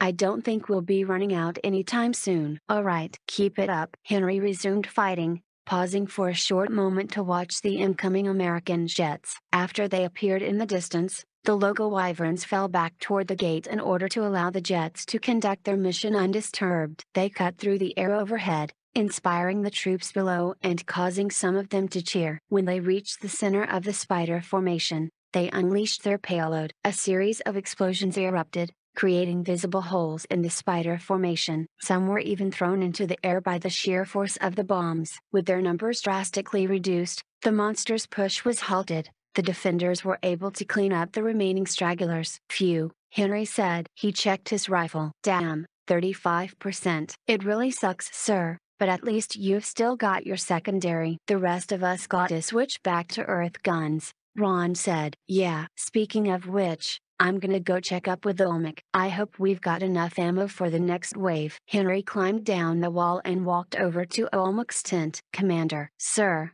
Olmec saluted. How are we looking on supplies? Ammo count is good. The local knights are helping unload the goodies from the trucks. Sir, you also might want to see this. Olmec had a dark look on his face, as if he had seen something horrible. On his tablet, he saw a large signature in front of hundreds of smaller ones. Something is leading the spiders? Or is that something running away from the monster horde? We don't know for sure. We found out right when Dragon Slayer Squadron launched their airstrike on the second wave. Thing was just sitting in the brush, hiding. We should be getting a visual feed right about now. The radar data was replaced with a video, taken from a UAV. The camera zoomed in on the monstrous behemoth in front of the formation. Charging forward on all fours, the beast boasted a height about half that of Felomia's walls. If compared to the Abrams, the beast was as large as eight of them stacked in a cube. It rammed through several trees in the way, breaking through them like paper. Captain Madgard, Olmec called out. We require your assistance in identifying a monster. A knight straight from the medieval era walked over, his face obscured by his helmet. He lifted up the visor to look at the object shown by Olmec. He squinted, then spoke with trepidation. Looks like a Tarrasque. Normally, they have no issue fighting spiders. By all means, this Tarrasque should be tearing through the monsters behind it, and can do so without taking any damage. One would never flee, so that means these monster attacks are orchestrated. Henry thought about the beast tamers they encountered in Felomia earlier and realized who the enemy was. The Eanif Imperium. They're using the Tarrasque to ram through our walls and allow the spiders to flood in? Indeed, I have no doubt of your success, since your people easily demolished the fearsome Hydra but I fear the speed at which the beasts are traveling at. Will your allies arrive in time? Henry heard a low rumbling behind him. He looked back and smiled when he saw the group of Abrams and Bradleys. Our hellos won't get here in time, but it looks like we did get some more reinforcements. Chapter 50 The Tarrasque 2 Author's Note Search for my other story, Summoning America, a fanfiction of Nihonkoku Shoukan aka Summoning Japan. Discord, https colon slash slash discord.gg slash tbnw. Link is also available on my profile. Check out my Patreon to read a chapter ahead. https colon slash slash patreon.com slash and August 12, 2019. Felomia. Uh, Henry hurriedly linked up with Olmec to organize the deployment of their newly arrived reinforcements. Four Abrams and four Bradleys grouped up by the gate ready to set up a defensive line outside the walls. Sir, I've taken the liberty of drawing up several deployment plans. Olmec handed Henry a tablet. Swipe to scroll through the plans. If you want to make an adjustment, you can drag and drop the units, Henry said as he analyzed the formations. The first one is optimal, but relies on the hope that the monsters never even reach the minefield. If the monsters make it past the minefield, retreating would cause a traffic jam. He looked at the second plan, shook his head and went over the final arrangement. This seems better, let's go with the third plan. Got it, sir. The knights are bringing a fresh batch of ammo and explosives. I reckon your fancy doodads are running out of juice by now, so feel free to pick up some new equipment at the tent over there. He gestured toward the establishment beside him, where guns and gear were lined neatly upon rows of tables. Thanks for the tip, Commander. Any word on the hellos? Still about an hour away. The tangos are gonna be here way before then, though. Henry shouldered his N109. Damn. How about anything from the outposts? The outposts and supply points are running on skeleton crews since most of them were diverted here. Not much to ask them for. I see. Well then, let me know if anything new arises. Olmec nodded. Will do, sir. Good luck. Henry returned to his post along the wall, watching the tanks below him file out onto the plains. He was grateful that the locals did not dig any ditches or trenches they would have seriously impeded the effectiveness of the American armored elements. The knights and a few local residents stared at the metal behemoths with wonder in their eyes. Despite having become accustomed to the Americans' vehicles and aircraft, they had not yet seen their ground-based combat vehicles. The heavy machines tumbled along the dirt roads, kicking up dust as they exited the gate. Several knights directed the civilians back indoors, cautioning them against disrupting the Americans during their work. The residents then flocked to their rooftops, hoping to catch a glimpse of the action, but the walls were too high. While they hoped to see the metal behemoths at work, they realized that the only way this was possible is if the gate was breached. Dejected, they retreated back into their homes and patiently waited out the storm. The American vehicles arranged themselves in a concave rather than a straight line. Through this positioning, Henry established an effective route back to the gate, should the armor units need to retreat expediently. With all men and vehicles in place, it became a waiting game. Silence reigned over the scarred battlefield. All of the local wildlife had been scared off by the combination of monsters and explosions. Only the wind bore witness to the stalwart defenders, their sights aimed at the forest and fingers on their triggers. The telltale sign of the coming horde finally revealed itself via a lone, guttural roar from somewhere deep in the forest. The Tarrasque's bellow echoed, followed by the sound of splintering trees and the chill-inducing chittering of the spiders. A group of birds that hadn't yet fled the carnage made the decision to leave as their nests were trampled down by the monsters. From what the Americans could tell, the monsters were now but a couple miles from the edge of the forest. Hostiles inbound, ETA, two minutes. Henry heard a voice in his ear. Olmec and his team gave call-outs, assisted by the small quadcopter drones overhead. Henry wrapped his fingers along his rifle, taking a breath as he counted down mentally. Three, two, one. He began charging his weapon. Thermopylae platoon, engage the Tarrasque first. Concentrate main cannon fire and tow missiles on target priority 1. Gunners and Bradley cannons are to engage the smaller hostiles. You heard the man. We can't let Dragon Slayer Squadron one-up us. Hoorah! Henry returned his attention back to his rifle,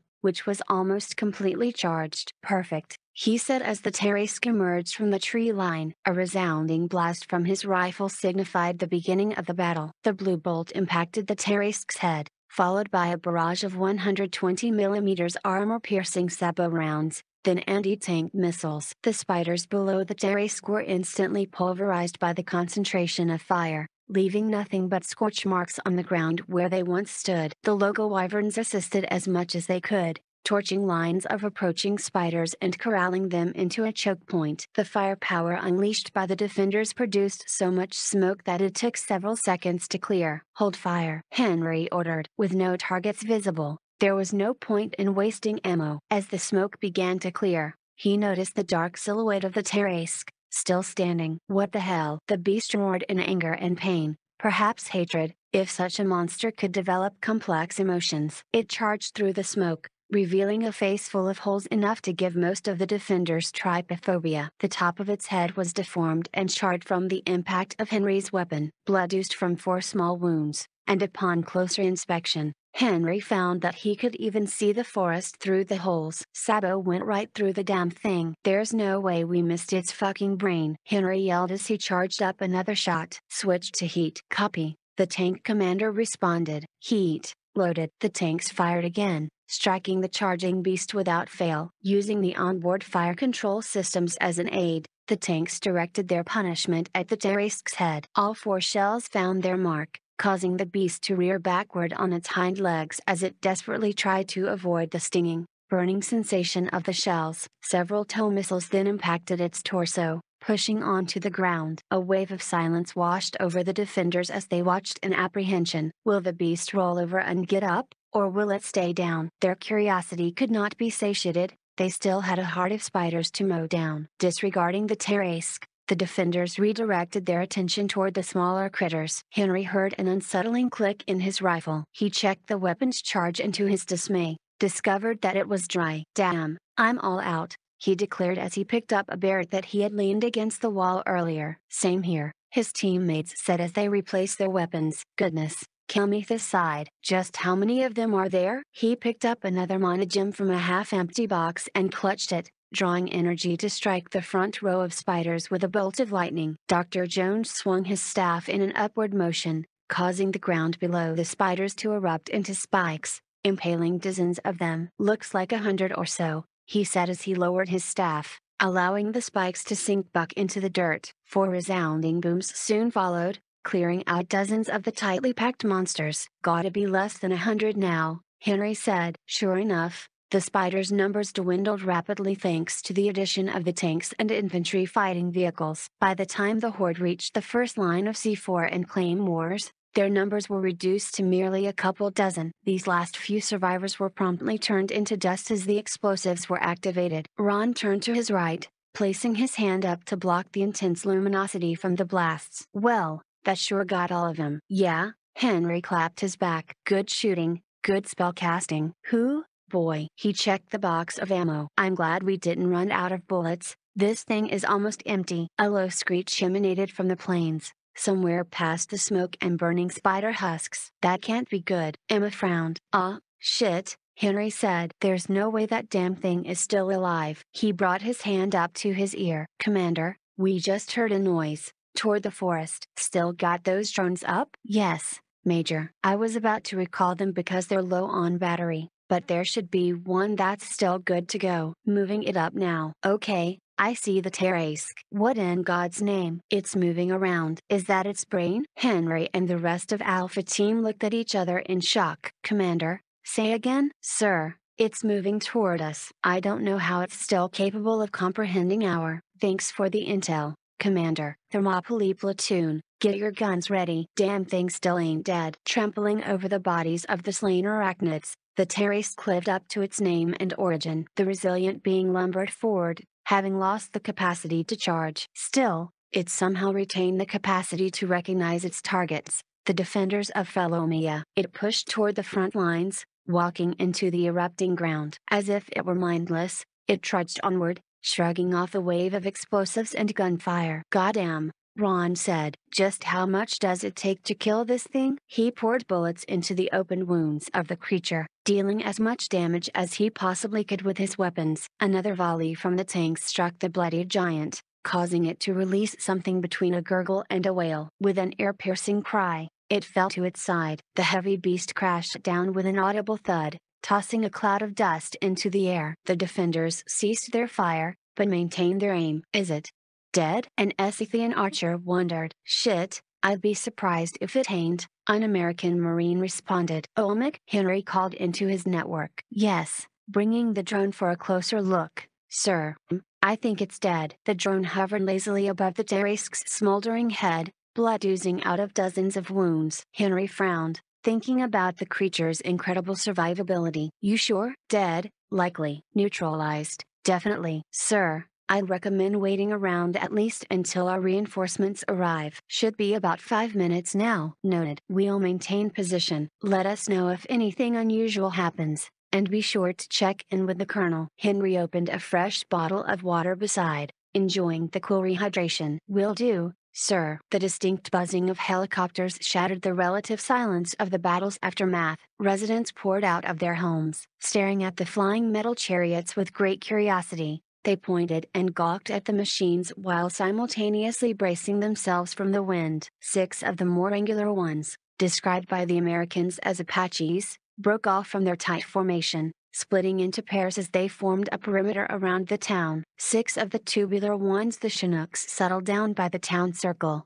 which was open enough to accommodate them. Henry approached them and directed the officers on board toward the town hall where he introduced them to Colonel Sanders. After pleasantries were exchanged and orders given, Sanders spoke privately with Alpha Team. Ambassador Perry is in the lobby with Lord Talvin. Before y'all head back home, General Harding and the DoD have some questions regarding the Tarrasque. They want to send a team of analysts right away. It was a tough nut to crack, Sir, Henry said. So I've heard. Good work out there, Major. I hope to work with you and your team again. Henry smiled, appreciating the compliment. Same here, sir. He shook Sanders' hand and walked into the building, linking up with Perry. Ah, Major Henry Doniger and comrades, Lord Talvin exclaimed. I have the utmost gratitude for your assistance. Although, I do apologize for asking so much from your team. Henry waved his hand. No worries, he said with a smile. We're just glad to help. More of our guys are coming here to build up defenses so Felomia should be completely fine for the foreseeable future. Lord Talvin bowed. And for that,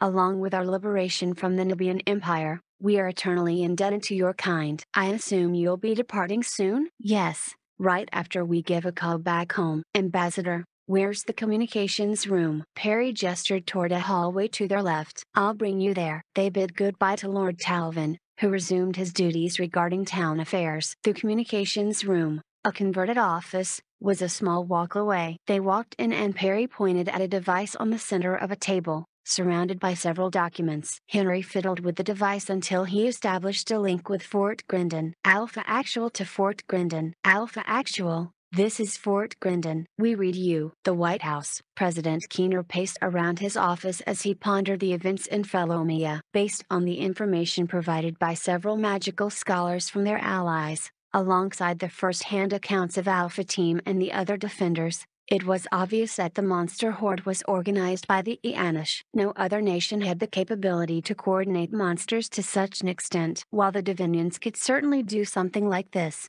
Keener saw no reason for them to actually engage in such conduct. On the other hand, the Eanif Imperium had every reason to do this. They could probe the defenses of the Americans and simultaneously infiltrate Allied regions while Keener's forces were busy. Already, he suspected that there must be several spies in Felomia itself, their objectives likely related to documenting American tactics and weaponry. On the eastern side of the continent, he wondered how many had already snuck into the Sonaran Federation. With this in mind, he ordered CIA Director Samantha Gray to coordinate with the NSA and other intelligence agencies to conduct counterespionage in Gaiera.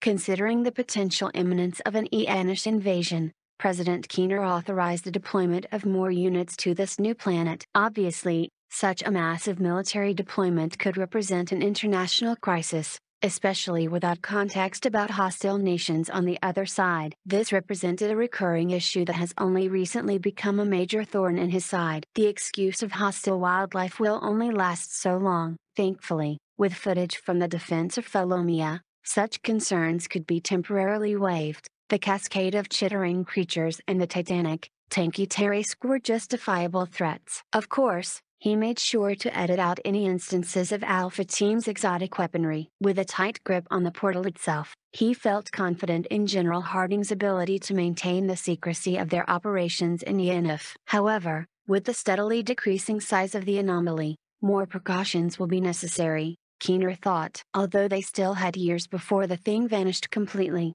not enough was being done currently with regards to portal research. To compensate for this, construction equipment was brought through the portal. Keener effectively wanted to transform Fort Grendon from a military base and research facility into a self-sustaining colony, in case his people became stranded for whatever reason. With these major issues out of his mind, Keener relaxed, slumping down on a couch. The only thing left to do was to prepare for the upcoming spectacle, the first rocket launch in, known, Gaieran history. Excited for the event, Keener wondered how the natives would react to such an awe-inspiring scientific accomplishment. Would they be offended by the Americans' attempt to tread into the domain of the gods? Would they be impressed by sheer scientific prowess? Or would they disregard it as a simple show, and dismiss the implications of such a feat? Chapter 51 Flicker Author's Note Search for my other story, Summoning America a fanfiction of Nihonkoku Shoukan aka Summoning Japan. Discord,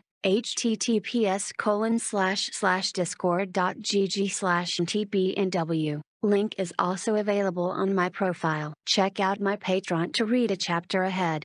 https colon slash slash patreon.com slash and August 27, 2019. Fort Grendon. General Harding scrolled through several reports on his tablet sipping Coca Cola as he relaxed for the first time in a long time. Despite the looming fears of Eanish aggression, there was nothing he could currently do, most of the work was up to their surveillance teams and spy networks. Still, an apprehensive feeling in his gut persisted. He then intuitively became alert, right as a subtle popping noise emanated from the direction of the portal. He swiveled his chair and looked out the window, seeing nothing out of the ordinary. Breathing a sigh of relief, he returned to his reading. A few minutes later, he experienced the same alertness. Immediately after, he heard a knock on the door. Come in, he said, worried about his coincidental timing. Dr. Tesla and Dr. Oppenheimer walked in, hair disheveled and clothes wrinkled. They carried a sheet of raw scientific data,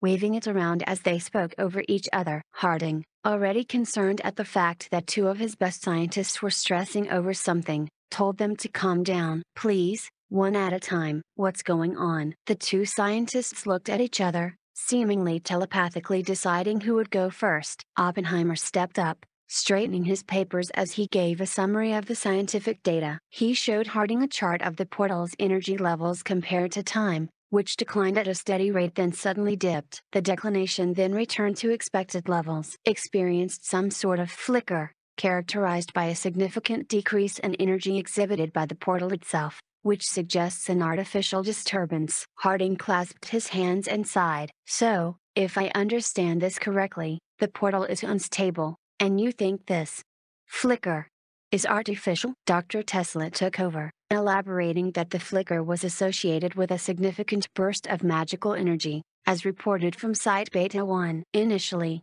we had some working theories that the flicker was due to an electromagnetic pulse test conducted on a piece of Homagus equipment, to test their resilience to EMPs. However, the test was concluded minutes before the portal flickered. We highly doubt that it took several minutes for the EMP to cause instability within the portal. Then, we reasoned that it could be some sort of planetary or solar phenomenon, such as a fluctuation in the planet's magnetic field or even a small solar flare, but nothing was detected. With the other theories essentially ruled out, and the magical burst showing high correlation, we reasoned that the two events must be related. General Harding paused him. Hold on, so you're saying that some sort of magic spell caused the portal to flicker? Right as he asked the question, Kelmethus rushed in, having been requested by Tesla and Oppenheimer. I'm sure Kelmethus might be able to explain, Tesla suggested. Right, yes. Kelmethus adjusted his robe. Essentially, the portal is held open by a stable magical current, infused into what your scientists call the local space-time. Because space-time magic has been long forgotten, I know almost nothing of it. Still, I hypothesize that dispelling magic and interference from other space-time spells may influence the stability of our own portal. Is there any way to track these interferences? General Harding asked. Oppenheimer tapped his chin. I believe I can recalibrate the sensors inside Beta 1 to search for such magic. I'll need Kelmethus to give it an input though, so it knows what to look for. Alright. Let me know when you find anything. Site Beta 1 The once derelict halls of Site Beta 1 had been restored over the past couple of months, almost matching up to its ancient glory. Spider residue was tediously cleared out and the local maintenance drones were reactivated while American scientists worked to unlock the secrets of the facility. Basic functions were discovered from artificial intelligence aids to integrated sensor arrays. Using the Homagus sensors, Oppenheimer and Tesla scanned Kelmethus as he performed a small teleportation spell, effectively registering the signature created whenever a space-time spell is casted. Then, they fed this data into the sensor array, which scoured the continent for anything similar. Almost instantaneously, the machine gave several matches. Oppenheimer analyzed the hologram, which showed a heat map of the space-time magic on Eanif, with red signifying powerful traces and yellow representing minimal traces. He spoke to the artificial intelligence operating the machine, isolate matches by magical level, show me the most energetic match. All of the dots disappeared from the hologram except for one, which originated from a location in the Eanif Imperium. Where's that? Tesla squinted at the dot. Kelmethus stroked his beard, recalling his geography lessons. He said in deep thought. I believe that is. His eyes suddenly grew wide. That's right next to their capital city, Ina. Those mountains. They must have some sort of facility there. Homegas site? Tesla wondered. I would assume so, Kelmethus said. Is it possible for this spirit to find an answer to that? Spirit? Oppenheimer asked. Oh, the AI. Yes, I'll ask. Beta 1, can you overlay a map of all Homagus sites onto the current project? The AI did as told, and numerous blue dots appeared where the Homagus sites were located. Sure enough, one of them was right on the fat red hotspot. Beta 1, if there are any more magical signature matches that correspond to facility locations, overlay those as well. Several more red zones popped up around the Eanif Imperium, each associated with a Homagus facility. Goodness, Oppenheimer said. They're experimenting with space-time magic. Tesla exclaimed, but, why? Kelmethus thought about the geopolitical atmosphere of the Eanif Imperium. The Eanish, expansionists as they are, were likely interested in generating portals for the purpose of conquering new lands. According to the magical energy readings, most of these new portals were closed almost immediately after they were opened, suggesting hostile environments or beings on the other side. Some of them seem to spawn simultaneously, suggesting a massive teleportation spell from one point in the Imperium to another which could revolutionize troop logistics. I believe they're trying to determine the military applications of the portals, and if they can be used to conquer other worlds. We should report this to General Harding immediately. Tesla? Oppenheimer raised an eyebrow at him. On it. Tesla ran off to the communications room to submit the report. So, Oppenheimer continued, Beta 1, show us a time scale of magical signatures that have occurred around this region. He pointed to the largest signature, Nirina, within the last six hours. The hologram updated in real time, starting from early in the morning. The map remained neutral until a couple hours later, when the zone began to turn yellow, signifying the beginning of magical experimentation in the facility. Then, just a few minutes later, the zone turned a very deep shade of crimson, maintaining this color for several more minutes before a negative magical signature, represented by blue, engulfed the center of the crimson zone. Afterward, the magical signatures cool down dramatically before settling into hot red. That's odd, Oppenheimer commented. The blue. Was that some sort of dispellation? I would believe so. Kelmethus nodded sagely. It seems that one of their experiments got out of control, and they were forced to cast dispelling magic on the portal, or whatever they created. But, for them to still be unable to get rid of all the magical signatures. Just what sort of portal were they generating? Oppenheimer noted the deep shade of crimson. Perhaps they accidentally created a portal to hell? Kelmethus shuddered at the prospect. Oh, dear heavens no. In any case, I'm glad the magic dissipated. You know, there have been prophecies of a coming demon invasion. I'm not quite certain if they are a reference to the ancient evils, the Axans, or an actual demon invasion, maybe both. This reckless utilization of spatiotemporal manipulation could easily get us into deep trouble, especially if they were to accidentally open a portal near a black hole, or on the world of a highly advanced, aggressive alien civilization, or a dimension with different universal laws compared to ours. Indeed, I believe there is also another consideration we can derive from this dispellation, Kelmethus said. And what might that be? If the Eanish have learned how to properly dispel a portal, how do we know if they'll attempt that on the Grendon portal? Enasat Mountain Range The Enasat Mountain Range, located along the southern outskirts of Ena, separated the capital city and lush forests from harsh deserts. Past the icy peaks of the mountains, hidden between dunes upon dunes of sand, a lone Homagus facility operated. Running on automated protocols, the facility paid no heed to the Eanish personnel inhabiting its quarters. After the mass Homagus evacuation, this site was one of the few that maintained more than just the basic functions. The refugees had forgotten to shut off some vital programs. Thankfully, whoever they were running from ignored the valuable technology still active in the facility. Unfortunately, this technology was discovered by a primitive civilization that had no clue how to operate it. The only thing the Eanish wizards knew was that the machinery was mostly scientific and mechanical in nature, and that the large gateway responded well to portal magic, even acting as a conduit for mages to cast space-time magic efficiently. Sometimes, the spells could become too efficient. Several hours ago, a group of wizards unwittingly surpassed the mana levels required for the experiment, they overwhelmingly exceeded the requested magical input, forming a portal to somewhere far away. It didn't take long until a monstrosity emerged, shrugging off musket fire as it slaughtered the station defenders. It was a stroke of incredible luck that one of the wizards knew how to activate the emergency lockdown for the portal room, and thus they were able to contain the beast. Still, with the portal active, more of the beasts could arrive and perhaps even take down the sturdy walls that stood between the predators and the prey. Realizing the direness of their predicament, the wizards casted dispelling magic of all types, until they eventually found the correct enchantment. The portal immediately dissipated, and the survivors contacted Ina to update them on the presence of a new exotic beast that could likely be tamed,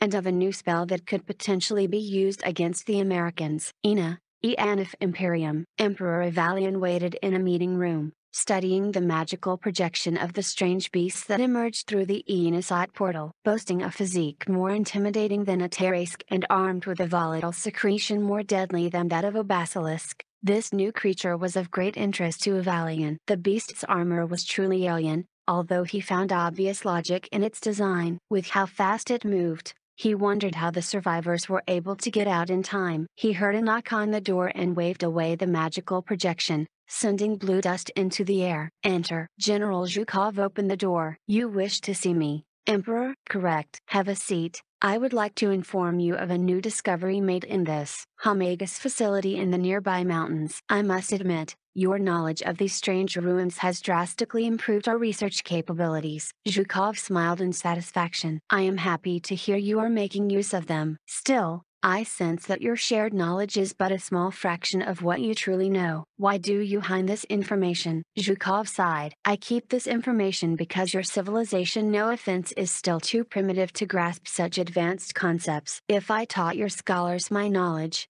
the balance of power in your empire may be overturned as your subjects make use of dangerous technologies that they don't understand. Even now, with my limited sharing, I can see that a mistake has already been made. Emperor Evalian wanted to lash out due to Zhukov's insult, but he realized that his words were true. The Enosat facility was nearly lost to a vile beast. Evalian cast a projection spell to peer into the room in which the alien creature was confined. Our wizards opened a portal to somewhere unknown, applying too much magical energy into the gateway. This creature emerged, with more likely close behind. Fortunately, one of our high wizards managed to lock the beast in the room and with the help of his comrades, dispel the portal. Zhukov studied the creature, making impressed faces.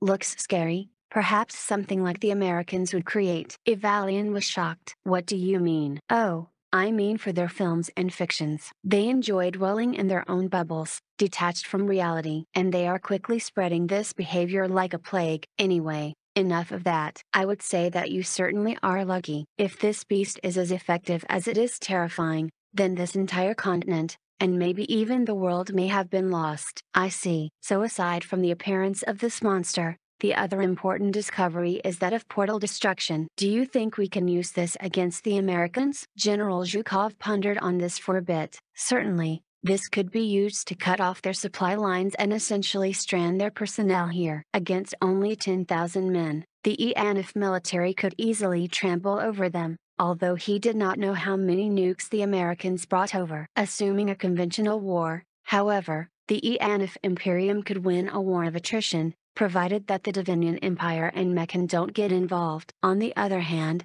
the disappearance of the Grendon portal would mean that he has no way of returning home. Despite his desire to see the Soviet Union reformed and the United States dissolved, he recognized that he mustn't be too optimistic with his goals. Preventing the United States from empowering itself with magic and alien technology was already a big win in his book, and one that was way more achievable than his primary goals. Considering the benefits and consequences of losing the Grendon portal, he gave his answer. Yes, we can use this against the Americans. We shall make their sacred portal disappear. Chapter 52 Stranded. September 15, 2019. Fort Grendon. Over the past month, Harding felt nothing but anxiety. Whispers and gut feelings gnawed at him, warning him of a calamity in the future. Today, these feelings culminated in his dreams as he shot up from his bed, drenched in sweat. The last thing he remembered was facing a strange, alien beast, which was weird because Harding couldn't remember having an interest in science fiction, nor could he remember seeing this beast anywhere. He swept aside the surviving memories of the dream as he began his day. Curiously, his first instinct was to look out his window and ensure the portal was functional. He did as his heart commanded and found solace in the fact that the portal was indeed operational. Technicians and scientists surrounded it, continuing their standard analyses and measurements. With a relieved sigh, General Harding went about his duties before getting dressed. He left his room, aiming for a cup of coffee from the cafeteria. After getting his cup and retreating back to his office, he took a sip. It was then that he realized that something was off. The technicians and scientists outside weren't performing their routine studies. They seemed to be upset, frantic even. Thoughts ran unopposed throughout his mind, only granting him a reprieve when someone knocked on the door. Harding looked up, worried. What is it? Dr. Tesla walked in, sharing a similarly concerned demeanor. Timidly holding a folder of reports, he cleared his throat before breaking the bad news. General,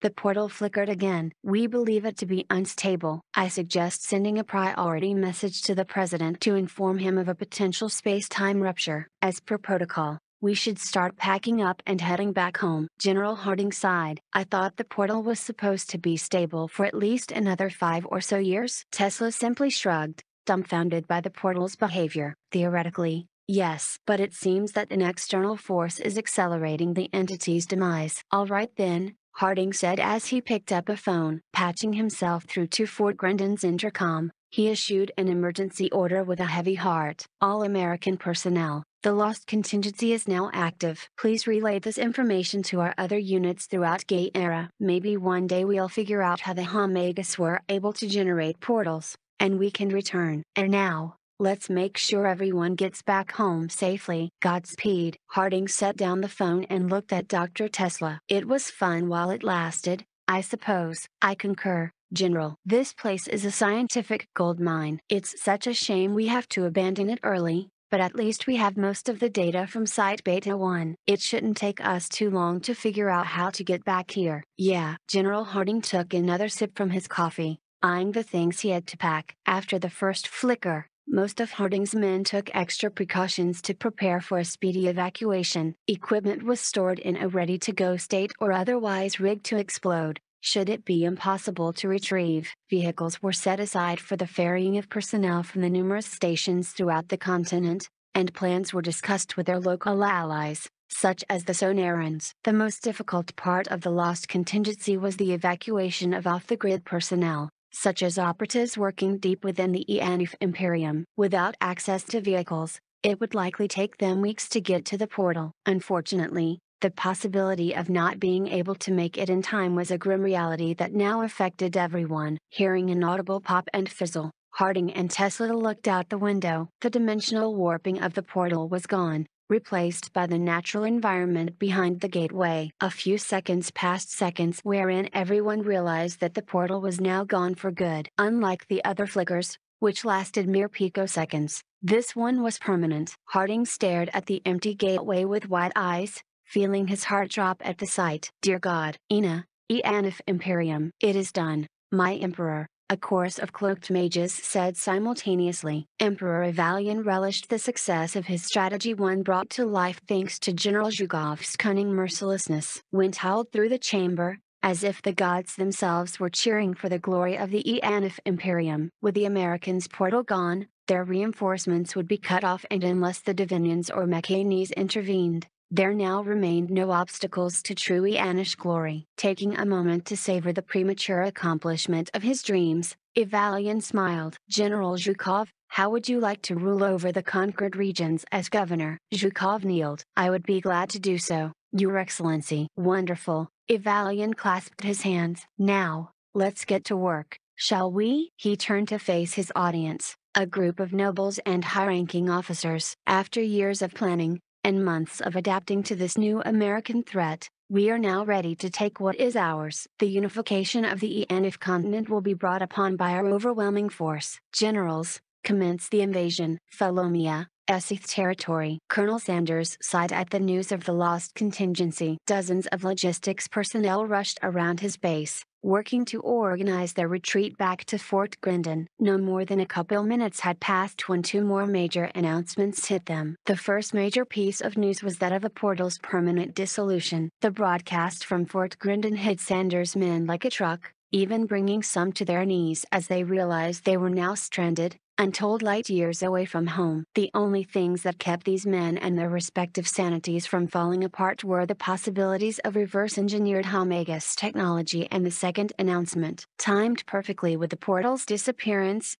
Eanish troops began moving down from the outskirts of the northern forests, giving no time for the stranded Americans to grieve. Immediately, Sanders relayed this news back to Fort Grendon, upon which he received orders to maintain the defense of Felomia. With no home to return to, it was their duty to give themselves a home to defend. Major Doniger received the news while chatting with Lord Talvin about the interesting character named Formal, the nobleman he met while traveling in the Eanif Imperium. He paused the discussion to listen to his radio, his expression growing more distraught as the broadcast continued. The portal is gone, and there's an Eanish invasion? Lord Talvin gasped at the revelation. Goodness, so the time has finally come. Pardon me, I shall make preparations with my men and direct them to follow the contingency plan you've educated us on. Henry nodded as Lord Talvin hurried out of the lobby. He then turned to his friends, analyzing their reactions. They were all silent,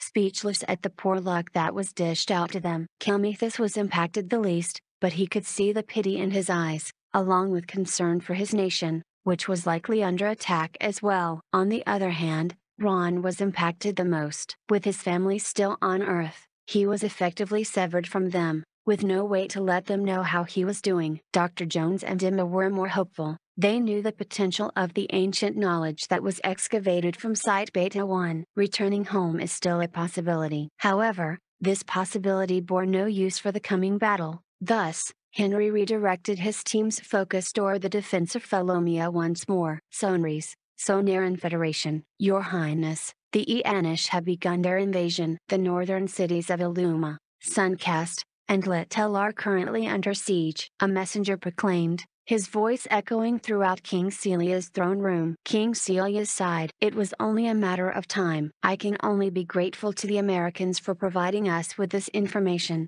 Hopefully knowledge of Eanish weaponry and tactics will help us fend them off. Messenger, send word to Lady Sindus and ask her to contact the Americans. I wish to invoke our defense treaty, but I can see how this may be an issue considering that they no longer have the support of their brethren from the other side of the portal. I shall do this at once, Your Highness the messenger said before departing. King Celius turned his attention to his advisors and top military personnel. How do our forces fare against theirs? A general answered, Your Highness, the majority of our forces are deployed up north, in accordance with American warnings and suggestions. We have 150,000 trained warriors split between Illuma, Suncast, and Litel, with another 100,000 available for deployment from the garrisons of nearby cities. We also have a thousand wyverns, but the Eanish seem to have also brought about a thousand of theirs, according to the Americans. Currently, we maintain superiority in numbers.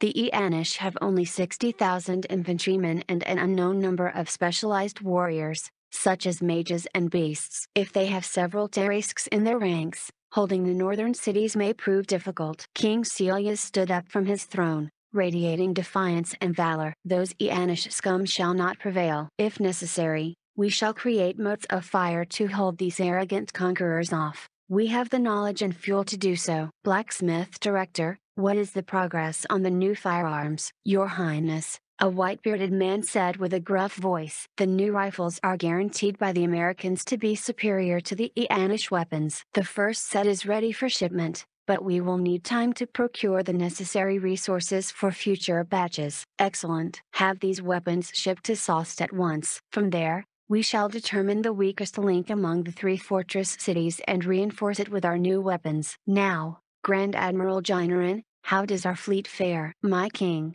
our member states have all deployed their respective fleets to meet those of the Eanish in battle. However, it is apparent that we have no means of combating their ships of the line. Currently, I've ordered the admirals of the fleets to remove non essential personnel, since our ships would be nothing more than fodder for the Eanish cannons. I understand. Are we really this defenseless against their cannon ships? Can the ballistae not damage them? Yes, but not in any significant manner. Their ships are simply superior in every way to our own. King Celius gave a concerned look. Then, why are we sending these men to their deaths? Your Highness, we must make sacrifices in order to prevent the Eanish navy from securing a beachfront. We will try to delay them as long as possible, so that the generals may bolster our coastal defenses. I see. May these men be spared from dying in vain. Fort Grendon. Dear God, Tesla repeated as he saw the portal. As if God hadn't finished with his tests, a younger officer ran into the room, tablet in hand. Harding looked at it for a split second, pausing and hoping that it wasn't more bad news. He grabbed it and found himself disappointed. General Harding speaking. Sir, a man said while artillery fire and anti-aircraft missile fire echoed in the background. Colonel Sanders, Felomia Garrison. The Eanish have just crossed their border and are pushing through the northern forests. We've taken out some advance units so far, but they've got Tarrasques with their main force. Over 50,000 men plus monsters. We're requesting immediate assistance. Another thundering boom from an artillery piece sounded off before the transmission concluded. Sit tight, Colonel. He looked at the officer, wordlessly asking him to relay his orders once he was done. We're tasking Dragon Slayer Squadron, Wyvern Slayer Squadron, and Ghosts 1 and 2 to your position. We're also sending up all available combat units from the checkpoints and supply stations. Roger, General. Even through the static of the transmission, Harding could hear the relief in Sanders' voice. Oh, why? The universe is cruel, General. If you'll excuse me, I'll work on sifting through the Site Beta 1 database for any clues on how to recreate a portal. General Harding nodded and waved him off. As soon as Dr. Tesla exited and rounded the corner, a new person walked in. Ambassador Perry, what can I do for you? General, we've received a request from the Sonaran Federation. They're also under attack, and are invoking the defense treaty we have with them. General Harding sighed. Alright, I'll take a look at what other forces we have available. Ambassador Perry nodded and left, leaving General Harding to his own thoughts. As alarms blared, he thought about the grand strategy of the Eanish invasion. Due to the immense mountain range in the middle of the continent, he had only two checkpoints to worry about. Felomia and the northern reaches of the Sonaran Federation. Holding these choke points would make it impossible for the Eanish to make the most of their massively superior numbers unless they managed to secure a beachhead or traverse through the mountains via some sort of unknown passageway. The one saving grace he might have is potential assistance from the Divinians or Mekanese. The rocket launch was well received by the two factions. Using this as diplomatic leverage, he could potentially have Perry convince them to provide military assistance in exchange for technological secrets. If this was asking for too much, then he would even be satisfied with sanctions and political pressure from the nations. Although strong letters were useless on Earth, he wondered if they could have an effect on the Eanish, who were clearly inferior to the Divinians and Mekanese. Overall, things did not look good for his men. The situation was so severe that he even considered the ballistic missiles secretly transported to Fort Grendon. He shook his head, dismissing the thoughts. No, he thought, not yet. Notice, Manifest Fantasy Rewrite in the Works. Dear readers, announcement. I wish to inform you all that Manifest Fantasy, version 1, is officially discontinued because I intend to rewrite the entire story. The upcoming professional rewrite will be a complete overhaul of the original story, and is being worked on from the ground up. Story details The theme of the story will remain similar. The only major difference will be the progression and quality of the story itself which will be superior to anything I've written thus far, including Manifest Fantasy, version 1, and Summoning America. Release date The Manifest Fantasy rewrite is scheduled to be released sometime around fall of this year, as long as subscription conditions are met. Chapter Logistics Each chapter will be 3,000 to 4,000 words. I plan on releasing 4 chapters per month. Distribution Logistics 1. Because I'm now taking this effort seriously, the professionally rewritten and augmented Manifest Fantasy will only be available on my Patreon page via paid subscription. If you are willing to pay for a $5 per month subscription to read, please comment I. If you have already voted on Discord, please do not respond to this. 2. Free chapters will be released as free trials on Wattpad, to help you determine whether or not you want to pay for a subscription. 3. I will commit myself to this endeavor if I receive at least 50 guarantees of payment or 100 potential subscribers across all platforms. I already have 25 guarantees, with about 40 potential subscribers. Happy reading, DER Doritos and S. C. Lee. End of Block 3.